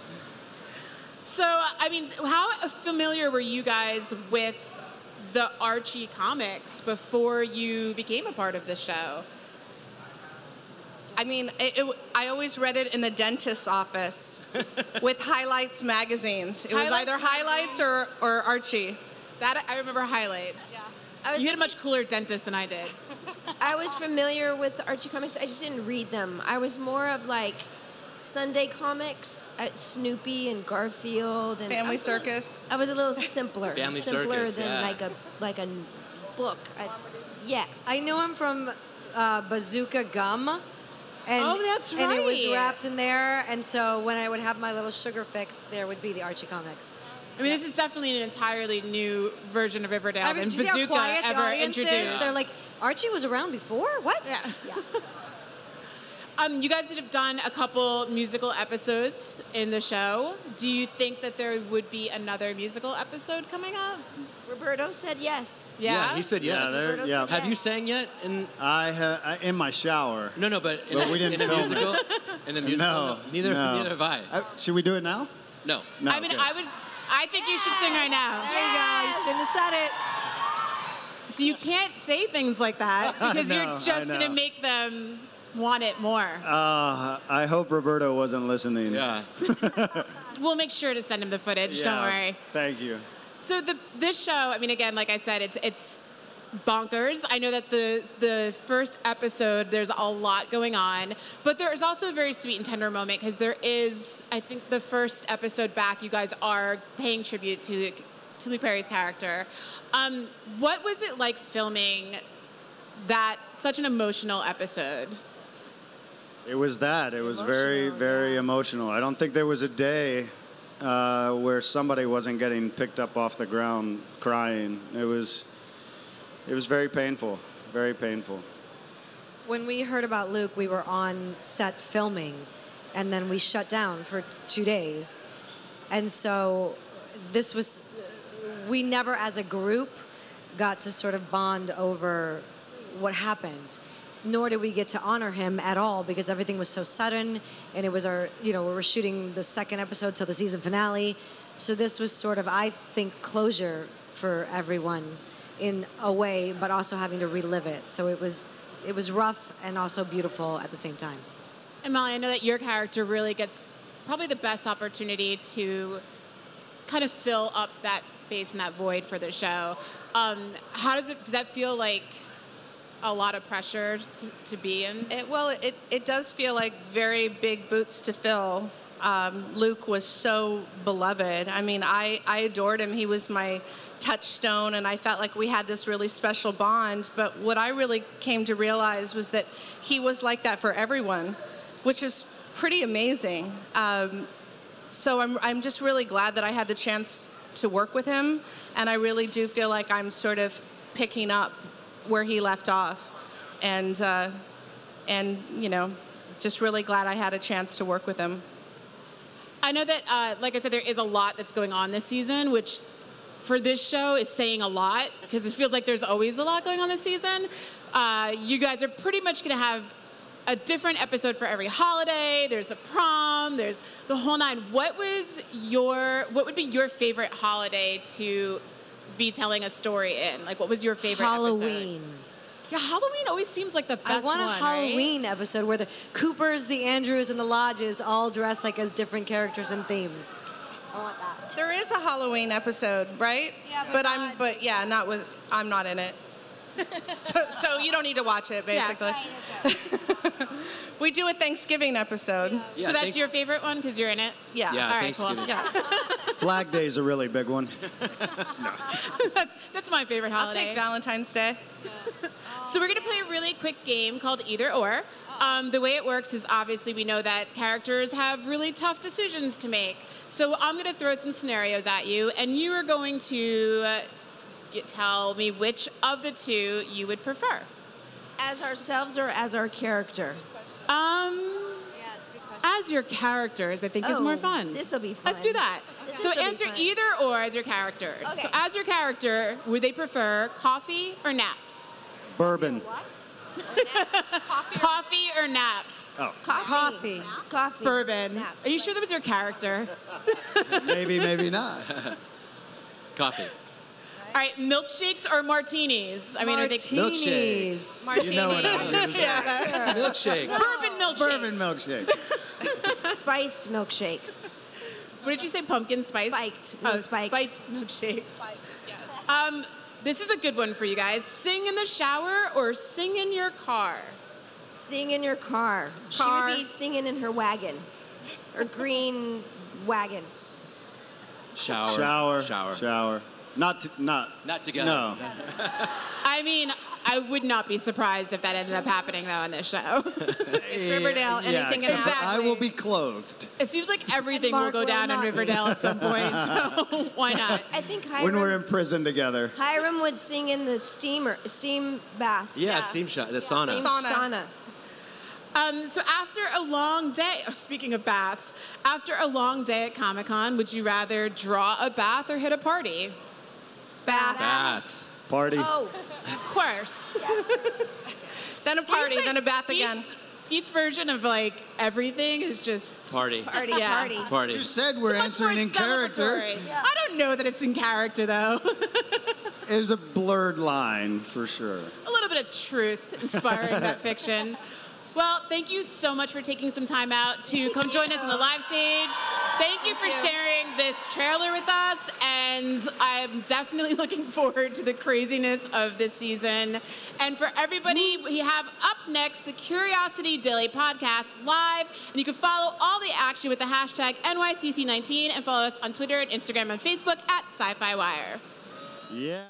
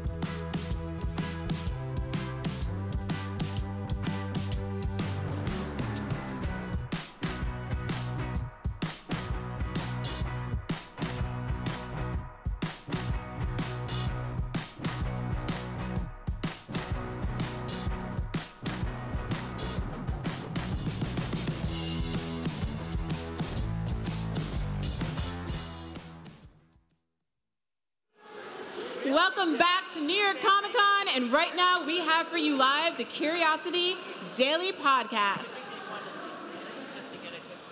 Hi, everybody. I'm Cody Gough, and uh, Ashley Hamer and I are the hosts of the Curiosity Daily podcast for Curiosity.com. We help you learn cool things in less than 10 minutes a day on a podcast that comes out five days a week. And right now, we are going to talk about the science of superheroes with a couple really special guests. Anybody like superheroes out there? Thank you, sir. Uh, all right, so before we get into that, real quick, Ashley, talk about curiosity.com. Yeah, so curiosity.com, we explore just anything that you might be curious about in the world, whether it's like, why do dogs have different personalities? Why does getting pool water in your nose hurt, but a neti pot doesn't? Um, what are, what's the deal with black holes and wormholes and your microbiome? And we do all of that in five stories a day um, on the web, and we have a free app. And then we also talk about those stories on Curiosity Daily. Uh, I, like, like Cody said, it's a 10 minute daily podcast. It comes out five days a week, and you can download that on any podcast app. And hey, let's do some of that podcast right now. So we have a couple guests who are experts in the world of science, but they can also talk about superheroes. So we have Jim Kakalios and Natalia Reagan. Hello. Uh, Jim, why don't you tell us a little bit about yourself? So, um, I'm Jim Kakalios. I'm a mild mannered physics professor from a great metropolitan university, University of Minnesota. Um, and I created a class many years ago that was called Everything I Know About Science I Learned from Reading Comic Books, which my colleagues say explains a great deal. Great, and how about you, Natalia? Hi, I'm Natalia Reagan. I'm an anthropologist, primatologist, not to be confused with a proctologist. I uh, could look at that thing on your butt, but it would not be uh, anything I'd know anything about. I study monkeys and apes. So uh, my love of primates actually began with recurring King Kong nightmares, which I know is not necessarily a comic book, but there's a lot of science there. And now I teach at Eastern Kentucky University. I teach uh, Introduction to Biological Anthropology. I have uh, been a science correspondent and a comedy writer on Neil deGrasse Tyson's Star Talk, and I hosted $10 million Bigfoot Bounty. The bounty was never claimed. We never found Bigfoot. So if you guys have any Bigfoot uh, DNA, come find me after this uh, podcast. If anybody has any leads on Bigfoot, please see Natalia after the podcast. All right, so obviously, superhero comic books, like movies, everything exaggerates science a little bit. But before we start picking on what they get wrong, let's talk about what superhero science gets right. We'll start with you, Jim. Well, what do they get right? Well, one of the one of the most realistic superheroes, I would say, is probably Iron Man, because aside from the energy supply, the arc reactor, which puts out the power of like three nuclear power plants and is the size of a hockey puck, but leaving that aside, pretty much everything else that he does or has is technology that actually exists. And in fact, one of the things that does exist that's so surprising is something that they never really talk about. Whenever he activates his boot jets or shoots his repulsor rays, he doesn't give a voice command or press a button. He thinks about it and it happens. And scientists have actually developed cybernetic helmets that detect your thought waves and can be transmitted by Bluetooth to another device. And they're do- doing this not to make an Iron Man suit, but they're, they're doing it to treat paralysis and make better prosthetic devices. But the, the very weak radio waves that are created when you think can be picked up, amplified, and sent to another device that can do something. So that part of Iron Man is the last thing that I ever expected to see be in real life, and is actually the closest to reality. That's awesome. I've actually experienced um, a video game where I put a helmet on and I made a little uh, airplane go up and down on the screen. It was amazing. I'm glad we're finally using this technology for good right. yeah, I can see that going really wrong really fast, unfortunately. yeah. And Natalia? Well, you know, I'm going to kind of do a little bit of a cop out. I would say Batman because Batman is a self made man, self made superhero. I mean, if you've got all the money in the world and a British butler named Alfred, I think you can kind of make anything possible. But there's also Unbreakable. There is this disease called scler- sclerosteosis, which is a disease that basically uh, your body doesn't make the protein that stops bone growth. So you get these incredibly dense bones. There's actually a man out there named Timothy Dreyer who can actually survive multiple injuries and getting hit by a car and, and not break a bone. So he, it's almost as if he is his own superhero. And that right there is an example of how superheroes are kind of getting it right. That there are people out there that are have, have these superpowers. And there are also people out there that don't feel pain which is also very dangerous, if you can imagine, because pain is an indicator that you need to do something to fix something that's not right. Actually, I have a question about Batman, and this is a great time because Uh-oh. people usually think he's the most realistic superhero because he has no powers, but he's been fighting crime for 80 years. and the number of times that he's been knocked unconscious, shouldn't he have like permanent brain damage by now? So maybe he has a superpower. He has some like Homer Simpson padding in his head. I don't want to make a Ben Affleck joke. But Got some people did. in the crowd. Uh oh. I know. Pull Puller Mike. No, no, no. I, I think Ben Affleck is great, but he got a lot of flack for playing uh, Batman. So, I mean, you could say that the bat, the people that have played Batman maybe through the years have varied in uh, degrees of, I don't know, astuteness. But uh, yeah, Maybe no, I would think that uh, we're, we're finding now, even with recurring uh, concussions in athlete, uh, athletes, that there are there is permanent brain damage, and maybe Batman should retire, or perhaps you know, like buy an island off the coast of Florida and just live there with a bunch of spider monkeys, which is what I would do. Well, they're they're also working on helmets that will prevent uh, Right. some of that trauma. Maybe Batman has Oh, a he- super high yeah. tech helmet. You know, if you had a billion dollars. yeah. Absolutely, like Yeah. he already has it. He's not giving it to the NFL, which I think is kind of mean, but Now, I know. All right, so let's let's get into what superheroes are maybe stretching the truth a little too much. Any Ant-Man fans out there? so, Jim, why don't you talk a little bit about the science of Ant-Man? Right. So, if you're going to shrink, you need to change the size of the of your atoms. You don't want to take atoms away because you like to have all the atoms that you have. You can't squeeze them in closer together because they're already directly touching. So all you can really do is change their size. Quantum mechanics tells us what the size of an atom is determined by, and it's a set of fundamental constants. And they all have all these constants have one thing in common. They're constant. They don't change. Which means that the one miracle exemption from the laws of nature, presumably Pym, the Pym particles, just like there's the Higgs field and the excitation of the Higgs field is the Higgs boson. So there's a Pym field, and the excitation of that is the Pym particle. And the Pym field presumably sets the size of these constants and allows the size of the atoms. So if you could adjust that at will, you could make the atoms either very small or very big. So that's the one miracle exemption. All you have to do is figure out how to generate Pym particles, and you could do shrinking. I can't do it all for you. It's like this is all you need to do. but if he's changing this field, is he changing the size of everything in the universe, or just no, himself? no, he's changing his size. Okay, So okay. he's changing his atoms, um, and he also has to be able to change his coupling to the Higgs. The Higgs determines mass, and he's able to change his coupling because when he shrinks down, he doesn't have the same mass because otherwise he'd sit on the ant and he'd squish it. But when he hits someone, he wants to be able to have the, the mass of his full size. Otherwise, it would be like an ant hitting you, and that's not going to be that impressive.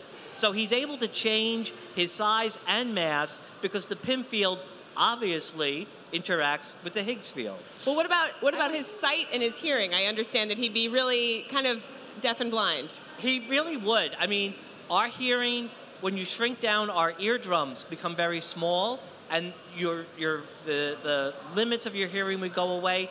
His voice would become very high and squeaky, so it would not impress anyone. And his vision would be diffraction limited, which is why insect eyes don't look look, look like human eyes.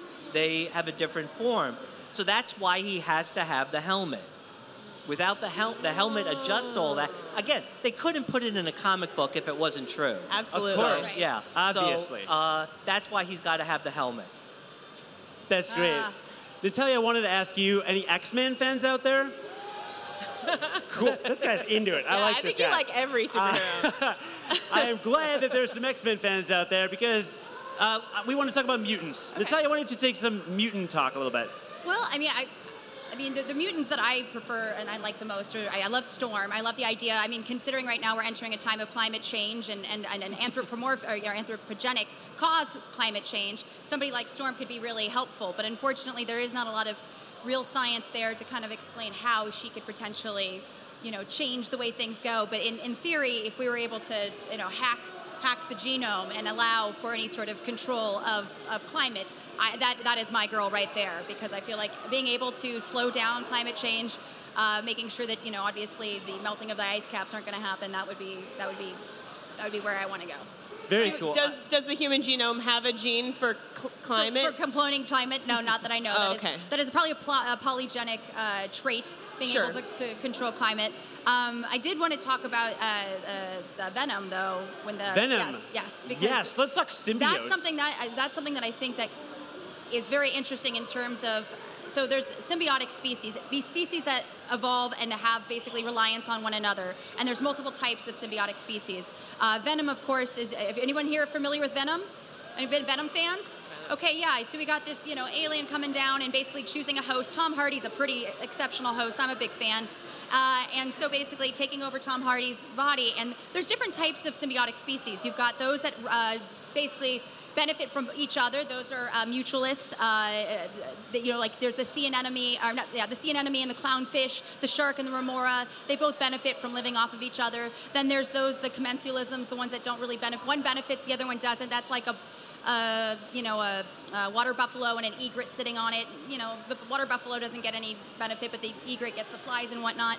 And then there are those that are parasitic, and that's what venom is, a parasite. And essentially, it can it takes its host and it, it makes the host kind of do what it wants. And there's examples in the natural world, like the zombie ant.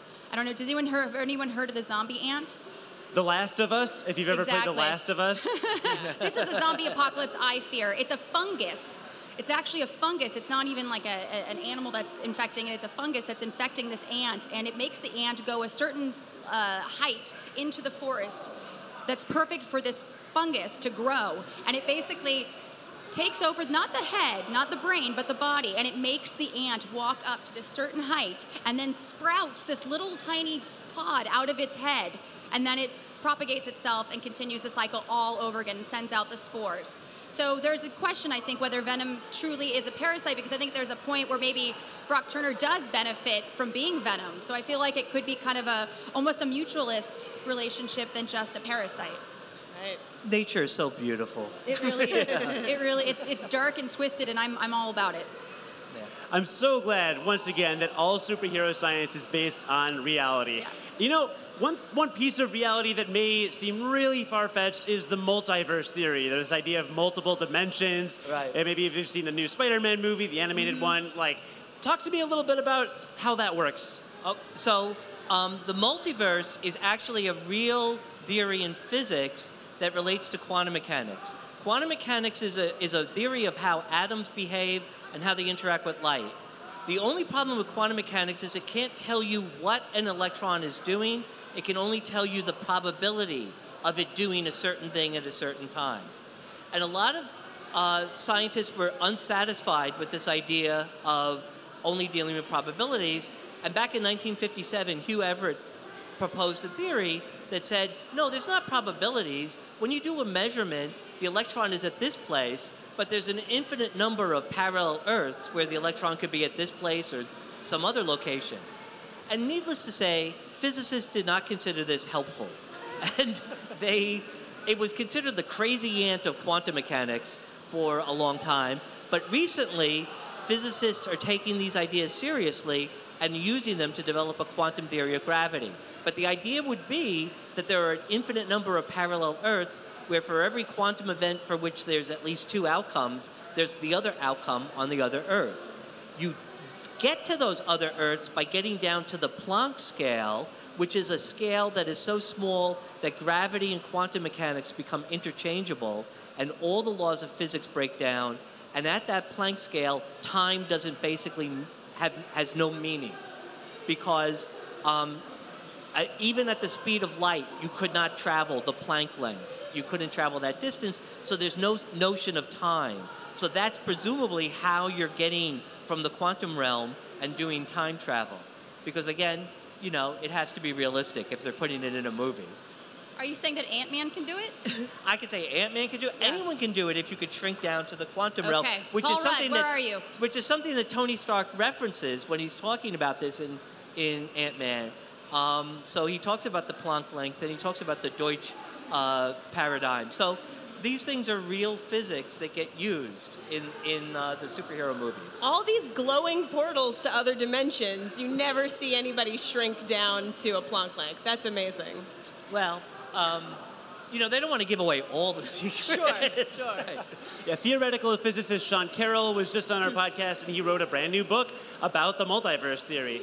And it just, he actually says it makes the most sense. I mean, did you, you know, speaking of the science of what we know and don't know, I mean, scientists don't really know why we have gravity. Like, gravity is not a thing we've exactly figured out at all. We talk about that a lot on our show. We have these experts come on, they're like, yeah, gravity, that's kind of a mystery. Seems like something we would have figured out by now, right?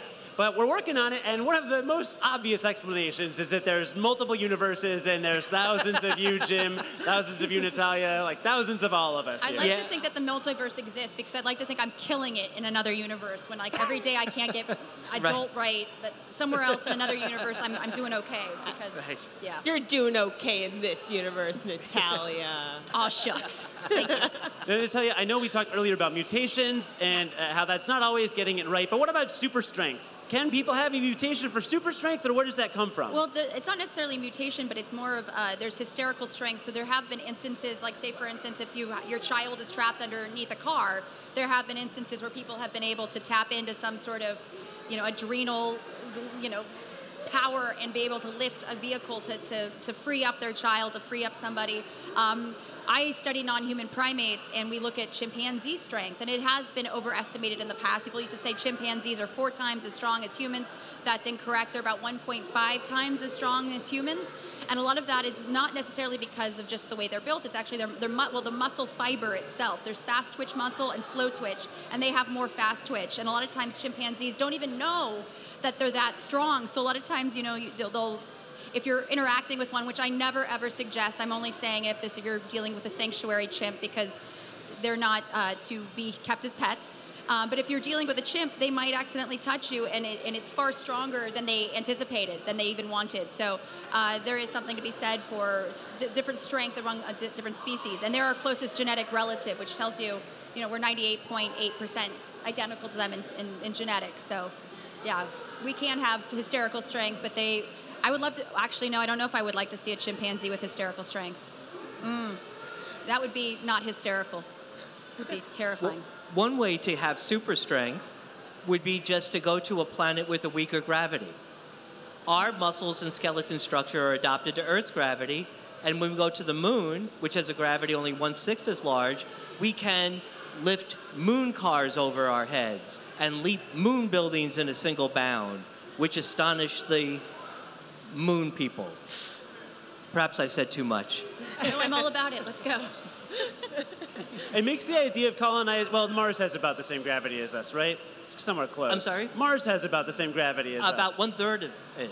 Oh, So it's that's why less. John Carter of Mars in the Edgar Rice Burroughs stories was much stronger than the Martians because he was he was three times stronger, three times faster because he was adapted to Earth's gravity.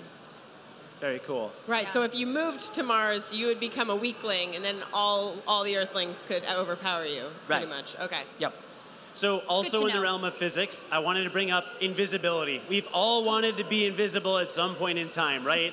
So, how do we make that happen? Well, the question is, why can you see anything as opposed to invisibility?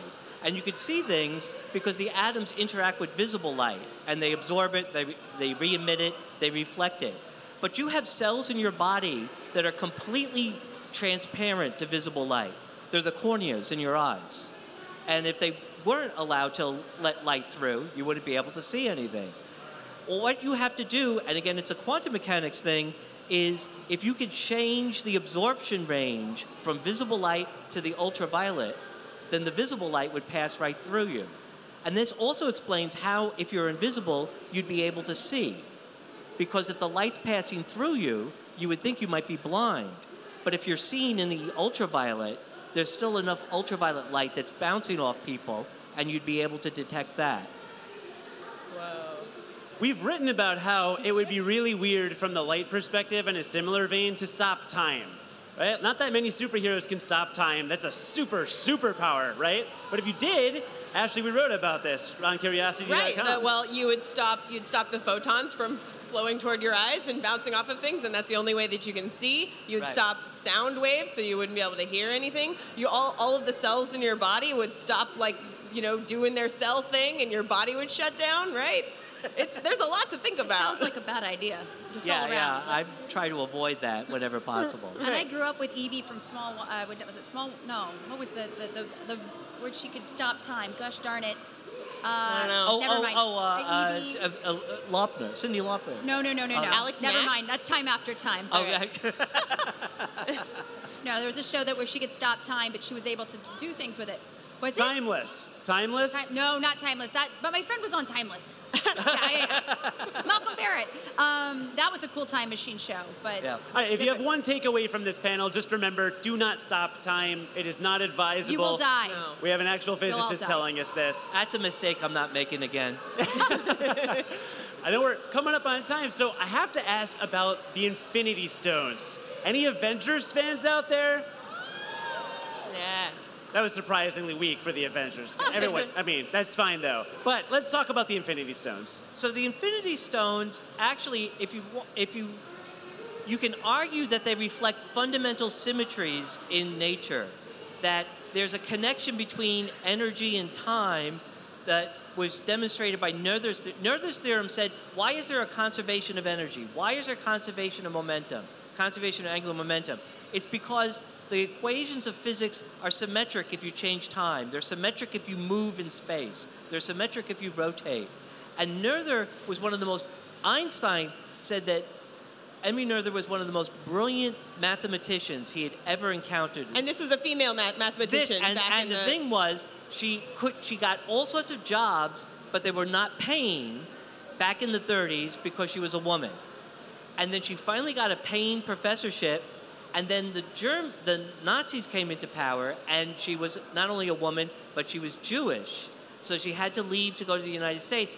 She had such hardship, but nevertheless, she persisted.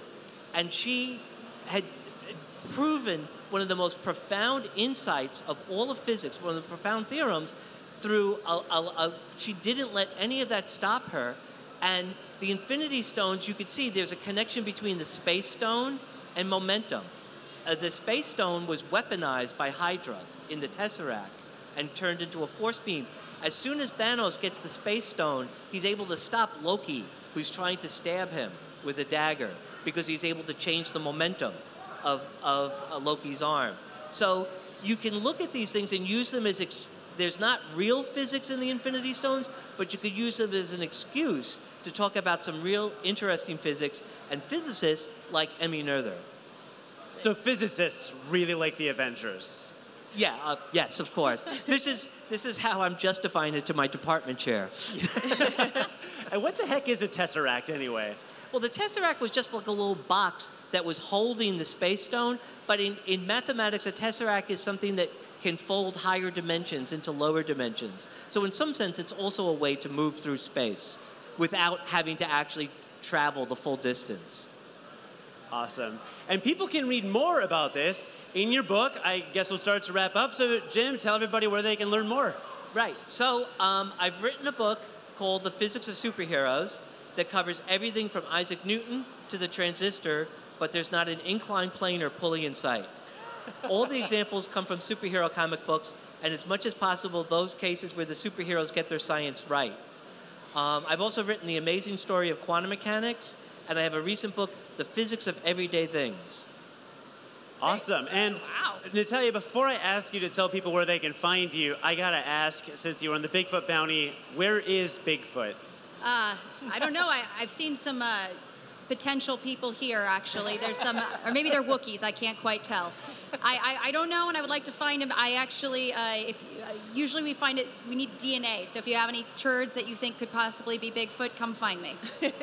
Awesome. And where Yes. can people find you? You can you can find me on Twitter at Natalia13 Reagan. I, uh, I've hosted podcasts for Neil deGrasse Tyson, uh, Star Talk All Stars. So if you want to hear any anthropology themed podcasts, I cover Neanderthals, hominin evolution, teeth. Primates, so on and so forth. Uh, I've done. I, I hosted a web series called "Talking Shit" with Dr. Todd and Natalia that covered. We used Bigfoot as a backdrop to talk about the science we did on the show because we actually did some really legit science, mobile DNA lab, camera traps, you name it, we covered it.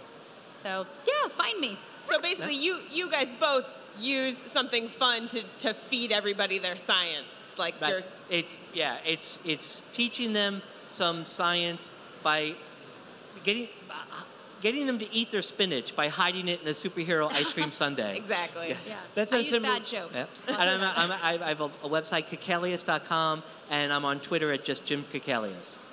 Awesome. Uh, yeah, and, and, and talking about science in a fun way, that, that's obviously something we all want to do. We just talked to Randall Munroe from the, the author of XKCD, the popular webcomic. He was on our podcast and also talked about how when you explore the absurd, when you explore superheroes, when you talk about Bigfoot, those are really great entry points into talking about science. Absolutely. And wait, do you know anyone else who does that, Ashley?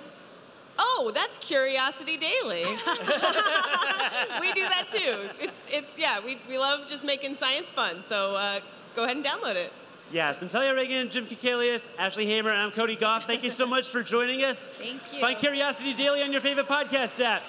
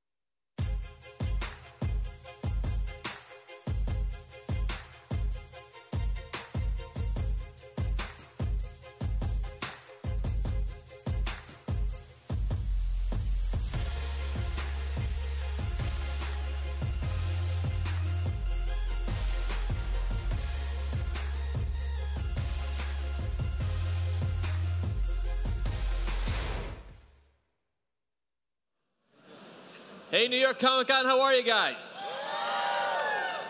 All right, I'm, I'm doing well too because look, it's late on Sunday, but I think we've saved one of the best for last. We got Alexandre Aja and Sam Raimi. They make Crawl. Hello. We got two modern horror legends here. Guys, I rewatched the movie last night. I know it's coming out on Blu-ray soon. This is a, one of the most fun movies of the year. I had a ton of fun watching it. And then I watched the extras, the Blu-ray extras. You guys built like all of this stuff, which is insane. Yeah, nothing is real. I mean, like basically, it was quite crazy. Yes, I mean, like watching the movie and walking on the movie, like for so long, it's you forget, you know. And watching the behind the scene again, I realized how like everything all blue screen. We're pretty much in a warehouse like this one. Yeah, I, I thought it had to be done on location with Alex flooding a lo- local Florida town, but he said, no, we're going to do it all in a studio. We're going to build parts of the town there, fake it with green screen. And he has the uh, expertise, Alex does, after so many pictures to really pull it off. It was really a complex picture. There was tanks of water. You had to deal with a lot of underwater photography, water safety, uh, flood effects. There were visual effects, rain, hurricane. He also had to do makeup effects, create the alligator both in CGI and animatronic form. So it was really uh, that as a basis, but then he had to get these great performances from Kaya and uh, Barry. You know, it's such a simple concept. It's a house being flooded and there are gators, but it was really hard to pull off, which is so cool. And you guys went to Serbia to do this, right? Yeah, I mean, we couldn't really do it in uh, Florida because we'll have to replace every tree because when you have, you know, 100, 200 miles speed wind, everything bent, so it was necessarily CG. So we were just looking for the bigger space where we could build those seven tanks. I mean, like the biggest one was, you know, like a, almost like a, a third of this room, which is gigantic. Yeah. Seriously. And so you built houses, you built a gas station, you built trees, you built this underground crawl space. So how much, how big was this place that you built it in? Not big enough. that was like a, a nightmare. We were calling it the pit. We were like just going down every day. Not, I'm not really aware. I mean, not sure that we'll come out alive at the end. It was one of the most um, tough sets that I ever experienced because we spent like 10 hours not only in the water, and the water was not always the most uh, clean, let's say, but also the fact that you have that low uh, um, ceiling that's o- above you all the time, that you can only, in fact, crawl in that space. And, and, and that was like, a, that was intense. But especially for, for Kaya and Barry to, to, to have to survive that shoot. You know, maybe somehow it helped them in their performance in the movie. I mean, Sam, you've made movies for many years now, a lot of iconic. What are you saying? I'm saying that you're a seasoned pro who knows what he's doing. That's it. Yep. Okay. You've made movies for so many years now, a lot of iconic movies, a lot of complicated movies. Where does this rank in terms of that? Where does this rank in terms of the most complicated shoots you've had to do? Well, it was really um, way up there, I think, in terms of complexity, because there was never a moment without visual effects or mechanical effects. I remember being on the set with our producer, main producer, uh, Craig Flores, who really is the guy that found the script and introduced me to Alex in person. But anyways, I, I um, remember walking through rain. It was pouring rain, and then you'd get through a windstorm, and these fans are almost knocking you over. And then you'd get to the set, which is flooded, and you'd move through that where they're actually shooting, and it's got a ceiling this tall. So the whole thing was like a nightmare, which um, he endured and led the crew beautifully through, along with our other producer, Craig Craig Flores. But um, I think it was way up there. I, I it's hard to pin one above the other. For me, Evil Dead number one was the hardest for me because I'm directing. It's always toughest on the director. The producers are always sitting back in the fancy chairs going, yeah, it looks tough. Anyways, I'll be at lunch. and and you, you, you're the expert in like uh, cellar and basement. I mean, basically, like, you know, like in, going in, in, in the crawl space is like a lot of, uh, I was thinking about like all the Evil Dead nightmare that must have been to be in that space for so long. Yeah, it was uh, tough on the actresses. Yeah, from what I recall, I read a lot about it. You guys, you had your actors, you know, Kaya and Barry. They were in the water for like 12 hours at a time, right? This was not just like jump in, shoot a scene, jump out. This was just full literal immersion. Yeah, I mean, we had to uh, convince them to. I mean, then it was pretty clear on the page that it was going to be a tough one. But we had to explain that every time they come out of the water, they have to dry, they have to, you know, like try to keep some kind of continuity. So we were lucky that Kaya agreed on staying on set with us, with the crew, all day long in the water, which is pretty spectacular. I don't know a lot of actors that would have been, you know, that game for, for, for such a challenge. She said she didn't really even know how to swim before you guys started preparing for this movie. No, she, she knew how to swim, but she was not like an Olympic swimmer like the character in the, in, in the movie. So, yeah, she went into a very intense uh, training. And, you know, I, I think this is very important for her to feel that confidence when she's racing and facing those giant beasts. You know, it was, it was important to feel that kind of uh, physicality for her and that strength that she has that will give us like an. I will not survive 20 minutes in the movie. Oh no, me neither. 20 seconds. I would, I would, before I'd gone to the house, I'd be done. If I was driving the car, I'd be it. I will agree with the cop and just you turn and go back. I mean, I don't want to spoil it for anyone, but it's been out a little while, so I think we can talk about what happens in the movie. You mentioned the cop. Uh, nice guy, doesn't turn out so well for him. Uh, there are some really gnarly deaths in this movie, and we'll watch a clip in a second, but I want to talk about some of those.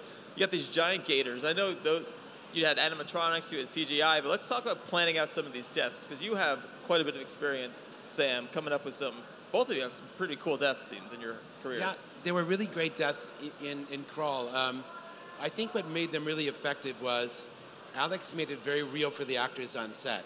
He would not only have guys in green suits that looked kind of silly in the dailies, but crawling around to show the actors exactly how fast they'd move and where they were. But he'd also have rubber alligators like splashing, and the splashes would get on the actors, and he kept those in the finished film, even though he replaced some of the um, animatronics on set or rubber stand-ins for CGI uh, elements. It made it very real for the actors. He did a lot to uh, make it seem real. So when they were attacked, yeah, they were gnarly deaths, but they were really gnarly because of the setup work and the homework he did in making it real for the audience.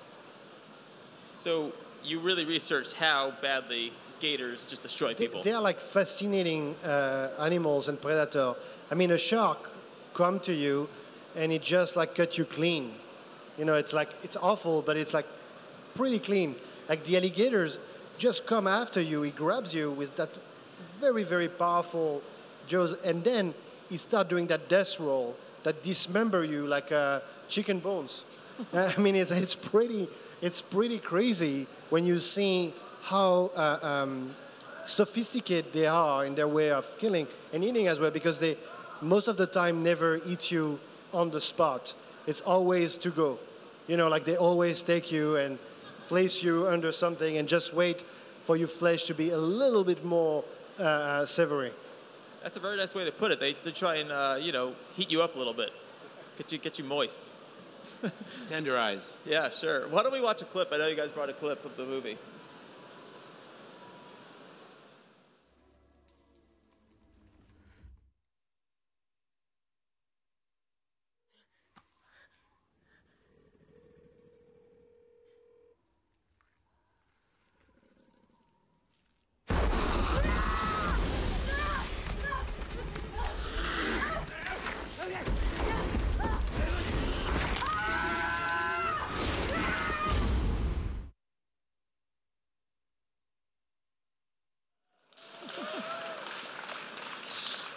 She's a great actress because she looks legitimately terrified right there.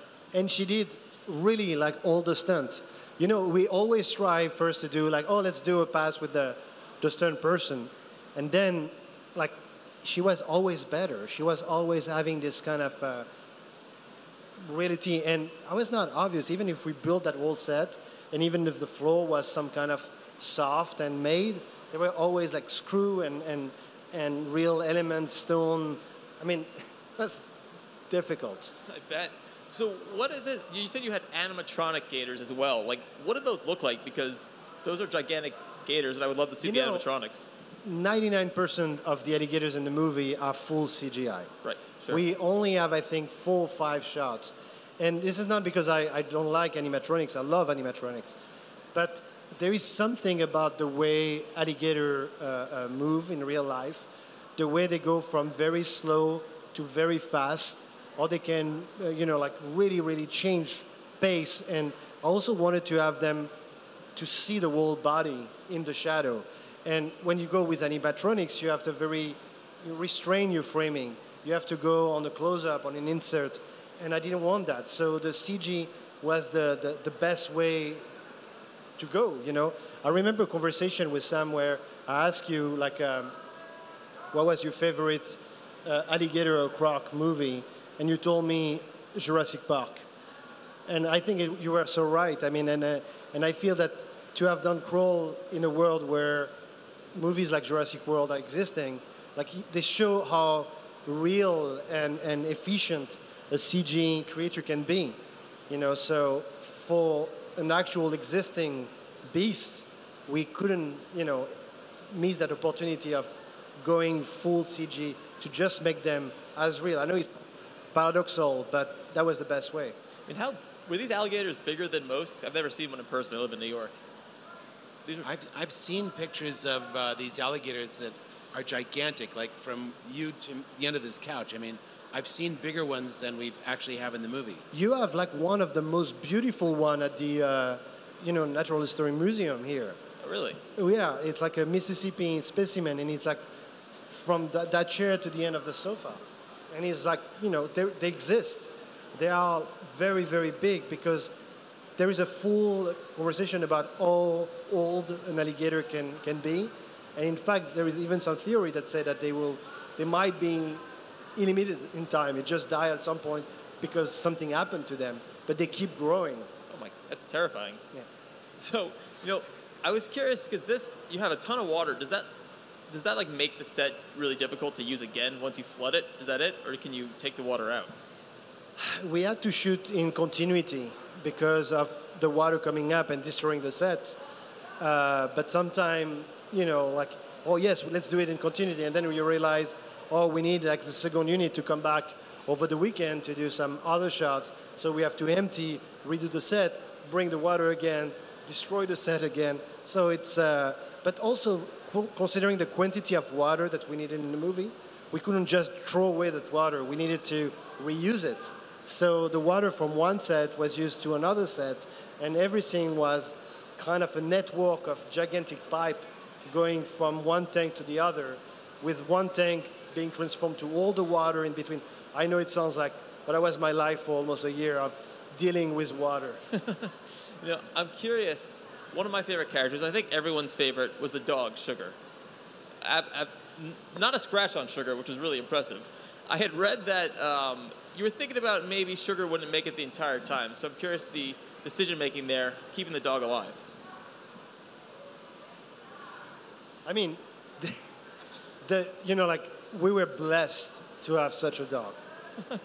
I mean, it was like on paper, like the biggest challenge. I mean, I was like, are we going to be able to actually shoot? And then there is rules to come because, of course, we, we have to be very careful with the dog and be sure that the dog is having fun all the time and, and no complaint because that's a very big one. And so one of the, the things that was the most challenging is we couldn't stop the wind machine or the storm in between takes because to not disturb the pace of the dog. Wow. And so we had to spend our days, in addition of the water, with, you know, like the, the sound of like plane engine playing all the time during the whole day. So the dog was the biggest diva of all.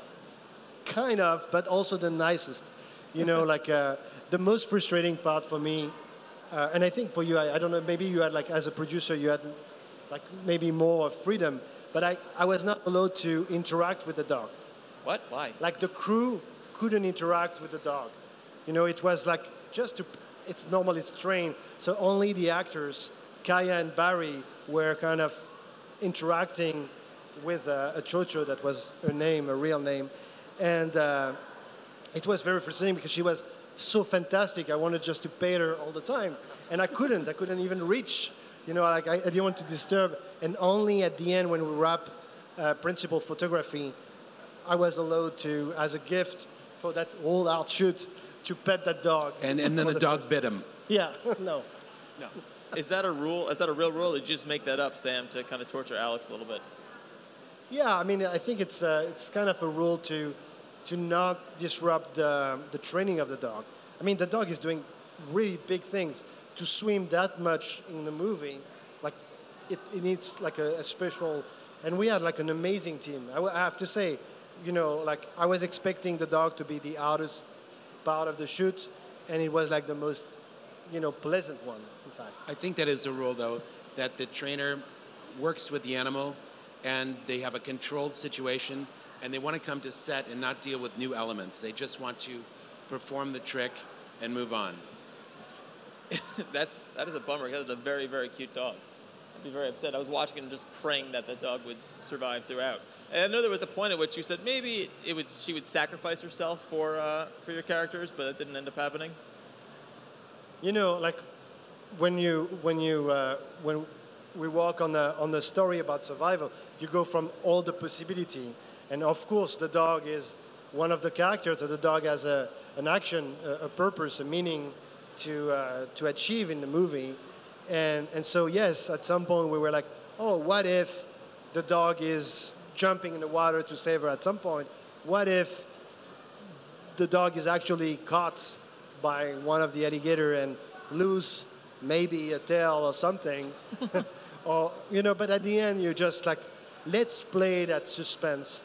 Let's keep the, the, the, the stake of like is the dog going to die since it's so important for everyone i mean i love dog so yes i feel for, for that and maybe in the in a sequel we will explore like what happened during all that time we can make the same movie through the experience of the dog the dog's eye view, literally. That'd be that'd be a lot of fun. You mentioned a sequel. Do you guys want to do more of these? Is this going to be the next big franchise?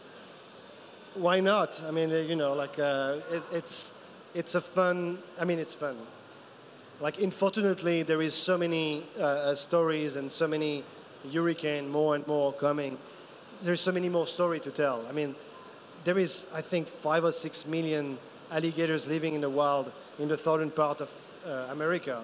It's fascinating, and it's not only America. I mean, like Australia has the same with crocodile, and and even recently there were like some uh, uh, flood in uh, in a favela in Rio, and some caiman were roaming the streets, and cops couldn't access people's uh, place to rescue them because of the caiman. Yeah, it's it is far too real right now in terms of hurricanes and whatnot. I wanted to ask you, it was a difficult shoot. Seems like a lot of fun, even though you couldn't pet the dog. And I'm wondering, what was your best day on set, and what was your worst day on set for both of you? Ah, my, um I think my best day on, on set, I think was when we wrap, when when we actually finished. Not because I was happy that we finished, but because every day we were like flirting with disaster.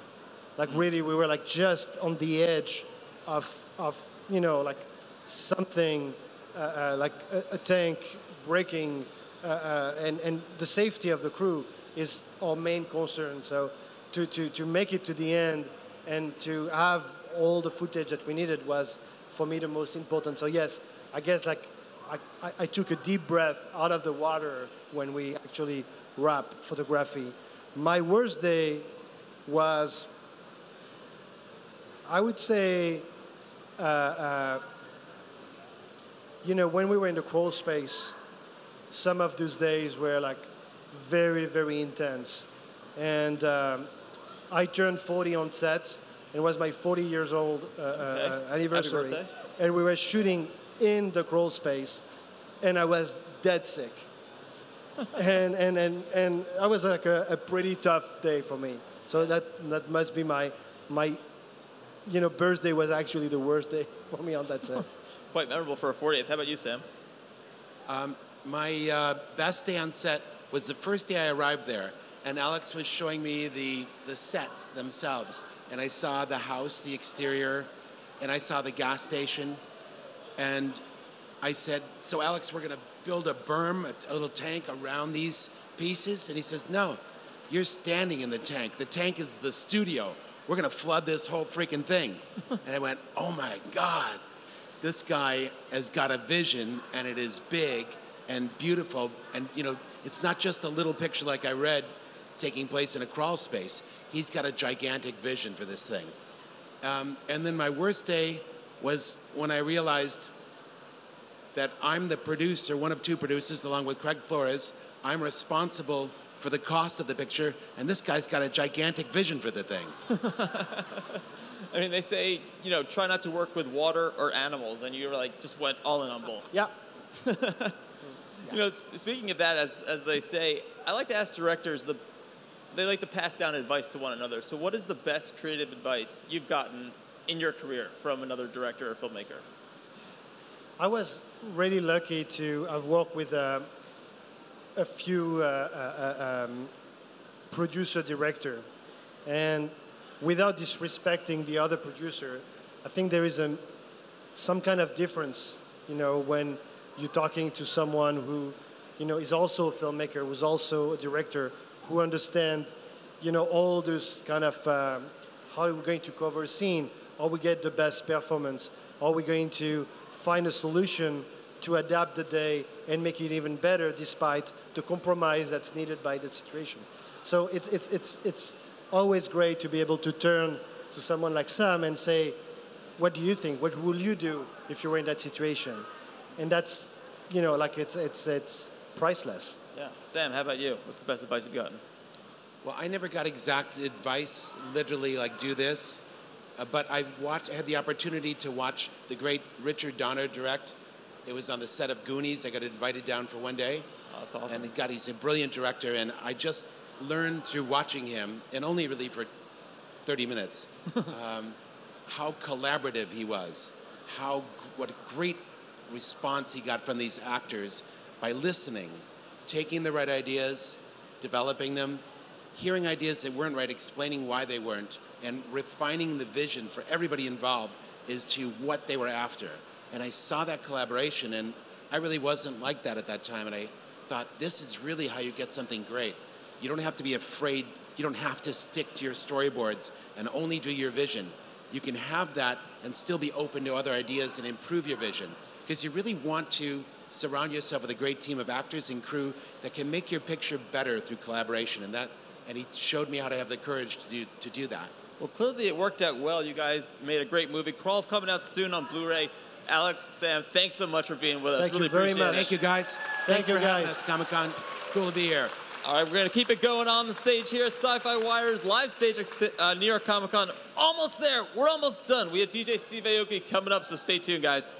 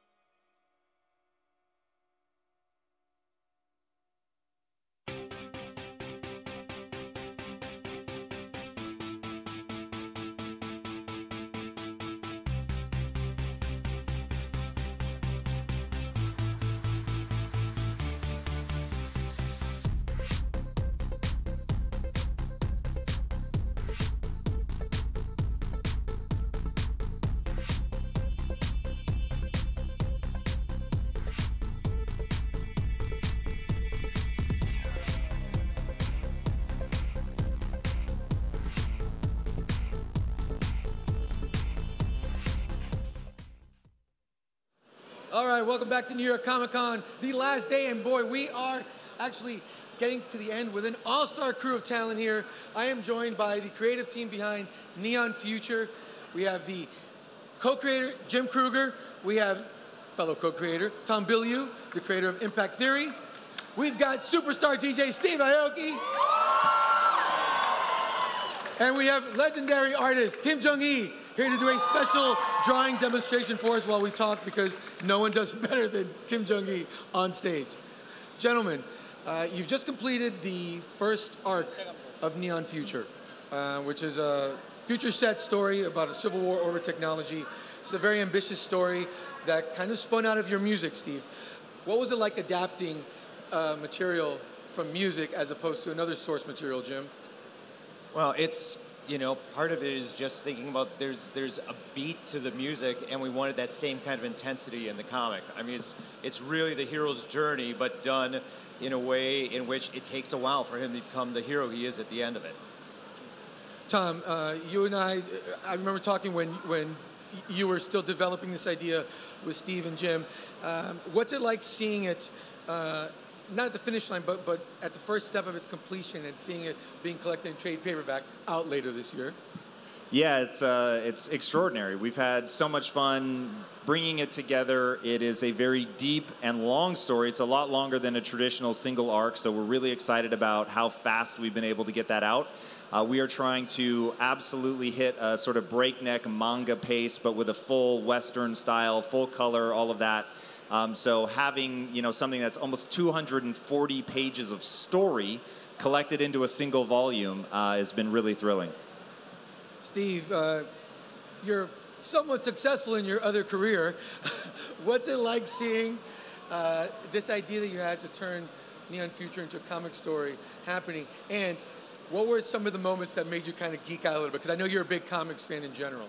Uh, Neon Future should have always been a comic story. It just like for me, it was an an album, a musical album, because that's that's just the way I, that I've naturally expressed myself. But uh, you know, Neon Future is all about a story of what's to come, and to be able to do that with these guys over here and the amazing team from IT, it's it's been incredible to, to, to watch this evolve and progress and, and and follow these stories and these characters of Neon Future to where it is so far. It's just the first six issues is already really compelling, and I, honestly, I can't wait for people to to, uh, to to read the next the next six.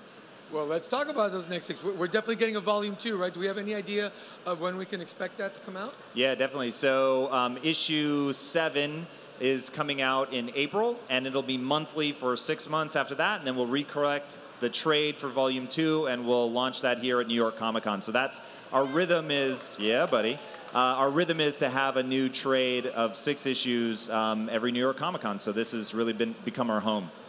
There's a scene that when we were working on the first six issues, I was like, this has to be in here, this has to be in here. And Tom kept on saying, wait, it's not time, it's not time. And then when we were going through the plan for the next six, I was like, we have to do this. And Tom's like, oh yeah, that's a good idea, we should do that.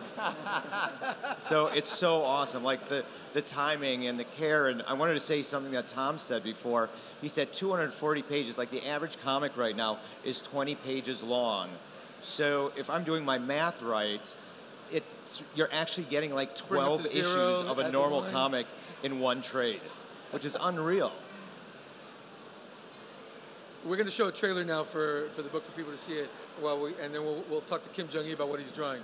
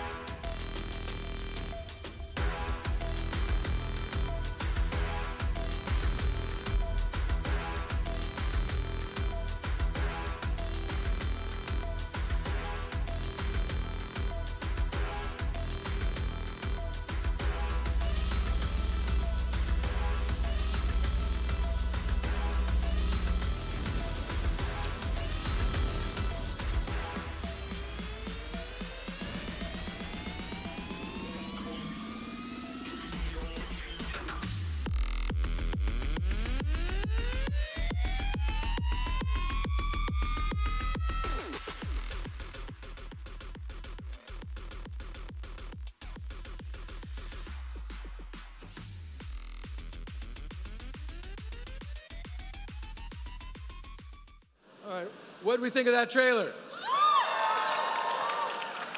Okay, I want to talk uh, uh, about this incredible drawing that Kim Jung Gi has been putting together in about five minutes.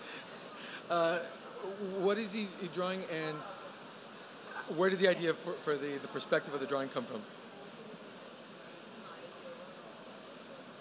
여쪽에 나오는 만화에서의 멋진 액션씬 같은 것들 그리고 그가 사용하는 이런 마법 같제 마법 같은 비슷한 이런 비기 같은 것들을 쓰는 모습들을 한번 그려봤어요. So um, this idea is from uh, reading his comic book, and I wanted to uh, utilize some of the iconic elements such as a digital butterfly and essence of um, his power and the story and the action. The visuals on, on, on Neon Future, from the covers to the interiors, are, are incredibly striking. They're really bold, sharp, futuristic looking colors. Um, I'm curious though about the working process here because, Jim, you're a normal human who probably keeps normal hours. Tom, you're not normal at all because you're insanely driven. And Steve, you're like a bat. You, you, this is like the earliest you've been up in, in I don't know how many days. And I think you did like two shows last night.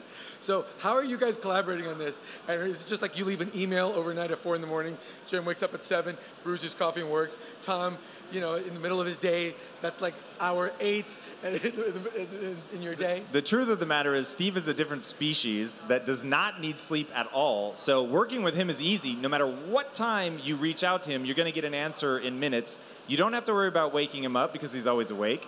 Uh, he did a documentary, which hopefully you guys saw, called I'll Sleep When I'm Dead. And I didn't know how much of that was hype. That shit is real. It is real. This man does not sleep. So that's been very easy. Jim and I are actually local to each other, so we can actually get together physically and share a space. And we've taken opportunities to do that with Steve when we can. But he's so easy to collaborate with. You get feedback so quickly, and he's got so many ideas that we wake up to uh, and get to engage with. And it's, it's really been quite easy. So the three of us have clicked into place seamlessly. You're still going to sleep when you're dead? Is that it? That's the plan? I sleep when I'm in in transportation. That's like if I'm on a plane, I'm asleep. If I'm in a car, I'm asleep. If you leave me alone for five minutes, I might fall asleep here. But like for the most part, I'm good. Jim, uh, I would imagine one of the uh, great perks of being on this uh, project is uh, you get the VIP treatment when you go see him in Vegas. I, I saw Steve's show. He was so accommodating, so awesome. Got to sit right in his in his booth with him, and I just looked out and saw so many beautiful, beautiful people looking at me with sheer hatred and envy and pain. Did you get any leftover cake thrown on you? Oh, I'm, I'm probably still cleaning it out here and there. you know, you're, you're spending so much time at cons, Steve. At a certain point, I think you're going to need to bring that, that move to the cons. We got we got one fan over here. She There wants you some go. cake. I think a trade paperback to the face will not be as fun as, uh, as a normal cake, though. That is correct, Tom. That is correct. All right. Kim Jung Gi, how are we doing here? He did like a, almost a cover quality drawing in 10 minutes. He said, I'm doing great. Um, I think I'm almost done. It's intimidating that Steve's um, sitting right next to me. I'm drawing him right now.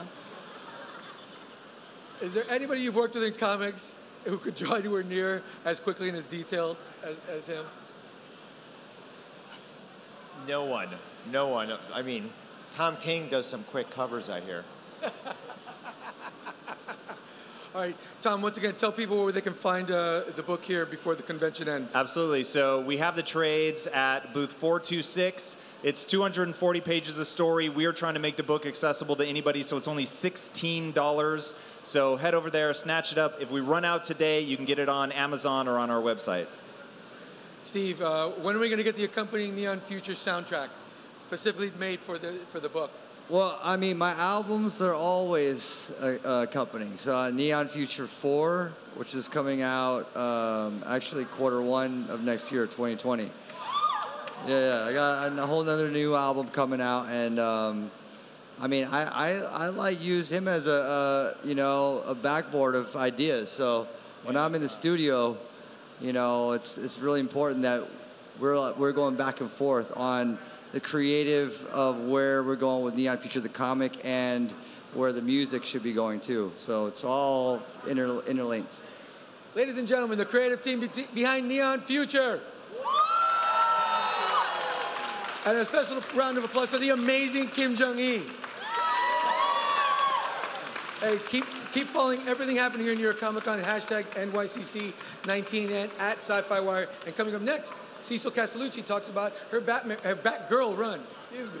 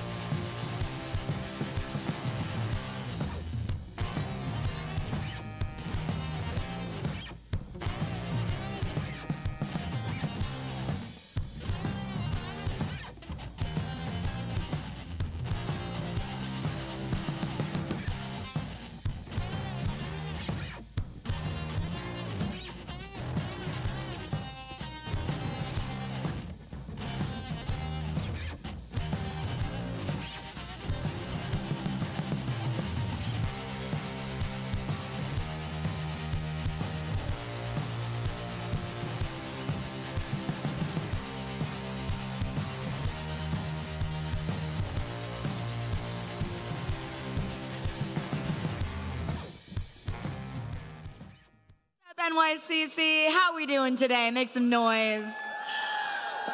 I'm Whitney Moore. I'm here with SYFY WIRE, and I am so, so excited to be sitting down with the Cecil Castellucci. Hi. Guys, one of my fave writers. You know her from so many comics. We're going to be talking about Batgirl, but first, I have to say, Female Furies, oh. this this run that you did changed the way I view Granny Goodness forever. And we make jokes about it a lot on DC where it's like you know, we had Ed Asner, we had uh, Granny Goodness was always kind of like a like a fun, funny villain that's kind of cartoony. No, she made it real. She made it spooky and sad and wonderful and complex and deep. And I would love to hear from you about what how you wanted to approach that storyline. Okay, so for those of you who don't know, uh, me and Adriana Melo, the artist, um, we did a six issue miniseries of the Female Furies. And Jack Kirby created the Female Furies for the Fourth World. And they had never, they were always on the page. We all know Big Barda, um, but they had never had their own book. And um, I was trying to figure out what to do after Shade the Changing Girl. And um, through a conversation that I had with Dan DiDio, um, you know, came upon this idea of like, what if you had a feminist awakening on Apokolips and, with Granny Goodness and the Female Furies, and what would that look like when you're in hell already to be in hell as well? And so, um, one thing that Adriana and I really wanted to do was flash back to how Granny Goodness got to be as bad as she is. Because, like, Granny Goodness is the only woman in Darkseid's uh, inner circle, and um, but she's given the mother role. You know, she's like the mother of the the horror, the terror orphanage. So, um, so we really wanted to dig in deep on like how sad it would be to be the only woman in a group of boys that take over the world, and then you're shoved off to the side, and then you raise these women to be the female furies, and they're pushed to the side. And what does that do? What does that do to you as a person? Um, so yeah, Granny Goodness was a delicious, a delicious character to try to unpack. Yeah, and I think that people don't typically give her that credit, and that's sort of like a amazing one-two punch where it's like, well, guess who also doesn't give her credit? Her coworkers. Yeah. And guys, if you have not read this run of Female Furies, it is so good. Also, pick up Shade the Changing Girl because, my goodness, I actually cosplayed for the first time in like a decade when I read Shade, and I, I like made the dress because it was last year at Comic Con because I was like, oh, anything psychedelic, I'm like, Yeah. oh, this is incredible, and That- Shade is such a great character. That was really fun to reboot. Shade the Changing Man was a character that Steve Ditko created, and um, and I rebooted it through Gerard Way's uh, Young Animal imprint um, uh, as Shade the Changing Girl, and that was super fun. Yes. Um, okay, but we are not here to talk about these things. I am. it all I'm leads up to. this Batgirl run is so so fun. I love the way that you write, Barbara, um, and I want to get into some some more uh, some more details about it. But first, I would just love to know. Barbara is such an iconic character, and I love your take on her. What was your approach when you decided that you wanted to write her? So, you know, uh, Batgirl is an iconic character, right? I mean, she's not the like top tier, like Wonder Woman, you know, whatever, but she's up there, you know? I mean, she's very, very important.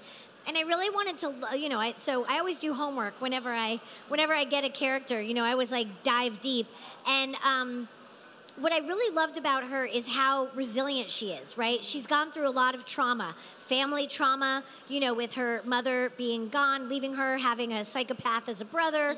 Her father's the, you know, obviously Commissioner uh, Gordon. Um, obviously, the Joker shot her. Uh, and uh, she became Oracle, which was like she's just constantly. She never says like I can't. She always says how can I? Yeah. And her heart is always about helping people and helping Gotham and helping people to help themselves. And she's always a hero no matter what she does. I mean, even when she's a librarian, she's a hero because, in my opinion, librarians are heroes. Yes, they are. Woo! Yeah, shout out for the librarians. Um, because, you know, that helps to save people as well. And when you even dive further back, um, in the Bronze Age, Barbara became a congresswoman. In the in her canon, she was the youngest congresswoman in America in like a basically all male Congress in the 1970s. You know, like pushing like ERA and like feminist things.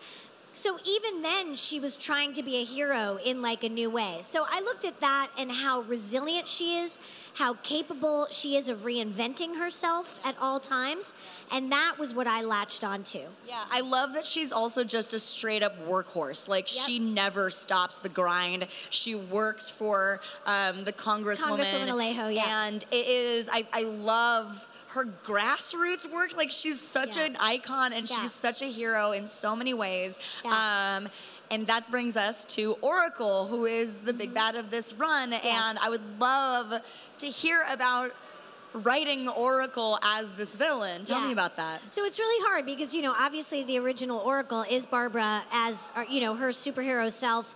Uh, being the sort of eyes and ears and information network for everybody. Um, and uh, so it's really hard when you're thinking about, okay, I'm going to take that great character, um, and it's, you know, obviously it's a robot. We know that. it's a robot. So it's not like her on the internet. It's not Barbara, who's her own enemy. But what I liked about it is that um, Barbara, Batgirl doesn't have a very big rogues gallery for herself. All of her rogues are usually Batman's rogues. So this was a real opportunity to give her um, a villain that really mirrors her, right? Because it springs from her. So it's almost like a Frankenstein. Yeah. She created this monster, you know, like what lives on, you know, what what what ghosts live in the machine that like then come back to haunt you. And also when you're thinking about villainy, you're thinking about a villain that can um, mirror the, you know, so and I always think like, well, who's your who's really our worst enemy? Our worst enemy is ourselves. That is so emo. I did work with Gerard, you know.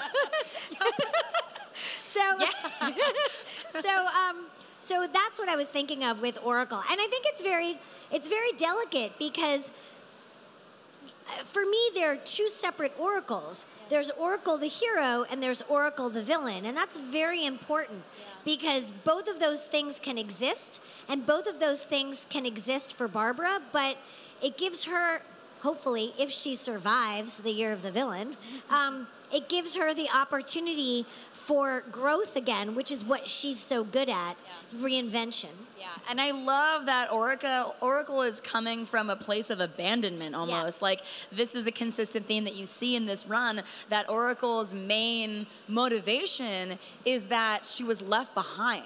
I love that so much. Yeah.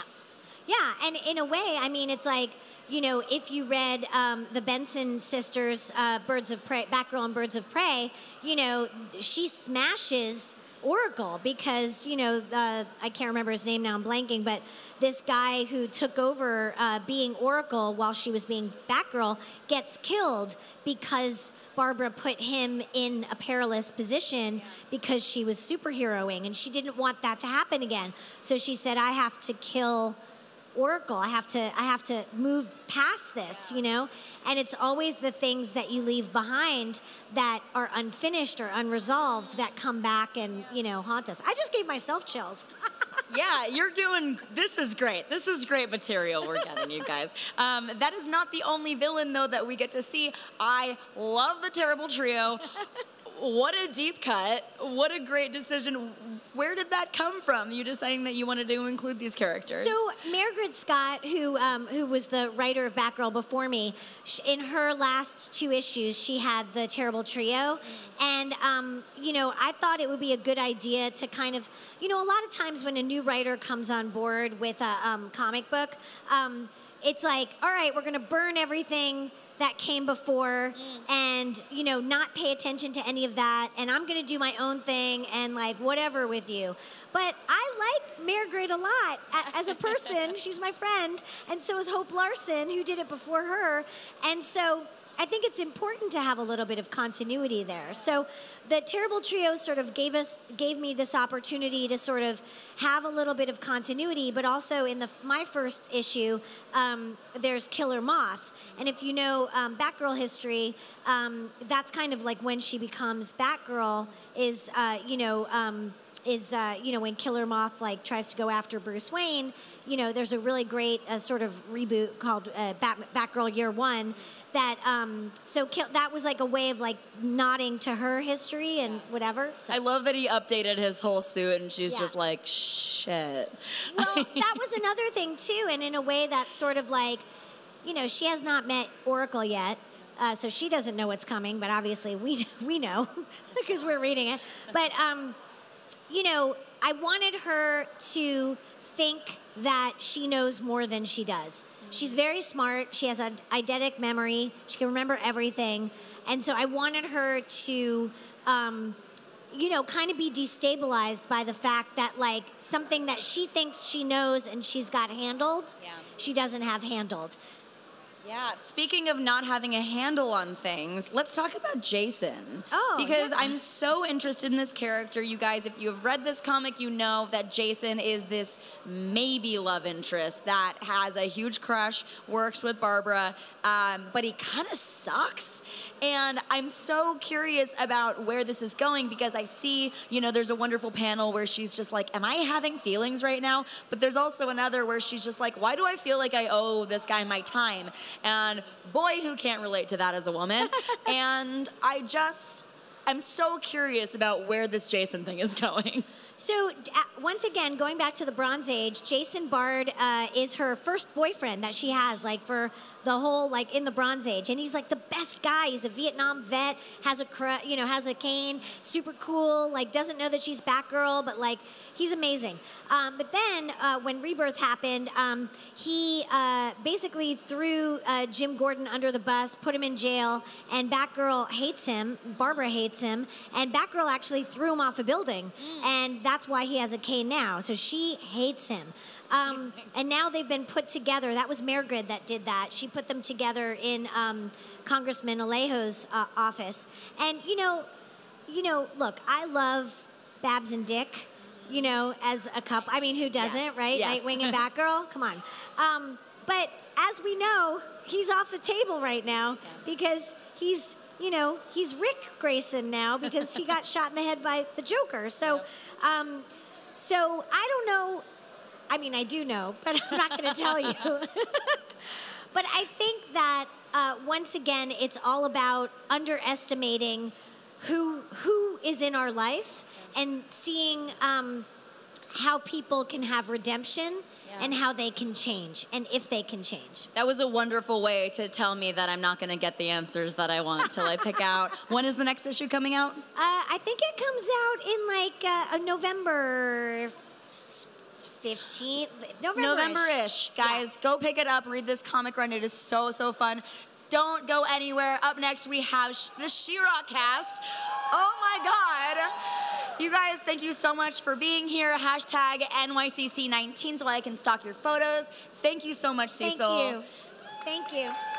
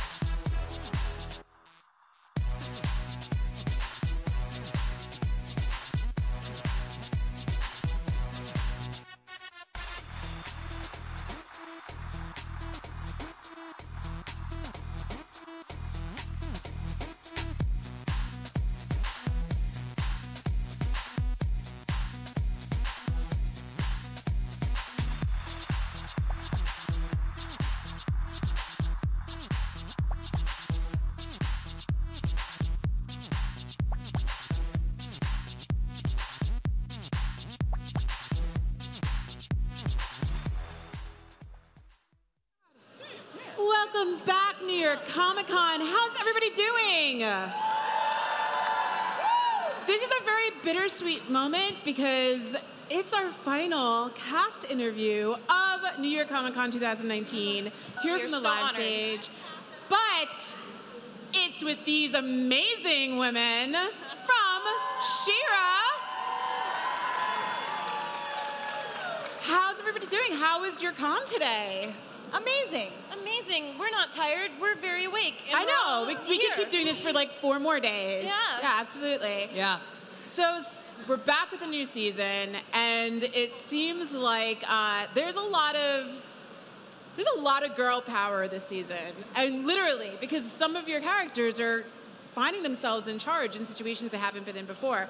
Let's talk a little bit about like those storylines and where your characters are starting off this season. Yeah, I think we have like a big power upset at the end of the last season where um, uh, Queen Angela sacrificed herself, uh, meaning that Glimmer now has to take over the crown, basically, to be the Queen of Bright Moon. So it throws her immediately into this position that she never expected to be in. And on the other side, we have Catra also sort of moving up the ranks of the Horde and uh, sort of like severing a lot of her friendships in order to do that. So, yeah, it, it all of our characters are going to be in kind of uncharted waters uh, this season.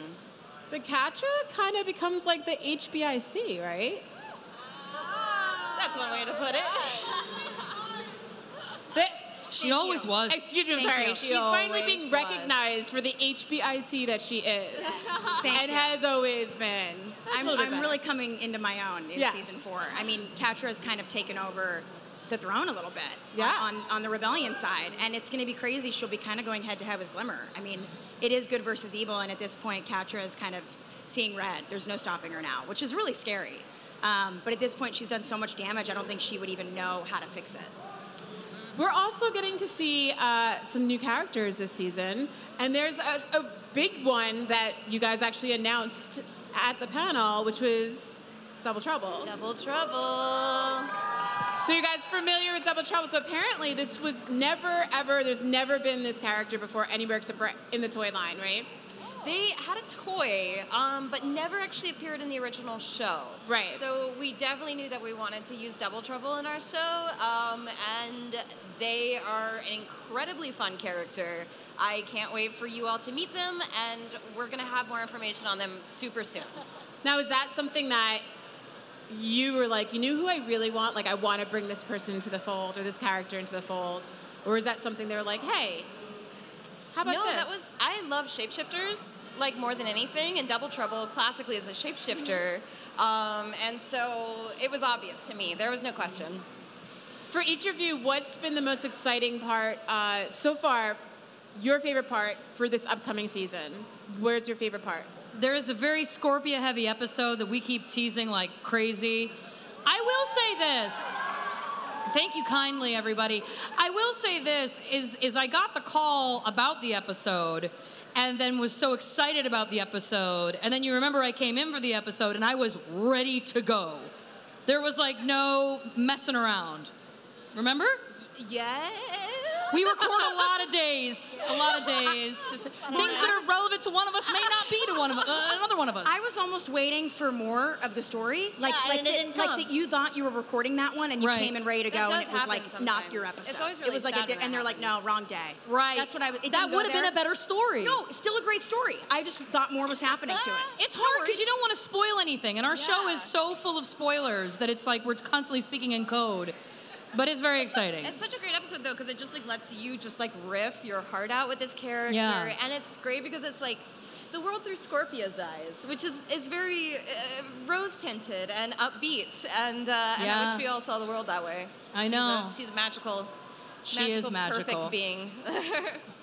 What would you say is your favorite thing about each one of your characters? I mean, you've been with these characters for a minute now, so what's your favorite thing about each one of your characters, and what's your least favorite thing about each one of your characters?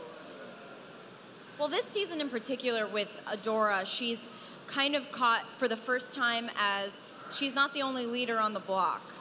And she has to learn how to take a step back and play a supporting role, which is difficult for her.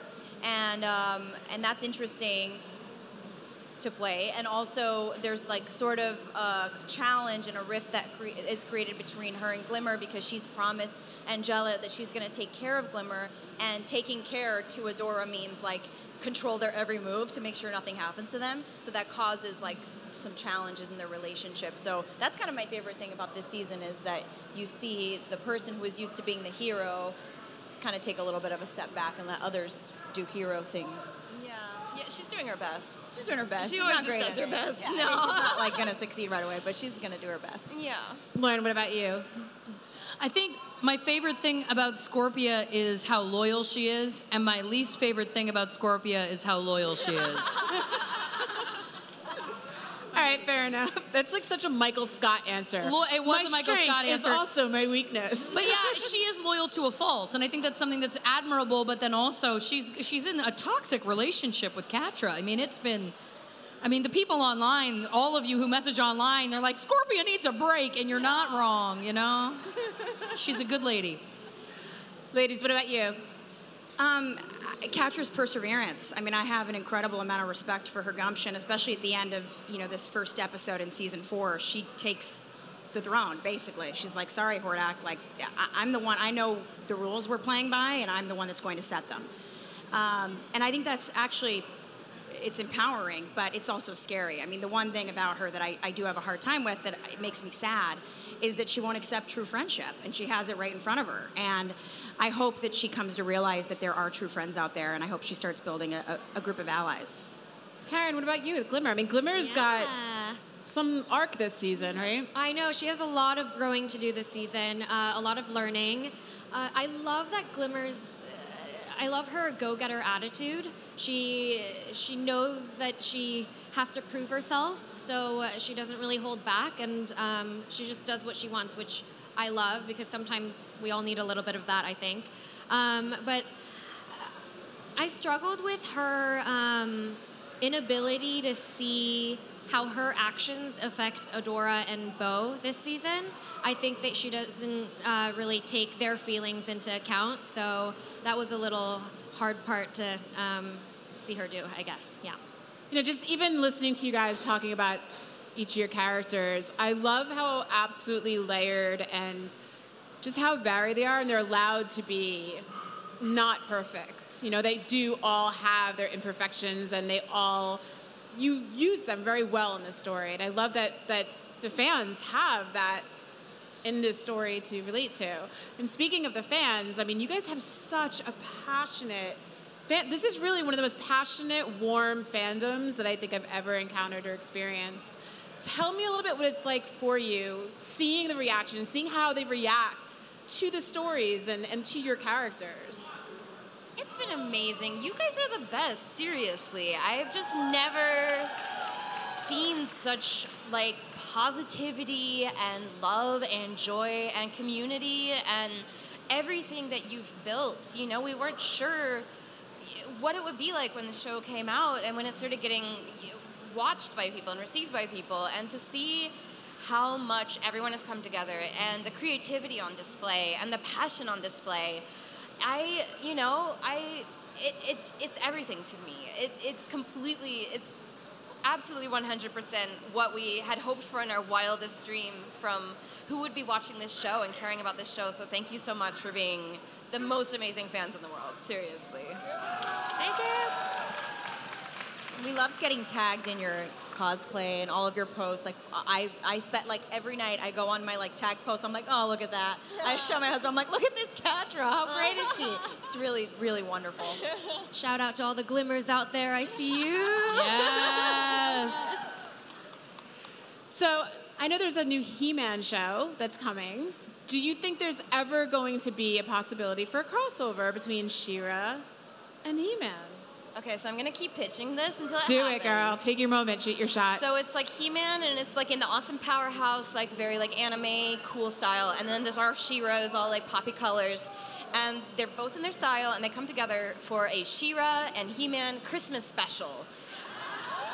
I love I, would 100% watch that. have not received this call yet, Kevin Smith, just call me, and we'll make this happen. And Santa will come, and they'll decorate the tree, and they'll teach Skeletor to love, and it's gonna be great. It's it's yeah. So no joke, I shamelessly I work with Kevin on Goldbergs for a couple Oh, years, him and I message. shamelessly like texted him when this announced that he was doing He-Man, and I was like, "Hey, Kevin, um, I hope you're well. I heard you're doing He-Man.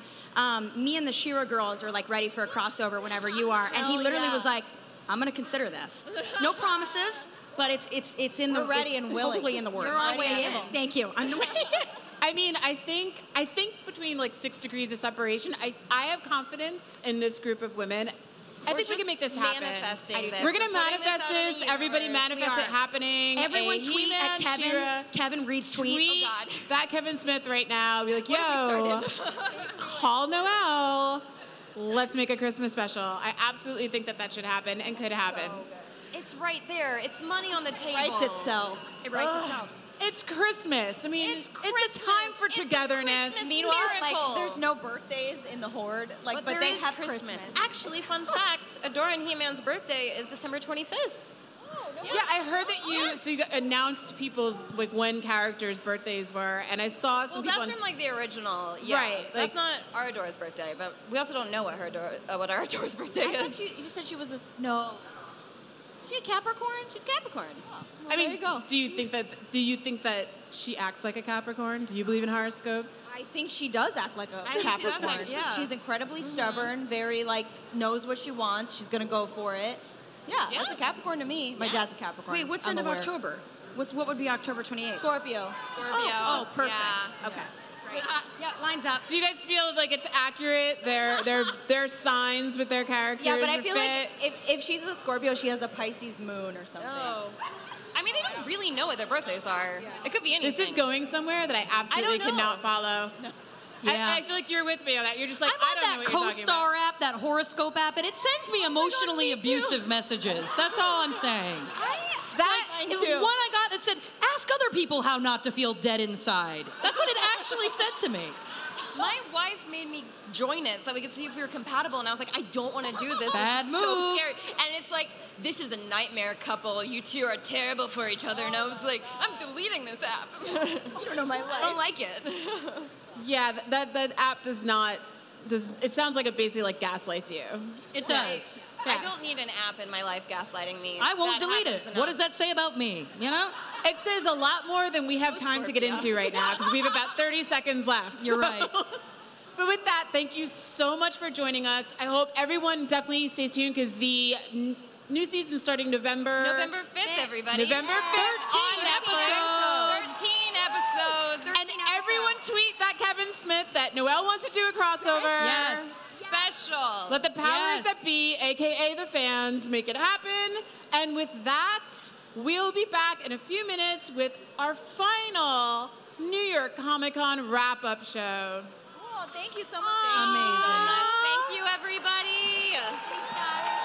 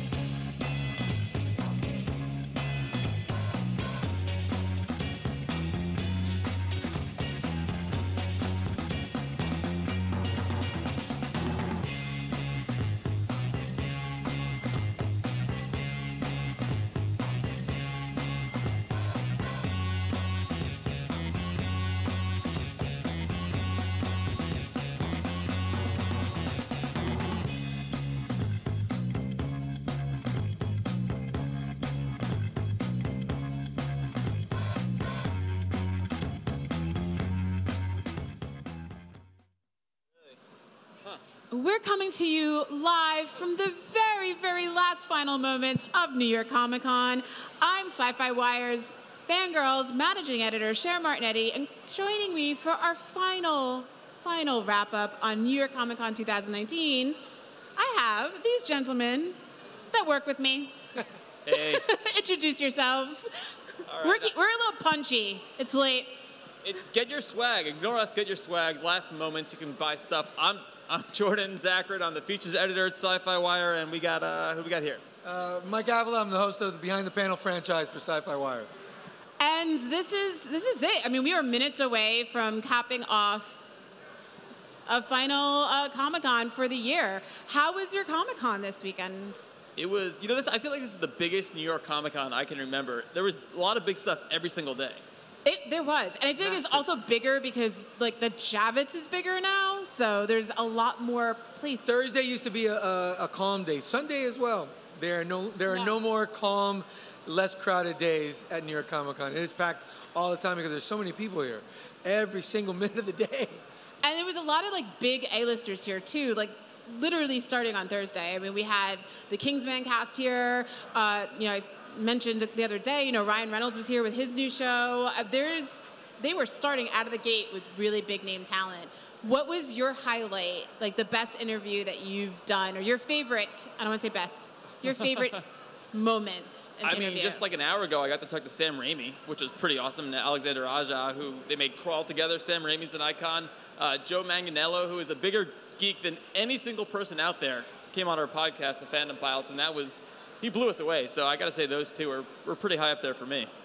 I, I spend a lot of my time up at our Skybox studio overlooking the convention floor, interviewing uh, comic book creators and, and other types for, for future interviews. I, I got to talk to Brian K. Vaughan today for the first time for like 45 minutes, and it was just amazing. It was, I was like a little bit intimidated going into it, and he was, he was great, insightful, honest, because when you're as successful as he is, you can pretty much say what you want and screw the repercussions.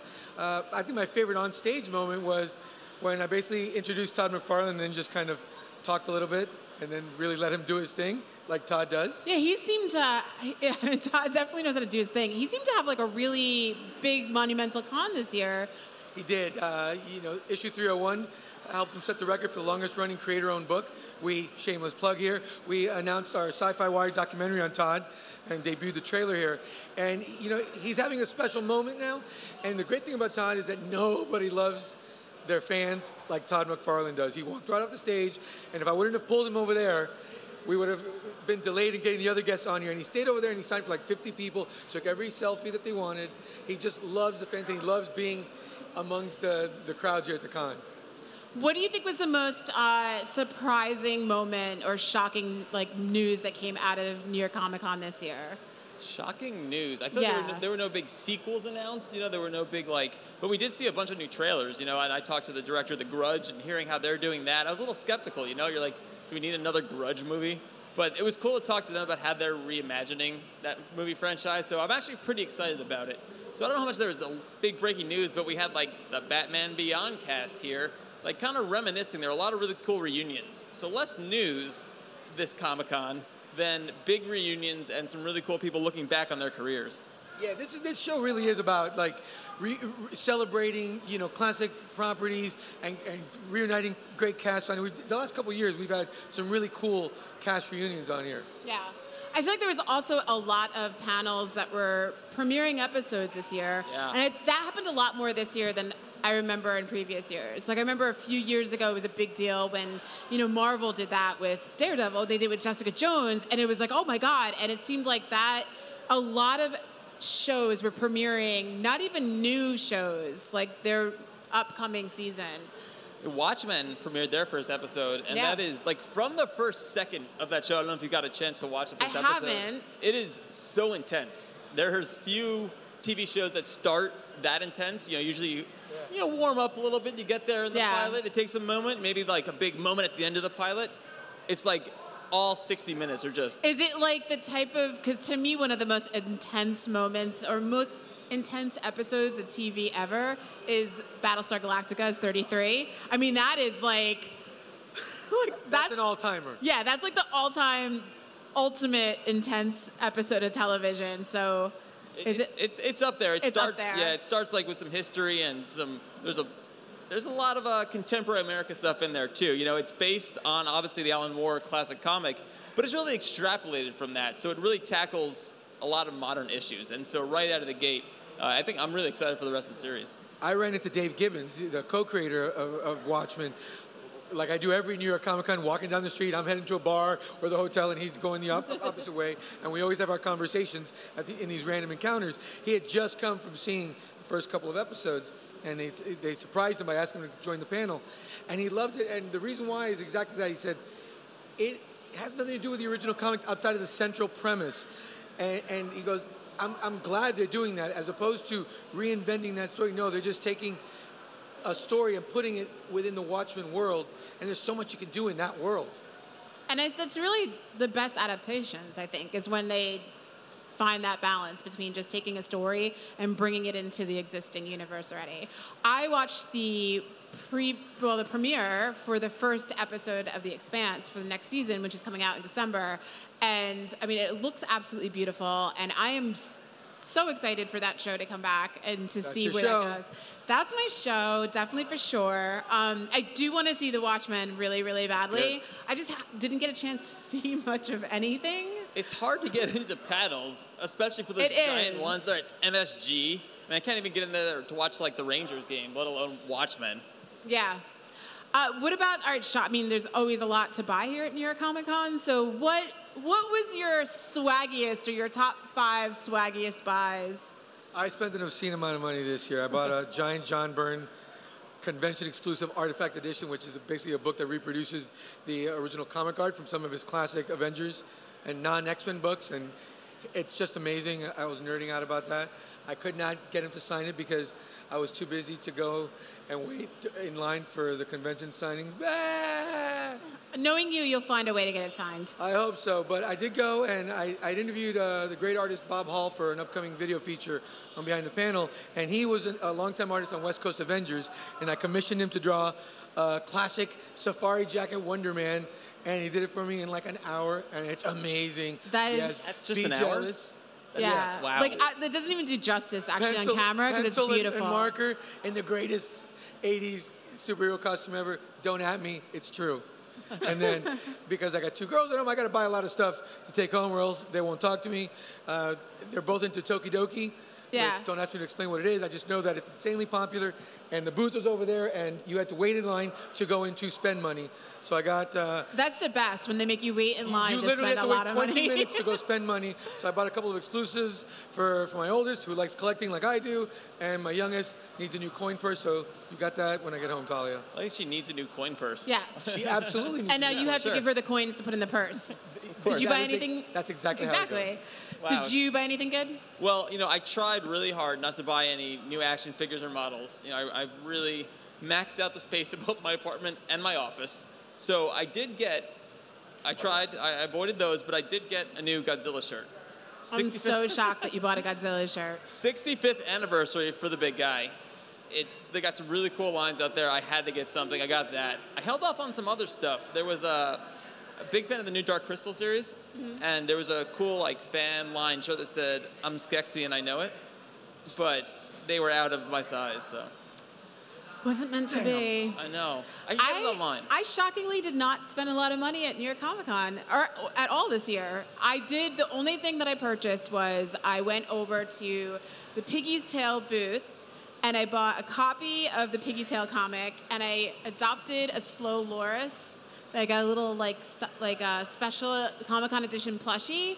And um, all the money from all the money I spent goes directly towards uh, different animal rescue and, and also towards Darwin's Animal Doctors, which is the nonprofit that the creator of the comic started to help get low cost and free vet services to different parts of the world where they need it. Where do you find And a we Slow all know that anyway, and anyone who goes on your Instagram feed knows you like dogs more than people. I like dogs way more than people. Anyone who works in an office with you knows that you see. I like dogs more than everything. where where does one find a slow loris? uh, in- in Asia, Okay. yeah. So uh, Good to know. Yeah, I, I learned a thing, so I felt smart with the money that I spent. I wish you had actually adopted an actual slow loris. Oh, you kind of do. Like I adopted it, and yeah, you kind of do. It's like I don't know, whatever. Anyway, that. That's it for us from New York Comic Con. Thank you so much for joining us all four days here on the live stage, and for everyone at home that followed along with uh, our social accounts on SYFY WIRE at Twitter and Instagram, Facebook, YouTube, the Sky. I don't know, you name it, we were there. And you can see if you missed anything, you can catch all the action, all the clips on syfy.com, and we'll see you guys next year.